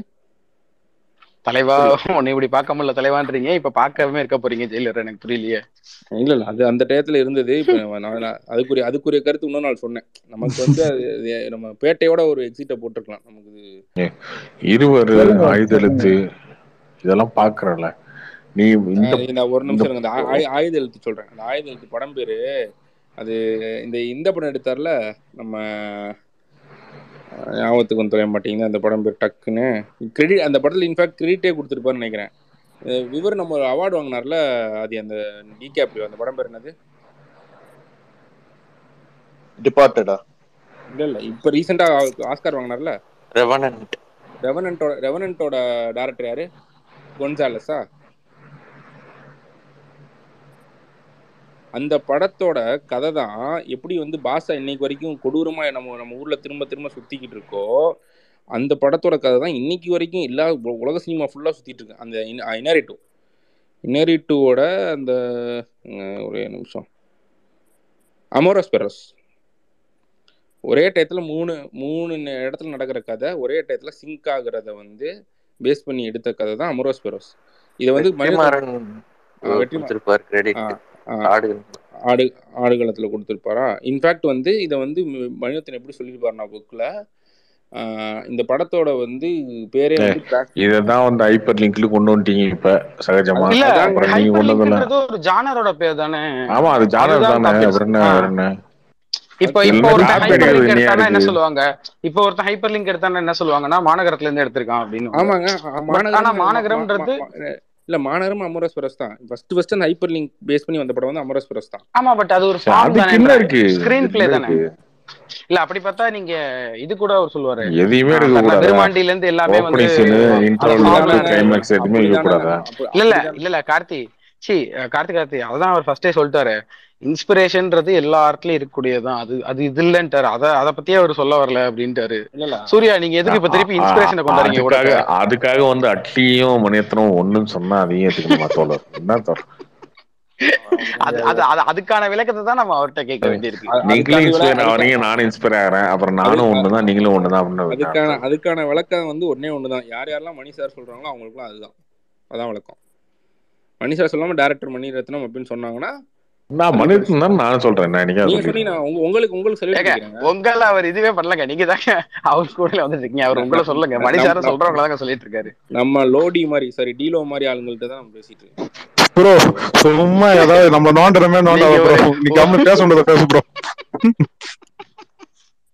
சும்மா ஹரிஷ் இல்ல அதே மாதிரி அந்த ட்ரிபிள் ஆரோட சீன் வந்து பேப்பர்ல எழுதியிருந்தா சிரிச்சிருப்பேன் நீங்களே. நான் தியேட்டர்ல பார்த்து தான் சிரிச்சேன். வன்மமா சொல்ல நிஜமாலுமே அது எனக்கு செட் ஆகல அந்த சீன் இல்ல இல்ல அது வேற இல்ல ப்ரோ நான் என்ன சொல்றேன்? அது வேற ப்ரோ நான் கம்ப்ளீட்டா அது அது எனக்கு புரிஞ்சுக்க முடியுது. ஏன்னா நான் இப்ப நாங்க மூணு பேர் படம் பார்த்தோம்னு வச்சுக்கோங்களேன் தேட்டர்ல ட்ரிபிள் ஆறு என் கூட படம் பார்த்த ரெண்டு பேருக்கு அந்த சீன் கனெக்ட் ஆகல. அவனுங்க சிரிச்சானுங்க. ஆனா எனக்கு அது ஒர்க் ஆச்சு. நான் அப்புறம் வெளியே வந்து பேசும்போது இன்னும் சில பேர் சொன்னாங்க எங்களுக்கும் அது ஒர்க் ஆச்சு அது ஆர்ட் வந்து பெர்ஸ்பெக்டிவ் தான். ஆர்ட் எப்பவுமே சப்ஜெக்டிவ் தான். இப்போ எனக்கு ஒரு பெர்ஸ்பெக்டிவ் இருக்கும் உங்களுக்கு ஒரு பெர்ஸ்பெக்டிவ் இருக்கும். அது சப்ஜெக்டிவ் எனக்கு பிடிக்கும் உங்களுக்கு பிடிக்காம போலாம். அது வேற. பட் மாசா எடுக்க முடியாதுன்னு சொன்னார்ல அதுக்கு சொன்னேன். மாசா எடுக்க முடியாதுன்னு ஒண்ணுமே கிடையாது. மாசா எடுத்துடலாம். அண்ட் இன்னொன்னு நான் சொல்றேன். ராஜமௌழி எடுக்கிற மாஸ் மூமெண்ட்ஸ் இருக்குல்ல அது எல்லாமே அந்த தவிர வேற யாராலையும் எடுக்க முடியாதுன்ற அளவுல ஒரு ஒரு ஒரு கிராஃப்ட் வந்து வந்து இந்த கமாண்டோ ஒருத்த கிராஃப்ட் ஒன்று இருக்குல்ல. அந்த பிலிம் லாங்குவேஜ்ல அவருக்கு இருக்காது டூ ஹண்ட்ரட் இப்ப நமக்கு நமக்கு வந்து வேற ஆயிரம் விமர்சனங்கள் இருக்கலாம். இப்ப இன்னும் ஒரு சீன் பிடிக்கல இன்னொரு சீன் ஒர்க் ஆகாம போலாம். இப்ப இதுலயே என்னன்னு பாருங்க இதே சீனை வந்து இதுக்கு முன்னாடி எடுத்திருந்ததும் இருக்கு. இந்த புலி வந்து வருது புலி கூட சண்டை போடுறாங்க அப்படிங்கறதையும் கூட. இந்த கொமரம் பீம் வர சீன்ல இந்த புலி கூட சண்டை போடுறது இருக்குல்ல எனக்கு இந்த இது ஒர்க் ஆன அளவுக்கு எனக்கு அது ஒர்க் ஆகல. ஆனா இன்னும் சில பேருக்கு அது ஒர்க் ஆச்சு. பட் ஆனா என்னன்னா அப்படி ஒன்ன விஷுவலைஸ் பண்ண முடியறது இருக்குல்ல? இப்ப இந்த இதுவும் கூட சொல்லுவாங்களே ஆஹ் வெளியே வந்ததுக்கு அப்புறம் கேட்டாங்களே புலியும் ஆடும் எப்படி ஒரே கூண்டுக்குள்ள இருந்துச்சு அப்படின்னு. அது உங்களுக்கு தேட்டர்ல தோணல இல்ல அத ஒருத்தன் பண்றான்ல. எனக்கு அந்த சீன் பயங்கர அதுதான். கூஸ் பம்பா இருந்துச்சு. அதான் தலைவன் அந்த அட்லியும். இதோட வர்றதும் ஃபுல்லா கூஸ் பம்பா இருந்துச்சு எனக்கு. என்னடா அது இப்படி ஒரு சீன் எழுதிட்டாங்க அப்படின்னு. And இன்னொன்னு அந்த இந்த இந்த டைட்டில் கார்டு போறதுக்கு ஒண்ணு பண்ணிருப்பாப்லயே. ஒரு இருபது நிமிஷம் ஒரு ஒரு இதை பண்ணிட்டு அதுக்கப்புறம் ஒரு. யோ டைட்டில் கார்டு போறதுக்காக இவ்வளவு பெரிய சம்பவத்தை பண்ணுன்ற மாதிரி தான் இருந்துச்சு எனக்கு. இல்ல இல்ல ப்ரோ இப்ப என்னன்னா இந்த படம் எடுக்கிறாங்க இல்லையா சி இப்ப இது வந்து புக்குங்கிறதே ஒரு கற்பனை தான். அந்த கதையுமே ஒரு கற்பனை. அதுல இருந்து நீங்க கற்பனையா ஒண்ணு எடுக்கிறீங்க. கிளைமேக்ஸ் எப்படி இருந்துச்சு? அது சொல்லுங்க. எதுல? ஆர்ஆர்ஆர்ல. ஜெய் ஸ்ரீராம். செகண்ட் ஹாஃப் மொத்தமாவே எனக்கு ஒர்க் ஆகல. அதான் சொல்றேன்ல கார்த்தி. நமக்கு ஒர்க் ஆகுது ஒர்க் ஆகலன்றது வேற கார்த்தி. பட் நான் என்ன சொல்ல வரேன்னா இப்ப இப்ப நான் சிம்பிளா ஒரு விஷயம் சொல்றேனே. இப்ப அவரோட அந்த சீன்ல அவ்வளவுதான். அவரோட ஆ staging இல்ல இல்ல இன்னொன்னு இன்னும் இல்ல இல்ல நான் என்ன சொல்றேன்னா அந்த இந்த சீன் எடுத்துக்கோங்களேன். ஆஹ் ஒரு இவன் வந்து ஏன்ச்சு அந்த லைட் ஒளி ஃபயர் வந்து வருது. அதுக்கு பின்னாடி போய் அவன் நிக்கிறான். அந்த இடத்துல பயங்கரமா இவன் பார்த்தா அங்க இருந்து இங்க இருந்து இங்க இருக்கலாம் பார்த்தா அவன் ராமன் மாதிரி நிக்கிறான் அப்படிங்கிறது இருக்கு. இப்ப நமக்கு ராம மேல ஆயிரம் விமர்சனம் இருக்கலாம். இப்ப எனக்கு வந்து அந்த சீன் பார்க்கும்போது எனக்கு என்ன தெரிஞ்சுன்னா ஓ இப்படி ஒண்ணு பண்ண முடியுமா? அப்படி ஒண்ணு உருவாக்க முடியுமான்றது எனக்கு எனக்கு அது ரொம்ப பெருசா இருந்துச்சு. அதை உருவாக்குறதுக்கு அவன் வேற வேற விஷயங்கள் ஒண்ணு ஒண்ணு பண்றான் தெரியுமா? அதாவது தீ தீ எல்லாரும் சுடுறாங்க. அந்த இடத்துல பூரா தீப்பத்தி எரியுது அந்த இடத்துல லைட் வருதுன்ற மாதிரி அப்புறம் ஆஹ் அவனுக்கு அடிபட்டிருக்கு. அங்க இருந்த ஒரு இதுல இருந்து கொண்டு வந்து ஒரு துணியை கட்டுறான் அப்படின்னு அதை செட் பண்றதுக்கு அவன் ஒரு வேலை பார்க்கறான் தெரியுமா? இப்ப நம்ம அந்த இடத்துல வேற வேற விஷயங்கள் வச்சுக்கலாம். இப்ப நான் நாளைக்கு படம் எடுக்கிறேன் நான் பெரியாரை வைக்கலாம் இல்ல வேற அம்பேத்கர் வைக்கலாம் இல்ல வேற யாரையாவது வைக்கலாம்னு வச்சுக்கோங்க. ஆனா இப்படி ஒன்ன பண்ண முடியும் ஒரு தத்துவத்தையோ இல்ல ஒரு கடவுளையோ கொண்டு ஒரு சீன்ல இந்த மாதிரி கிரியேட் பண்ண முடியும்ன்ற ஐடியா இருக்குல்ல. இந்த ஐடியா நம்ம அவன்கிட்ட இருந்து கத்துக்கலான்றேன் நான். அது ஒரு. ஸ்டேஜிங்ல அவன அவனால அதாவது அவரால சாதாரணமான ஒரு விஷயத்த மாசா ஆக்க முடியும். பாஸ் ஆக்க முடியும். அதுதான் ஃபிலிம் லாங்குவேஜ் அது அது எனக்கு தெரிஞ்சு எனக்கு தெரிஞ்சு ஒரு ஒரு ரெண்டு மூணு பேரால மட்டும்தான். இந்தியாலே வந்து ஒரு ரெண்டு மூணு ஒன்று சங்கர் ஒன்று ராஜமௌழி ஒன்று ராஜ்குமார் ஹிரணி இந்த மூணு பேரால மட்டும்தான் ஒரு அட்லின்னு சொல்லிருவீங்கன்னு நான் வெயிட் பண்ணிட்டே இருந்தேன். கண்டிப்பா கண்டிப்பா இல்ல கண்டிப்பா. மாஸ்டர் பண்ணிடுவாரு சீக்கிரமா. நான் சொல்றேன். ராஜ்குமார் ஆனா ஆனா ஆனா கார்த்தி ஒரு விஷயத்த நம்ம வந்து. என்னன்னா ஹண்ட்ரட் பர்சன்ட் இவர் சொன்ன மாதிரி ஆஹ், இவருக்கும் ஆஹ், அவர் பேர் என்ன? ராஜமௌழிக்கோ இல்ல இவருக்கோ இருக்கிற அந்த ஸ்கில் இருக்குல்ல சங்கருக்கோ இருக்கிற அந்த ஸ்கில் இருக்குல்ல அது ஹண்ட்ரட் பர்சன்ட் அட்லிக்கும் இருக்கு. டைரக்ஷன்லயும் விஜய் தவிர யார்ட்டையும் இன்னும் படம் எடுக்கல தோழர். விஜய் வச்சு விஜய் தவிர யார்கிட்டயும் படம் எடுக்கல. அது நீங்க வந்து அதை வச்சுட்டு சொல்ல முடியாது. எல்லா இடத்துலயும் மாஸ் ஒர்க் ஆனது விஜய்க்கு தாங்க நீங்க வந்து அது இல்ல. சங்கரோ இல்ல சங்கரோ சங்கர் ஓடுனதுக்கோ அர்ஜுன் வச்சு மாஸ் பண்ணுவாருங்க. அர்ஜுன் வச்சு மாஸ் பண்ணுவாரு சங்கர். சரியா? அர்ஜுன் வச்சு மாஸ் பண்ணுவாரு. இவர் வந்து இவர் வந்து. நானில ஈ வச்சு மாஸ் பண்ணுவாரு. அது அது அட்லி பண்ணணுங்க. இல்ல, பண்ண இல்ல. பண்றதுக்கு முன்னாடி நீங்க சும்மா ஒரு நிமிஷம் ஒரு நிமிஷம். கார்த்தி அது கரெக்ட் தான் கார்த்தி. நான் ஒண்ணே சொல்ல வரேன் கேளுங்களேன். இப்போ அது இல்லைன்னு ஃபிலிம் லாங்குவேஜாவே அதை பண்றதுக்கான பொட்டன்ஷியல் ஒருத்தன்ட்ட இல்லைன்னு வச்சுக்கோங்க. ஒரு நூறு கோடி இருநூறு கோடி ரூபா முந்நூறு கோடி ரூபா பிசினஸ் இருக்கிற ஹீரோ தேடி போக மாட்டாப்ல ஒரு டேரக்டரை இன்னொன்னு நான் திரும்ப திரும்ப நீங்க ஒண்ணு புரிஞ்சுக்கோங்க. நீங்க ஒரு ஹீரோ வச்சுதான் எடுத்துருக்கீங்க. திருப்பதி ஒண்ணும் இல்ல. திருப்பாச்சி சிவகாசி. அது பேரரசு தான் பண்ணாரு. அதுலயே மாஸ் நீங்க என்னங்க விடுறீங்க? அப்படிலாம் கிடையாதுங்க. அப்படிலாம் கிடையாது. அதெல்லாம் அதெல்லாம் இல்ல ஒரு வித்தியாசம். ஒரு கார்த்தி ப்ரோ ஒரு வித்தியாசம் வச்சு இருங்க ஒரு வித்தியாசம். அது இல்ல இல்ல. அதுக்கப்புறம் பரத் வச்சு படம் எடுத்தாரு. என்னாச்சு என்னாச்சு? அந்த மாதிரி இல்ல இல்ல. விஜய் வச்சு விஜய்ன்ற இல்ல ஒரு இல்ல. இல்ல மாஸ் இல்ல இல்ல மாஸ்டர் இருக்கும்போது இல்ல இல்ல பண்றீங்க எல்லாரும் வச்சு பண்ணி காட்டுங்கன்றேன் அவ்வளவுதான். இல்ல ஒரே ஒரு வித்தியாசம் சொல்லிடுறேன் கார்த்தி ப்ரோ. அந்த பாயிண்ட்ல கார்த்தி இப்போ இந்த படம் வசூலானதுக்கோ இல்ல இந்த படத்துக்கு மக்கள் கத்துனதுக்கோ ஆரவாரம் பண்ணதுக்கோ கூட்டமாக திரண்டு வந்ததுக்கோ வேணா அந்த கிரெடிட் விஜய்க்கு போகலாம். அதே மாதிரி இந்த படத்தை தோல்ல தாங்கினது அப்படின்ற கிரெடிட்டும் விஜய்க்கு நம்ம கொடுக்கலாம்னு வச்சுக்கோங்க. ஒரு ரைட்டிங் நல்லா இல்லைனா ஆனா ஒரு சின்ன விஷயம் சொல்றேன் பாருங்க. கிராஃப்டா ஒருத்தனோட ஃபிலிம் லாங்குவேஜ் நான் யார்கிட்ட எந்த மக்களுக்காக நான் படம் எடுக்கிறேன்? அப்படின்னா அவரு கிளியரா விஜய்க்கு தான் படம் பண்றாரு. நான் ஃபேன் பாய்ஸ்க்காக படம் எடுக்கிறேன். இப்ப நீங்க யோசிச்சு பாருங்க. எந்த ஃபேன் பாயுமே அட்லியை விட்டே கொடுக்க மாட்டாங்க. ஏன்னா என் தலைவனா எனக்கு எப்படி நான் பார்க்கணும்னு நினைக்கிறேன். ஸ்கிரீன்ல அப்படி காட்டின வெளின்றது. அதுவும் ஒரு கிராஃப்ட் தான் கார்த்தி. இப்போ நான் என்ன சொல்ல வரேன்னா ஒரு சின்ன எக்ஸாம்பிள் சொல்றேன். அந்த சீன் ஒர்க் ஆனதுக்கு வேணா விஜய் காரணமா இருக்கலாம். தியேட்டர் சீன் வரும்ல மெர்சல்ல ஆனா ஒரு சீன்ல கதை உடச்சிட்டு வந்து ஒருத்தர் வராரு. சில்லறையா செதறுது இந்த பேப்பரா செதறுது அங்க எம்ஜிஆர் வராப்புல இங்க வந்து விஜய் வராப்புலன்ற ஒரு சீன் ஒருத்தன் கன்சீவ் பண்றான்ல. அந்த அந்த ஷார்ட் அப்படி வைக்கிறான்ல. இது எல்லாத்துக்குமே ஒரு கிராஃப்ட் இருக்கு. ஆனா இப்ப நீங்க வந்து அது ஒரு ஒரிஜினல் டாஸ்க் கிடையாது. விஜய் இல்லாம அதே இடத்துல பரத் இருந்தா கை தட்டுவாங்களா அப்படின்னா கை தட்ட மாட்டாங்க. ஆனா விஜயை வச்சுதான் நம்ம படம் பண்றோன்றப்ப விஜய்க்கு ஏத்த மாதிரி தன்னுடைய கிராஃப்ட் வச்சு ஒரு ஒரு பெரிய மாசு உருவாக்க தெரியுது இல்ல ஒருத்தருக்கு. அது கிராஃப்ட் தான் சொல்றேன். இல்ல இன்னொரு விஷயம் என்னன்னா. வித்தியாசம். இல்ல வித்தியாசம் என்னன்னா இப்போ விஜய வச்சு நிறைய பேர் மாஸ் எடுத்திருக்காங்க. ஆனா விஜய வச்சு இன்னைக்கு வரைக்கும் பெஸ்டா அதை எடுத்தது அட்லி தானே? அந்த கிரெடிட் அட்லிக்கு தானே போவோம். அது அவருக்கு அந்த இருக்குல்ல. அதுதாங்க ஆப்வியஸ்லி அவருக்கு கிராஃப்ட் இருக்கு. இல்ல அது ஆப்வியஸ்லி அவருக்கு கிராஃப்ட் இருக்கு. கார்த்திக் பதில் சொல்ல விரும்புறேன். ஒரே நிமிஷம். நாம் தோலோ சுனா ஹோகா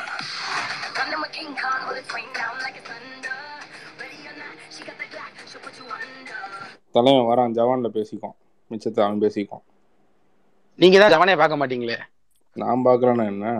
தலைவன் பேசுவான். மக்கள் பார்த்துட்டு அப்புறமா பாப்பாரு அக்டோபருக்கு அப்புறம் பாப்பாரு அக்டோபருக்கு அப்புறம் ஸ்கெடியூல் போட்டு வச்சிருக்கேன். ஆனா ஆனா ஒன்னே ஒண்ணு சொல்றேன். இவ்வளவு பெரிய ஆக்ஷன் படத்தை இது பண்ணிட்டு கடைசியில உட்காந்து வீட்டுல செல்போன்லயும் கம்ப்யூட்டர்லயும் டிவிலயும் பாத்துக்கிட்டு இருக்க போறீங்களா? ஒரு சபதத்துக்காக. நீங்க? பண்றது? என்ன பண்றது? தலைவனுக்காண்டி இருக்கிற சபரிமலை வேறதான் அப்படிதான். ஆமா ஆமா நாக்குல அழகெல்லாம் குத்திட்டு இருப்பீங்க இப்ப விட்டா இல்ல இல்ல எனக்கு சில நேரம் கடுப்பா தாங்க இருக்கும். வெளிப்படையா சொன்னா இப்ப இதுக்கு இல்ல. ஐயோ இதை வச்சு இது பண்ணி எதுக்குன்னா இந்த ஆர்ஆர்ஆர் இருக்குல்ல. ஆர்ஆர் வந்து ரொம்ப ரொம்ப குரூசியலான ஒரு டயத்துல போய் பார்த்தேன். எனக்கு வந்து நைட்டு ஃபுல்லாக ஒரு ஒர்க் இருந்துச்சு. திரும்ப காலையிலையும் ஒரு பத்து மணிக்கு ஒரு இடத்துக்கு பத்து மணிக்கோ ஒவ்வொரு மணிக்கோ போனோம். நான் ஒரு மூணு மணி வரைக்கும் ரெண்டரை வரைக்கும் அந்த வேலையை முடிச்சுட்டு நான் வந்து ஹைதராபாத்தில் இருந்தேன். ஒரு அங்கே இருக்கவங்கள்ட்ட விசாரிச்சு எந்த தேட்டர் நல்லா இருக்கும்னு கேட்டால் எல்லாம் அந்த ஏஎம்பி சொன்னாங்க. ஆனால் ஏஎம்பியில் டிக்கெட் இல்லை. அதனால் ஒரு லோக்கல் தேட்டரில் போய் பார்த்தேன் சார்மினார் கிட்ட. பார்த்தா தெரிகிறானுங்க. அந்த ஒவ்வொரு தடவையும் கொஞ்சம் தேட்டர் அமைதியாக அப்போ தான் இந்த புஷ்பா ரிலீஸ் ஆயிருந்துச்சு. இவனுங்க எல்லாம் என்ன புஷ்பா பாட்டிலே தான் அப்படின்னு கத்துறானுங்க மொத்த தேட்டரும் கத்த ஆரம்பிச்சிது அந்த ஒவ்வொரு தடவையும் ஆறு ஆறு ஆறுன்னு வரப்ப செம்மையா. இன்னைக்கு வரைக்கும் எனக்கு ஆர்ஆர் வந்து ரெண்டாவது தடவை பார்க்க முடியல. அதே மாதிரி கேஜிஎஃப் ரிலீஸ் ஆனப்ப கேஜிஎஃப் டூ சொல்கிறேன் எனக்கு கேஜிஎஃப் ஒன் ரொம்ப பிடிச்ச படம். கேஜிஎஃப் ரிலீஸ் ஆனப்பையும் நான் இங்கே இல்லை. நான் வந்து இங்கே அப்ராட் போயிட்டேன். வந்து வந்து திரும்ப பார்க்குறப்ப இங்கே ஒரு என்எஃப்டிஸில் ஒரு ப்ரிவியூவில் தான் பார்க்க முடிஞ்சுச்சு. அது ஒரு தேட்டர் ஆடியன்ஸோட பார்க்க முடியுன்ற ஒருத்தம் இருக்குது ஆப்வியஸாக இப்போ மாவீரனுக்கும் இருக்குது ஜவானுக்கும் இருக்கு. ரெண்டு படம் மிஸ் தானே பரவாயில்ல. தலைவனுக்காண்டி இல்ல ஜேஸ் ப்ரோ எனக்கு ஒரு டவுட் பீஸ்ட் பாத்துட்டீங்களா ஆ பீஸ்ட் பார்த்தேன் பீஸ்ட் வந்து அதான் வந்து அதனால தான் கேஜிஎஃப் திரும்ப தேட்டரில் போய் பார்க்க முடியல. அவர் தான் வாரிசே பார்த்தேன்றாரு. வாரிசு மூணு தடவை பார்த்தேன். வாரிசு மூணு தடவை இல்லங்க கேஜிஎஃப் டூவும் பீஸ்டும் ஒரே டைம்ல தானே வந்தது. ஆனா பீஸ்ட ஓகே பீஸ்ட் காலையில பார்த்துட்டு மத்தியானம் ஈவினிங் நைட் ஃபிளைட்ல போயிட்டேன். அதுக்கப்புறம் வந்து ஒரு பதினஞ்சு நாளுக்கு அப்புறம் படம் ஓடுச்சு. அதுக்கப்புறம் அந்த சரி பார்க்கலாம் இந்த பார்க்கலாம் இந்த. வந்தோடனே எனக்கு என்ன பீஸ் ஷோ போட்டாங்க எனக்கு தெரிஞ்சு. பயங்கரமா ஒர்க் அவுட் ஆச்சு நான் மட்டும் கத்திட்டேன் தியேட்டர்ல எல்லாருடைய கத்தாத டீசெண்டா நடந்து கூட டீசெண்டா நடந்து கொண்டானுங்க நம்மளால அதை அடக்கவே முடியாது. அந்த இன்டர்வல்ல ஒரு சீன் இருக்குல்ல அந்த கலாஸ்னிக்காவோ அந்த சீன்லாம் தெரிச்சிட்டேன் என்ன மாதிரி சீன் அது அது அது அது அகைன் பிரசாந்த் நீங்கள கூட சொல்லலாம் அது அந்த ஸ்டேஜ் பண்ற ஒரு விதம் இருக்குல்ல. ஒரு ஒரு இடத்துல பில்டு பண்ணி கொண்டு போய் அந்த ஸ்டேஜ் பண்ற இன்னொன்னு ஏன் அதை சொல்லணும்னு ட்ரை பண்ணிட்டு இருந்தேன்னா அந்த இங்க எடுத்து பாத்தீங்கன்னா அந்த எந்திரனுக்கும் கோச்சரியானும் ஆல்மோஸ்ட் ஒரே டயத்தில் எடுத்த படமா எனக்கு கோச்சரியான் கூட இல்லை. லிங்கா நினைக்கிறேன். லிங்காவும் லிங்காவும் ஒரு சங்கர் படமும் ஓவராலாக சேம் டைம் எடுத்த படம் தான். சங்கர் அளவுக்கு ரஜினி சாரை வந்து ஹேண்டில் பண்ண ஒரு டேரக்டர் வந்து கிடையவே கிடையாது. அந்த ஸ்டண்ட் எல்லாம் எடுத்து பாத்தீங்கன்னா ஃபிளாலஸா இருக்கும். அது வந்து அவருக்கு வயசாயிடுச்சு அது அந்த சிவாஜிலாம் ஆ, எபிக் சிவ- சிவாஜி எடுத்துக்கோங்க. சிவாஜி இருக்கிறப்ப இன்னைக்கு அவருக்கு எழுபத்தி மூணு வயசா? சிவாஜி ரெண்டாயிரத்தி ஏழுன்னு நினைக்கிறேன். ஏழோ எட்டோ. அப்போனா இருபத்தி மூணு மைனஸ் ஏழு டக்குன்னு மூணு மூணு ஆறு. பதினாறு வருஷத்துக்கு முன்னாடி வந்த படம். அப்போனா எழுபத்தி மூணு மைனஸ் பதினாறு. அறுபத்தி மூணு. நீங்க அப்ப வந்த குசேலனும் சந்திரமுகிக்கு அப்புறம் வந்துச்சுன்னு நினைக்கிறேன் அது. அதுவே கம்பேர் பண்ணி பாத்தீங்கன்னா ஸ்டாண்டர்ட்ஸ் தெரியும். ஆனா அந்த இடத்துல சிவாஜி இருக்கிறப்ப ஒரு அறுபது அறுபது வயசு நெருக்கி. அப்பயே பாத்தீங்கன்னா அந்த படம் வந்து சூப்பரா இருக்கும் ஸ்டண்ட் ஆனா அதே டயத்துல எடுத்த லிங்காவோட ஸ்டண்ட் எடுத்து பாருங்க. அது அது அதுதான் சங்கர். அங்க அது சங்கர் வந்து அந்த பெர்ஃபெக்ஷனுக்கும் ஸ்டேஜிங்க்கும் ஃபிளால்னஸ்க்கும் ஃபிளாலஸ்னஸ்க்கும் பயங்கரமா மெனக்கிடுவாரு. அதான் அதான் சொல்றேன் சூர்யா. உங்களுக்கு இந்த ஃபிலிம் லாங்குவேஜ் பிடிக்குது. இவங்களோட ஃபிலிம் லாங்குவேஜ் உங்களுக்கு பிடிக்குது. பிரசாந்த் நீலே சங்கர் ராஜமௌலி எல்லாருமே ஆல்மோஸ்ட் ஒரே கைண்ட் ஆஃப் ஃபிலிம் லாங்குவேஜ் தான் வச்சுக்கோங்க. உங்களுக்கு இந்த மாதிரியான எலிவேஷன் இருக்கக்கூடிய ஒரு சரி அது அதுக்கும் ஒரு அதுக்கும் ஒரு normal audience theatre audience bro ஆனா அதுக்கும் இதுக்குமே அஞ்சு வருஷம் கேப் இருக்கு ப்ரோ லிங்க் ஆஃப் டுவெல்ல தானே வந்தது? ஃபோர்டீன் நினைக்கிறேன். லிங்கா விட்டு எடுத்த ஒரு படம் என்ன படம் ஞாபகத்துக்கு. லிங்கா விட்டு இல்ல நான் இன்னொன்னு இல்ல சங் அதுக்கப்புறம் எடுத்த டூ பாயிண்ட் கூட எடுத்துக்கோங்க. இருக்கிற ஸ்டண்ட் ரெண்டு மூணு வந்து ஃபேஸ் காட்டியே பண்ணிருப்பாரு சூப்பரா எடுத்திருப்பாரு. டூ பாயிண்ட் எதுக்கு அவ்வளவு தூரம் போயிட்டு? லிங்காக்கு அப்புறம் ஜெயசூரிய ப்ரோ இல்ல நான் ஒன்னே சொல்லி முடிச்சுக்கிறேன். சொல்லி முடிச்சுக்கிறேன். எனக்கு இது ஒன்னே என்னன்னா நான் அந்த ஃபிலிம் லாங்குவேஜ் பிடிச்ச ஒரு ஆளா தான் ரொம்ப நாள் இருந்தேன். இப்போ நீங்க வந்து மலையாளம் ம், படமா ம். இருக்கட்டும் எல்லாமே அந்த ஒரு ஜோன்ல இருக்கிறத வந்து ரொம்ப ரசிச்சு ரசிச்சு நீங்க இந்த இவன் இந்த ஒரு ஒரு ஈரானியன் ஃபிலிம் மேக்கர் ஒரு தடவையும் போய் அவார்டு வாங்குவாரு அவர் படம்லாம் பார்த்தா நமக்கு அப்படி இருக்கும். ஆனா ஒரு காலப்போக்கில் என்ன ஆயிருதுன்னா நமக்கு இருக்கிற வெளியில இருக்கிற நெருக்கடி வெளியில இருக்கிற ஸ்ட்ரெஸ்ல வந்து நம்மளால திரும்ப போய் அந்த அதுல டைம் இன்வெஸ்ட் பண்ண முடியல. எனக்கு இப்படி ஒரு கலைப்படைப்பு எடுத்திருக்கான்டா பயங்கரமா இருக்குடான்றத என்ஜாய் பண்ண முடியல. நம்ம போட்டா வேங்கை மாதிரி இருக்கணும். டமால் டுமில் டமால் டுமில் இருக்கணும். நம் நம்மள நம்மளை இருக்கிற. ஸ்ட்ரெஸ்ல இருந்து வெளியே வந்து கொண்டு வர ஒரு ஃபிலிம் லாங்குவேஜ் தான் நம்மளுக்கு ரசிக்கிற மாதிரி இருக்கு. நம்ம அஃப்கோர்ஸ் வந்து இப்போ எக்ஸாம்பிளுக்கு ஒரு நாள் ஒரு ஒரே நாள் நைட்டில் புஷ்பாவும் பார்த்தேன் ப்ரோட அடியும் பார்த்தேன். ஒரு நாள் நைட்டே உட்காந்து வீட்டில் ஹோம் தேட்டரில் ரெண்டையுமே பார்த்தப்பயுமே நமக்கு என்ன என்ன தெரிஞ்சுன்னா நீங்கள் ப்ரோடாடி எடுத்துக்கோங்களேன் அது அவ்வளோ அப்ரிஷியேட் பண்ண முடியும் அந்த படத்தில். ஆனால் அதே அதுக்கு அப்படியே கான்ட்ரடிக்டிங்காக இருக்க ஒரு ஃபிலிம் லாங்குவேஜ் வந்து புஷ்பா. நம்மளால ரெண்டையுமே என்ஜாய் பண்ண முடியுது. ஆனால் வந்து நீங்கள் எது எது நீங்கள் ப்ரோடாடியா புஷ்பான்னு கேட்டால் புஷ்பா தான் சொல்லுவேன். ஏன்னா நம்ம நம்ம நம்மளை அந்த டயத்துல நம்ம ரிலீவ் பண்ணுறது அந்த மாதிரி படம் தான். கண்டிப்பாக ப்ரோடாடி கிடையாது. ஜெயசூரிய ப்ரோ காந்தாரா பாத்தீங்களா தியேட்டர்ல பார்த்தேன் அது எப்படி இருந்துச்சு தியேட்டர் எக்ஸ்பீரியன்ஸ் அது ஒரு நமக்கு தேட்டர் எக்ஸ்பீரியன்ஸ் நல்ல எக்ஸ்பீரியன்ஸ் தான். அதில் வந்து ஒரு அது என்னன்னு என்னன்னு தெரியல சரி சொல்கிறேன் அது என்னன்னா அந்த அந்த ஒரு சவுண்ட் வரும்ல ஊ ஊன்னு. இது இந்த ஒரு கார்த்தி எல்லாருமே சொல்றாங்க. ரெண்டா அந்த படத்தோட டிஜிட்டல் டிஸ்ட்ரிபியூட்டர் எங்க கம்பெனி தான். ஸோ அதனால நான் போய் பார்ப்போம் அப்படின்னு சொல்லிட்டு என் ஃப்ரெண்ட்ஸ் ஒரு நாலஞ்சு பேரோட போனோம். ரொம்ப அவனையும் மனக்கட்டு செமையா இருக்காண்டா செமையா இருக்கான்னு கூப்பிட்டு போனேன். எங்களுக்கு பின் சீட்ல உட்காந்துருக்கவன் அந்த சவுண்டு வர்றது அவனுக்கு எப்பன்னு தெரிஞ்சிருக்கு. அதனால ஒவ்வொரு தடவையும் கத்திக்கிட்டே இருக்கான். ஒவ்வொரு தடவையும் ஊ ஊ ஊன்னு கீழே குனிஞ்சு குனிஞ்சு கத்துறான்.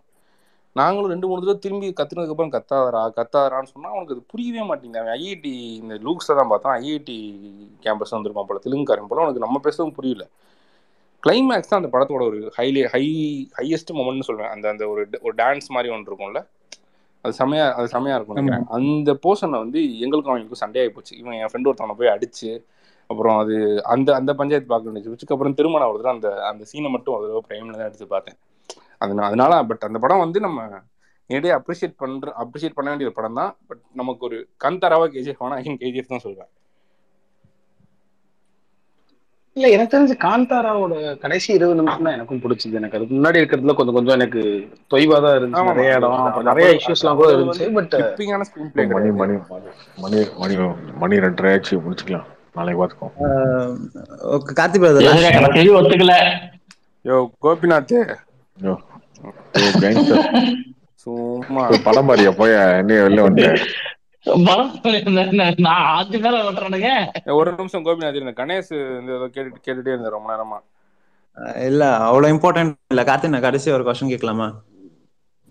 ஒரு டக்குனு முடிச்சிடலாம் ப்ரோ மணி ரெண்டரை ஆச்சு நீங்க வழக்கமா தூங்கிடுவீங்களே ஒரு நேரத்துல. எப்படி முடிச்சிருக்கீங்க?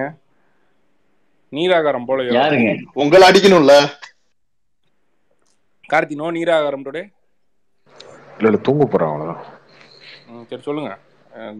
நீங்க ஏன் கண்டுக்கிறீங்க? அந்த ரஜினி ஃபேன்ஸ் எல்லாம் நீங்களே ட்வீட் போட்டு நீங்க உங்க எனக்கு ஒரு? என்டர்டைன்மெண்ட் வேணாங்க. பேசுறது. அப்புறம் என்டர்டைன்மெண்ட் டுவெல் அந்த ஸ்பேஸ்ல சொல்லிருக்காங்க. கபிலா ஒன்னெல்லாம் கார்த்தி மனுஷனை கூட மதிக்க மாட்டாங்கன்னா. ஒரு டைம்ல அப்படி இருந்துச்சு. மனுஷனா மதிக்கிறது. மனுஷனா கூட மதிக்கிறது இல்லையே. அது எப்படி இருந்துச்சு? ஆமா. ஜாலியா எடுத்து போடுறதானுங்க இப்ப. நான் நான் வெளியே இருந்த சிரிப்பு அடக்க முடியல என்னால. மனுஷனா கூட மதிக்க மாட்டாரு. ஆனா அப்படி ஒரு ஆளை ஃபார்ம் பண்ணி விட்டு அவனை இன்ஃபுளுன்ஸ் என்னதாங்க பண்றது எனக்கு அதுதான் உண்மை. என்டர்டைன்மெண்ட்டுக்கு யாருதான் இருக்கா எனக்கு என்டர்டைன்மெண்ட்டுக்கு யாருதான் இல்ல இருக்கா? கார்த்திக் ப்ரோ நீங்க எல்கேஜில எல்லாம் போட்டு அவனுக்கு தான் அதிகமாகும் இதாகும். அவனுக்கு அந்த மாதிரி பைத்தியங்கள ஒரு ஒரு கூட்டம் இருக்குல்ல அந்த கூட்டம் போய் அவனை இல்ல ஃபாலோ ப்ரோ பொங்க பொங்கல் வரைக்கும் கோபிநாத்லாம் வரிஞ்சுக்கிட்டு சண்டைக்கு வந்துட்டு இருந்தாரு. ஆஃப்டர் பொங்கல் வந்து கோபிநாத் ஆஃப் ஆயிட்டு போயிட்டாரு. அப்புறம் யார் தான் நான் வம்புலுக்கிறது வம்புலுக்கிறது இப்ப? இல்ல இல்ல அதெல்லாம் அவன் correct தான். வளர்ந்துட்டா இருக்கா? அதே ஒரு ஜெயசூரிய கேளுங்க மாதிரி உங்களால அவன் வளர்ந்துட்டு இருக்கா? அது எனக்கு இப்ப- எனக்கு என்னங்க கவலை அதை பத்தி? பொங்கல் பொங்கல் இல்ல இல்லைங்க பொங்கல் வரைக்கும் இவங்க கம்பெனி கொடுத்தாங்க. அதுக்கப்புறம் பார்த்தா இவங்க வந்து வாக்கு கொடுத்துட்டு போயிட்டாங்க. அவ்வளவு ஷோரா இருக்குங்களா? இவங்க இவங்க இவங்க கொடுத்துட்டு போயிட்டாங்க. இப்ப யா இப்ப ஏதோ ஒண்ணு வேணும்ல எனக்கும்.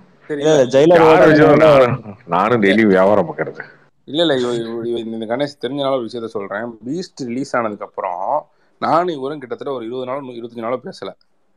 பேசினா என்ன சண்டை போட்டு அப்படி பேசாமலாம் இல்ல. இவர் ஏதோ ஒன்று சொல்லிட்டாரு நான் திரும்ப ஏதோ அவரை திட்டி விட்டேன். ரெண்டு பேரும் முடி- முறிஞ்சிருச்சு அப்படியே. இவர் நம்ம ஆளு அதுக்கப்புறம் இருபத்தஞ்சு நாள் கழிச்சு அந்த இது மாதிரி தான் அந்த நல்ல கொஞ்சம் பக்கத்துக்கு பக்கத்து கணத்துல வருவான்ல. அண்ணா அண்ணே என்னண்ணே? வந்தா கண்டுக்கவே மாட்டேன் அந்த மாதிரி வரையும் நாகராஜன் நாகராஜன் ஆனா அந்த குரூப் அப்படி அந்த கபிலன் அப்படி பார்த்தா தெரியல. கபிலன் வந்து காலைல எந்திரிச்சோன்னே இந்த கார்த்திக் ரவி போட்டு தள்ளுவோம் வா வா வா ரெடி ரெடி அப்படின்ற ஒரு மோட்லயே தான் தர்றாப்புன்னு நினைக்கிறேன்.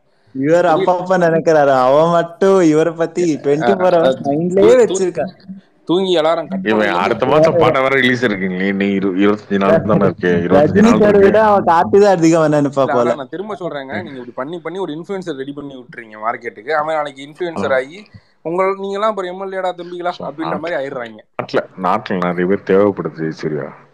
எதுக்கு அரசியல் பண்றதுக்கா? அவரெல்லாம் பீஸ்டுக்கு அப்புறம் எல்லாம் ஒத்துக்க மாட்டாங்க. சாரி ஜெயிலருக்கு அப்புறம் எல்லாம் ஜெயிலர் ஒருவேளை போனால ஒத்துக்க மாட்டாங்க. சும்மா சத்தியம் கதை எல்லாம் பேசுறாரு சத்தியம் எல்லாம் பேசிட்டே இருக்காரு. அப்ப நம்ம என்ன அவாய்ட் பண்ணிட்டு போக முடியாதுல்ல? அப்ப என்ன பண்ண முடியும்? சரி இப்போ ஆக்சுவலா விடுங்க ஹுக்கும்க்கு ஃபயர் விட்டுருந்தீங்க. நல்லா இருந்துச்சுங்களா? ஹுக்கும் உண்மையெல்லாம் ஒரு நல்லா இருக்கு. ஹுக்கும் டைகர் கா ஹுக்கும் பயங்கரமா இருக்கும் அதெல்லாம். பாட்டே ஒண்ணும் வரலைங்க. எப்பொழுதுமே ஏன் இதுல என்னங்க இருக்கு? ஃபர்ஸ்ட் படம் தான் தமனா பாட்டு ஆகி போச்சு. இப்ப ரெண்டாவது படம் தான் உங்க பாட்டு வந்து ஹிட் ஆகணும் ஒரு ஒரு ஆசை தான் வேற என்ன கார்த்தி பயங்கரமா இருக்கும். பேட்ட பராக் மாதிரி இருக்கும். அதான் பேட்ட பறக்க மாதிரி தாங்க எதிர்பார்த்தேன் ஃபர்ஸ்ட் பாட்டு. கோட் வேர்ட் அக்செப்டட் இல்ல இல்ல. இது நல்லா இருக்கும். இல்ல இல்ல. அனிருத்த பொறுத்த வரைக்கும் பாட்டு நல்லா தான் பாட்டு கேட்டீங்களா? இல்ல ஆ, அது எப்படி நம்ம இல்ல இல்ல எப்படி அதை விடுங்க. கண்டிப்பா. வெள்ள சட்டை நழுவுறாரு பாருங்க வெள்ள சட்டை இல்ல அனிருத் நல்லா தாங்க பண்ணுவாரு கண்டிப்பா. கண்டிப்பா ஏன் ஏன் ஃபர்ஸ்ட் அதை விட்டாங்கன்னு சொல்றேன். இந்த படத்துல இருக்க எல்லா பாடுமே பாட்டுமே வந்து மான்டேஜா இருக்கு பேட்ட பராக் மாதிரி வந்து அந்த மாதிரி ஒரு எலிவேஷன் பாட்டா தான் இருக்கே தவிர டான்ஸ் ஆடுற பாட்டா வந்து வேற எதுவும் இல்ல. அதனால ஆக்சுவலி நல்ல லாஜிக் தான். கரெக்டான லாஜிக் தான். ரெண்டாவது இன்னைக்கு இருக்கிற ஒரு ஒரு ஒரு பாட்டுன்ற இருக்கிற ஒரு மாஸ் ஹீரோக்குரிய மார்க்கெட் எதை பேஸ் பண்ணி இருக்குன்னா இந்த இந்த பாட்டை வந்து இவங்க இன்ஸ்டாகிராம் ரீல்ஸ் பேஸ் பண்ணி இருக்கு இனி பாட்டு நீங்கள் எடுத்துட்டீங்கனாலும் இப்போ இன்ஃபேக்ட் மன்னாரப்பேட்டையில் வந்து அவங்க அது எதுவுமே பண்ணலை. ரீட் உள்ள உள்ள எதுவுமே பண்ணல. ஆனால் அவங்க அதுக்கப்புறம் அந்த மியூசிக் மியூசிக் லேபில் என்ன பண்ணாங்கன்னா அது ஸ்டெப்ஸ்லாம் ஒரு கோரியோகிராஃபர் வச்சு கோரியோ பண்ணி அது ஒரு வீடியோவை எப்படி பண்ணுறதுன்னு ரிலீஸ் பண்ணாங்க. அதுக்கப்புறம் அது இன்ஸ்டாகிராம் பிக்கப் ஆச்சு. ஸோ இனி பாட்டு வந்து அவங்க வந்து அஹ், ஒரு படம் ப்ரொமோஷன் பிளான் பண்ணுறப்ப அது ஆடுறதுக்கு ஒரு இன்ஸ்டாகிராமில் வந்து பிக்கப் ஆகக்கூடிய பாட்டாக இருக்க வேண்டிய ஒரு அவசியம் இருக்குது ஒரு பெரிய ஹீரோ படம்ன்றப்ப. நீங்கள் அரபி கூத்தா எடுத்துக்கோங்க. இந்த பாட்டுலாம் எடுத்துக்கோங்க அப்ப அவரையும் கொஞ்சம் அதிகமா காமிச்சிருக்கலாம்ல? அது இன்னும் கொஞ்சம் அது சாட்டிஸ்ஃபை இல்ல அவர் இல்ல அவர் அதிகமா காட்டு குறை குறைச்சு காட்டுன்றது இந்த பாட்டுல எப்படிங்க அவரை காட்ட முடியும்? இது மேபி அவ்வளவுதான் வர போர்ஷனா இருக்கலாம். நமக்கு அது தெரியாதுங்க. ஒரே ரொம்ப சிம்பிள் இதுமே முடியாத இடத்துல கொஞ்சம் காட்டு காட்டாங்க அவ்வளவுதான். இல்ல அதான். ஸோ வந்து இது இது வந்து நீங்க எடுத்து எடுத்து பார்த்தீங்கன்னா நீங்க என்னதான் இந்த பாட்டை குறை சொல்லுங்கன்னாலும் பண்ணுங்க. பாட்டு வந்து ஹிட் ஒரு நாளைக்கு ரெண்டு மூணு மில்லியன் வியூஸ் போயிட்டு இருக்கு இந்த பாட்டு. நீங்க வந்து பாட்டு நல்லா இருக்கு சீரியஸா. ஸோ ரெண்டாவது அதுக்கு முக்கியமான காரணம் வந்து அவங்க எடுத்த ஒரு ப்ரொமோஷனல் டிசிஷன் தான். அந்த ஹூக் ஸ்டெப் ஒன்று எடுத்து அதை வந்து எல்லா இப்போ ஏஐகளை பண்ணிக்கிட்டு இருக்கானுங்க. நார்த் இந்தியாவில் வந்து தமிழ் பாம்பே ஏர்போர்ட்டுக்கு போகிறாங்க அங்கே இருக்க ஒரு ஃபோட்டோகிராஃபர் அவங்க கூட நான் டான்ஸ் ஆடிக்கிறேன்னு சொல்லி சேர்ந்து ஆடிக்கிட்டு இருக்கான். ஸோ அங்கே வரைக்கும் இந்த இந்த ஸ்டெப் ரீச் ஆயிருக்குன்னா அவங்க எடுத்த டிசிஷன்லாம் நான் தப்புலாம் சொல்ல மாட்டேன். அவங்க ப்ராப்பராக ப்ரொமோஷன் பண்ணி ப்ரொமோஷன் பிளான் பண்ணி தான் பண்ணியிருக்காங்க. இன்ஃபேக்ட் நீங்கள் இது விக்ரமே எடுத்துக்கோங்களேன். விக்ரமே அதே அதே லாஜிக் தான். பத்தல பத்தில் தவிர மிச்சம் எந்த பாட்டுமே வந்து டான்ஸ் ஆடுற மாதிரி இருக்காது. மிச்சம் எல்லாமே வந்து அந்த படத்தோட ஃப்ளோவோட இருக்கிற ஒரு மாண்டேஜ் சீக்வன்ஸாக தான் இருக்கும். ஸோ அதனால தான் இந்த பாட்டை அவங்க ரிலீஸ் பண்ணியிருக்காங்க. இப்போ அந்த பாட்டு செலக்ட் பண்றதை தாண்டி அந்த பாட்டு வந்து சோஷியல் மீடியால ஆடுற மாதிரி இது பண்றது அந்த ஐடியாலாம் வந்து ப்ரொடக்ஷன் எடுக்கிற இதுவா இல்ல ப்ரொடக்ஷன் ஹவுஸும் அந்த மியூசிக் லேபிள் எல்லாமே சேர்ந்து கலெக்டிவாக அவங்க எடுக்கிறது தான். எண்ட் ஆஃப் தி ப்ரொடக்ஷன் ஹவுஸோட கால் தான். ப்ரொடக்ஷன் ஹவுஸ் தான் அந்த கால் எடுப்பாங்க அது இன்னைக்கு ரொம்ப அவசியமாகவும் இருக்குது ஒரு படத்தோட ப்ரொமோஷனுக்கு ரொம்ப ரொம்ப முக்கியமாக இருக்குது இப்போ நீங்கள் இந்த இப்போ நீங்கள் இப்போ சொல்லிருந்தாங்க மாவீரன் வந்து அந்த ஒரு தேவையான மியூசிக் ரீச் கிடைக்கும்னு ஓரளவுக்கு அது கிடச்சிச்சு. காரணம் வந்து அந்த இன்ஸ்டாகிராமில் வந்து இவங்க போட்டு போட்டு போட்டு போட்டு அந்த பாட்டை வந்து இன்ஃபேக்ட் அதித்தி சங்கர் வச்சு எப்படி அந்த ஸ்டெப்பு போடுறதுலாம் வந்து வீடியோ விட்டாங்க. Step one step two step three step ஃபோர்னு சொல்லிட்டு அவங்க ஆதிசங்கர் ஆடி காட்டினாங்க. அதை பேஸ் பண்ணி மியூசிக் லேபிளே வந்து இன்னைக்கு வந்து ஒவ்வொரு ஒவ்வொரு பாட்டு ரிலீஸ் ஆனவுடனே வந்து அதுக்கு காசு இன்வெஸ்ட் பண்ணி நீங்கள் எடுத்து பார்த்தீங்கன்னா இன்ஸ்டாகிராமில் அந்த சகானா சர்வேஷ் மைனானந்தினி இந்த மாதிரி ஒரு ஒரு நாற்பது ஐம்பது அக்கௌண்ட் இருக்கு. அவங்களுக்கு ஒரு மாதம் மாதம் வந்து ஒரு இது கொடுக்காங்க ஒரு ஒரு பேரோல் மாதிரி வச்சு அவங்களுக்கு அமௌண்ட் கொடுத்து இந்த பாட்டு நீங்கள் டான்ஸ் ஆடி போடுங்க அப்படின்றது அவங்க ஒரு ஒரு ஹேபிட்டாகவே இருக்கிற லெவலுக்குலாம் இருக்கு. ஸோ அது அது அதுக்கு வந்து கேட்டர் பண்ண வேண்டியது ரொம்ப ரொம்ப இம்பார்ட்டண்ட்டான ஒரு கார்த்தி பிரதர் கார்த்தி என்ன தூங்கிட்டாங்களா? ப்ரோ இப்போ இந்த பாட்டு அந்த காவாலா பாட்டு ஃபாரின்ல எல்லாம் ஆடுறாங்கல்ல அது வந்து ஃபேன்ஸா இது பண்றதா? அது ப்ரொடக்ஷனோட இது ப்ரொடக்ஷனோட அது ப்ரொமோஷன் தான். நீங்க அது அதுக்கு ஒரு அதுக்கு ஒரு செட் ஆஃப் ஒரு கேட்டலாக் இருக்கு. இந்த ஒரு ஒரு நை ஒரு நைஜீரியா ஆள் ஒருத்தர் இருப்பாரு. அப்புறம் ஒருத்தர் ஒரு ஸ்பெயின்ல ஒருத்தர் ஒரு டான்சர் ஒரு ஆள் இருப்பாரு. அப்புறம் ஜப்பான்ல ஒரு ஒருத்தவங்க இருக்காங்க. இவங்கெல்லாம் வந்து ப்ரொமோஷன் கேட்டலாக்ல இருக்கிற ஒரு என்ன பேமெண்ட் ஜாஸ்தி. நீங்க ஹீரோஸ்லயும் டாலர்ஸ்லயும் பே பண்ணணும். அவ்வளவுதான்.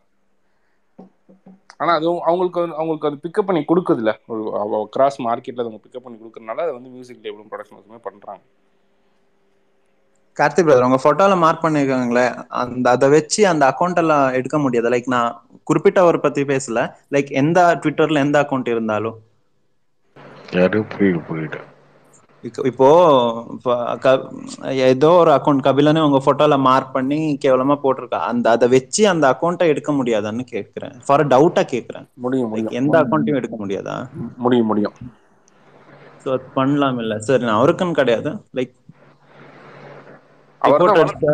அவர் தான் வளர்த்து விட்டு அதை வச்சு இன்ஃபுளுசர் ஆக்கி எடுக்கிற ஒரு ஆப்ஷன் இருந்தும் ஏன் சும்மா இருக்குங்க? இல்ல அதான் அவர் தான் வளர்த்து விட்டு இன்ஃபுளுன்ஸ் ஆக்க ட்ரை பண்ணிட்டு இருக்காரு அப்ப என்ன அப்படி எப்படி எடுப்பாரு?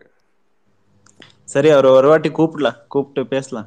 இல்ல அதை நான் யோசிச்சுட்டு தான் இருக்கேன். அது அது இப்ப இவருக்கும் நீங்களும் ரெண்டு வாட்டி கூப்பிட்டீங்க. கார்த்தி வான்னு சொல்லிட்டாங்க. ஆனா வர மாதிரி தெரியல. இல்ல இல்ல அது அது நம்ம தான் அதை அரேஞ்ச் பண்ணணும். இவரும் ரெண்டு மூணு தடவை சொல்லி பார்த்துட்டாரு. நம்ம ஒரு எட்டு மணி மாதிரி நேர்பட ஜெயசூரிய பிரதர் இருங்க ஒரு நீங்க நிமிஷம். நீங்க நீங்க ஒண்ணு ஆ.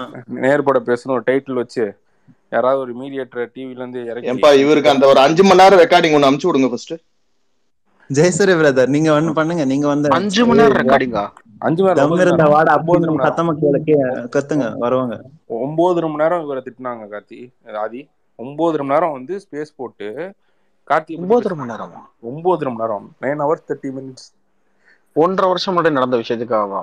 இப்ப இப்ப நடந்தது. ரெண்டு நாளைக்கு அப்போத்துல இருந்து இப்போ நடந்ததுக்கு எல்லாத்துக்கும் சேர்த்து. அது அது அதான் நான் சொல்றேன்ல அது இப்ப நம்ம தூங்கி எந்திரிச்சா வந்து அலாரம் அலாரத்தை மாத்திட்டு என்னத்தடா அப்படின்ற மாதிரி ஒரு மோட்ல இருப்போம். என்னத்தையாவது ஒன்று பண்ணுவோம். பல்ல வேற வளைக்கி தொலைணுன்ற மாதிரி ஒரு மோட்ல இருப்போம்னு வச்சுக்கோங்க. தலைவன் எந்திரிச்சோடனே விடுங்க விடுங்க. அவன் மென்டலா அவனுக்கு கொஞ்சம் பிரச்சனைங்க. சம்திங் பண்ணிருப்பான் ஒருத்தங்க பேசுவாங்க? அதுதாங்க சொல்றேன் மென்டலா பிரச்சனைங்க அவனுக்கு. அவங்க இது வந்து நாளைக்கு பேசி அவன் ஓ ஏன் என்னை பத்தி அவங்க ஸ்பேஸ்ல பேசி கதறானுங்களா அவனுங்க? அப்படின்னு பேசி அதுக்கு ஒரு ரெண்டு மணி நேரம் பேசுவாங்க. அது அது வேற. இப்ப இப்ப இது இந்த கண்டென்ட் இந்த கண்டென்ட் அங்க எப்படி தெரியுமா அங்க போகும்? அவனை பிடிச்சிங்கன்ற மாதிரி இருக்கும். கார்த்திக் ரவிவர்மான்ற ஒருத்தர் வராது. குடி வருமா அவர் பேரு? இவங்க எல்லாம் சேர்ந்துட்டு அப்ப நான் திருப்பி கேள்வி கட்டினா அசிங்கமா போவோம். அதான். நான் நான் தண்ணி அடிச்சா குடி வருமா? அப்ப ரஜினிகாந்துக்கு என்ன பேரு? இல்ல நீங்க ஓ ஏங்க இருங்கங்க. இவங்க மூணு பேரும் இவங்க இது என்ன இருக்கு? இது இது என்ன இருக்கு ஹரிஷ்? இது என்ன இருக்கு? இந்த கேள்விக்கு என்ன பதில் சொல்ற சொல்லு. நான் தண்ணி அடிக்கிறேன்னா குடி வருமா? அவரே இன்னைக்கு வந்து லாஸ்டா வந்து இந்த வாணி மகால்ல நடந்த ஒரு மீட்டிங்ல வந்து சொல்லிட்டு போனாரு காலைல எட்டு மணிக்கே சிக்கன் சிக்ஸ்டி ஃபைவ் சரக்கு இல்லைன்னா நோ நோ நோ அப்படின்றேன் அப்படின்னாரு. அப்ப அவருக்கு என்ன பேர் இருக்கிறது இப்ப இவனுக்கு அபியூஸ் பண்ணா அப்புறம் எல்லாரும் தான் பண்ண முடியும் அப்படியும் அதெல்லாம் சும்மா என்ன மென்டல் ஆட்டம் பேசிட்டு அதான் இல்ல நீங்க குடிக்கிறீங்கன்றதுனால உங்களை பத்து மணி நேரம் திட்டுறாங்களா? எனக்கு புரியலையே. இல்ல இல்ல. அது ஒண்ணு இல்ல இல்ல அதுதாங்க ஒருத்தனை அபியூஸ் பண்ண ஒருத்தனை அபியூஸ் பண்ண கேவலமா பேசணும்னா ஏதோ ஒரு ஏதோ ஒரு டாபிக் இருக்கணும்ல. ஒருத்தர் எப்படி திட்டுவான் நம்ம? அந்த மாதிரி. திட்டணும்னா உங்களை உங்களை பத்தி ஏதாவது ஒண்ணு சொல்லணும். அப்படின்னா என்ன சொல்லணும்?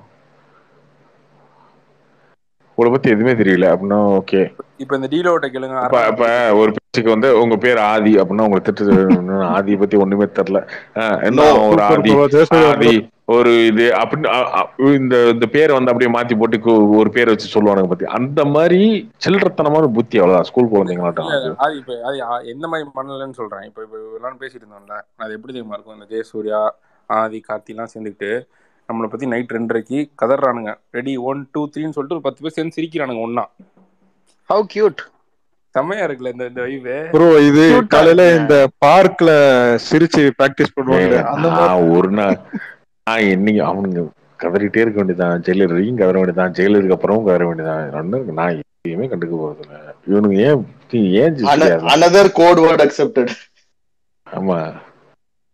நம்ம அதெல்லாம் கண்டுக்கவே மாட்டான் அவனுங்க. ஏ கொஞ்சம் வயசான ஆட்களாங்க அவங்க ஏதோ தெரப்பி மாதிரி நினைச்சு இதை சிரிச்சுக்கிட்டு இருக்காங்க போல அவனுங்க போய் தோழர் ஆரம்பத்துல மென்டல் வாருன்னு சொன்னல அதுக்கு இதான் விளக்கம் ஹரிஸ் நீ சும்மா அறியா நீ இந்த மாதிரி இது வந்து பண்ணிட்டு பேர் அவர் பேர்ல கேஸ் எழுதிடுறாங்க. ஓ இவ்வளவு நேரம் அதை பத்தி தான் பேசிட்டு இருக்கீங்க நான் பேர் சொன்ன மட்டும் கோச்சிக்கிறீங்க. நம்ம ஃப்ரெண்டு சாய்நாத்லாம் இருக்காரு. உண்மையான ட்ரூ ரஜினி ஃபேன்ஸ் அந்த மாதிரி ஆளுங்க நமக்கு போதும். பேர் தோழர் அது ரஜினி ஃபேன்ஸே இப்படிதான் திட்டுறாங்க.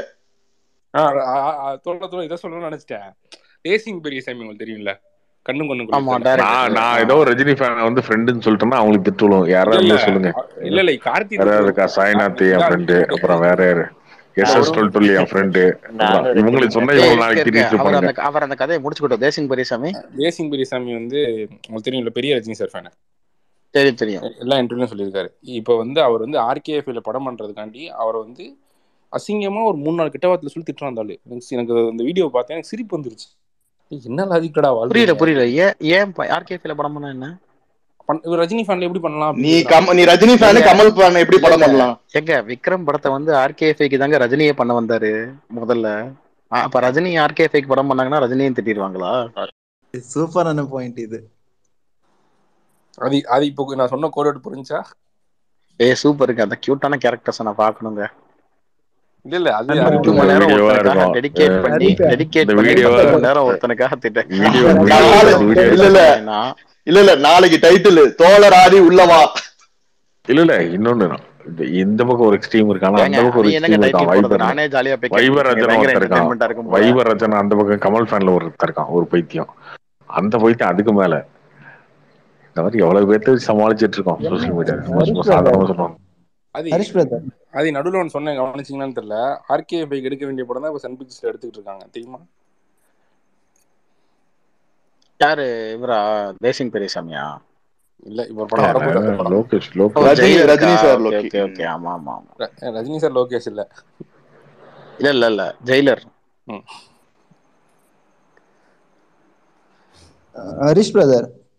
என் ப்ரோ டைம் ஆயிடுச்சுங்கிறாங்க ப்ரோ. ப்ரோ அந்த ஜெய் பீம் டைரக்டர் எடுக்கிறாங்க. அது எந்த production Lyca Lyca Lyca Lyca அந்த படம் எப்போ ஷூட்டிங் ஆரம்பிக்கிறாங்க? பத்தி அது ஐடியா இருக்கா? கார்த்தி ஓடிட்டாரு. நீங்க முடிக்கிற மாதிரி இல்ல நான் தூங்க போறேன் அப்படின்னு. சரி எப்போ வாங்க முடிச்சுக்கோ ஆதி முடிஞ்சா அங்க ஓகே போயிட்டு வாங்க. மக்களே. நன்றி. எங்க அந்த சூர்யா? அந்த அந்த அந்த குரூப்புக்கு பயங்கரமா இருக்கும். நல்லா இருக்குங்க அது. கேட்கறக்கே இல்ல சூப்பரா இருக்குங்க. எதுக்குங்க நான் ஃபேக் ஐடி நல்ல ஐடியிலே போலாமே. ப்ரோ ப்ரோ இல்ல அந்த க- சமுத்திரக்கனி அவரோட சீன் ஏதோ ஒன்று வரும். நிக்க வச்சு கொள்ளவா படுக்க வச்சு கொள்ளவா ஓட வச்சு கொள்ளவா அந்த மாதிரி ஏதாவது பண்ணி பயமுத்தாதீங்க ப்ரோ பயமா இருக்கு. இருங்க தோழர் உங்களுக்கு டிஎம் பண்றேன் ஒரு ரெக்கார்டிங் அதுல வந்து ஒன்பது மணி நேரம் இருக்கும். அதுல ஒரு பத்து நிமிஷம் கேளுங்க அப்ப தெரியும். இல்ல இல்ல அவ்வளவு வெட்டியா இல்ல. இல்ல இல்ல நான் நீங்க ஒன்பது இல்ல இல்ல அது நீங்க ஒன்பது மணி நேரம் கேட்க வேணாம். நீங்க அதுல எந்த பத்து நிமிஷம் கேட்டாலும் இன்ட்ரெஸ்டிங்கா இருக்கும். நீங்க நீங்க வந்து நீங்க கேட்டாலும் சரி நடுவுல கேட்டாலும் சரி ஆனா பத்து நிமிஷம் கேட்கணும் மினிமம் அப்பதான் வந்து உங்களுக்கு அந்த அந்த பிரளயம் ஹிட் ஆகும். நீங்க வந்து நீங்க கூட ஒரு ஒன்பது நிமிஷம் அப்படிலாம் கேட்டா வேலைக்காது பத்து நிமிஷம் கண்டிப்பா சூப்பர் நான் கேட்டுட்டு நாளைக்கு வரேன் ஸ்பேஸ்க்கு நீங்க முடிஞ்சா அவர்கிட்ட போய் அவர் அவர் நான் போக முடியாது. ஏன்னா நான் போனா அவர் திரும்ப நம்ம ஏன் அந்த ஸ்பேஸுக்கு போய் ஃபேக் ஐடியில் அப்பப்போ கேட்டுக்கிட்டு இருக்கேன்னா நீ மேல வான்னு கூப்பிட்டு அப்புறம் நமக்கும் வந்து லாய்க்கதராரு நீங்க அவரை பேர் மீட் பண்ணீங்கன்னா நான் அவரோட ஃபேன்னு சொல்லிருங்க பிக் ஃபேன் நான் அட்லீக்கு நான் எவ்வளவு ஒரு பெரிய ஃபேனோ அதே நடுராத்திரி பன்னெண்டு மணிக்கு நான் ஃபேன் எங்க சுடுகாட்டுக்கு போறேன்? இல்ல நீங்க ஏதாவது மேல அட்லிய ஒருத்தன் அசிங்கப்படுத்தவே முடியாது. இல்ல இல்ல எதா ஏதாவது ஒரு வாழ்நாள் ஒரு சந்தர்ப்பத்துல அந்த கேரக்டர் நீங்க மீட் பண்ணீங்கன்னா நான் நான் கன்வே பண்ணதா சொல்லி கன்வே பண்ணிடுங்க. ஏன்னா உங்களுக்கு அதுக்குரிய ஆடாசிட்டி இருக்கு. எனக்கு கிடையாது. என்னால ஒன்பது மணி நேரம்லாம் தாங்க முடியாது. அப்புறம் பத்து நிமிஷம் நம்மளும் கேட்டு நாளைக்கு வரேன். கடை கடையை மூடலாம் லக்ஷ்மி ஓகே நன்றி. டாடா. லக்ஷ்மி அந்த fifty K good video night super bye Lakshmi thank you thanks for speaker Lakshmi okay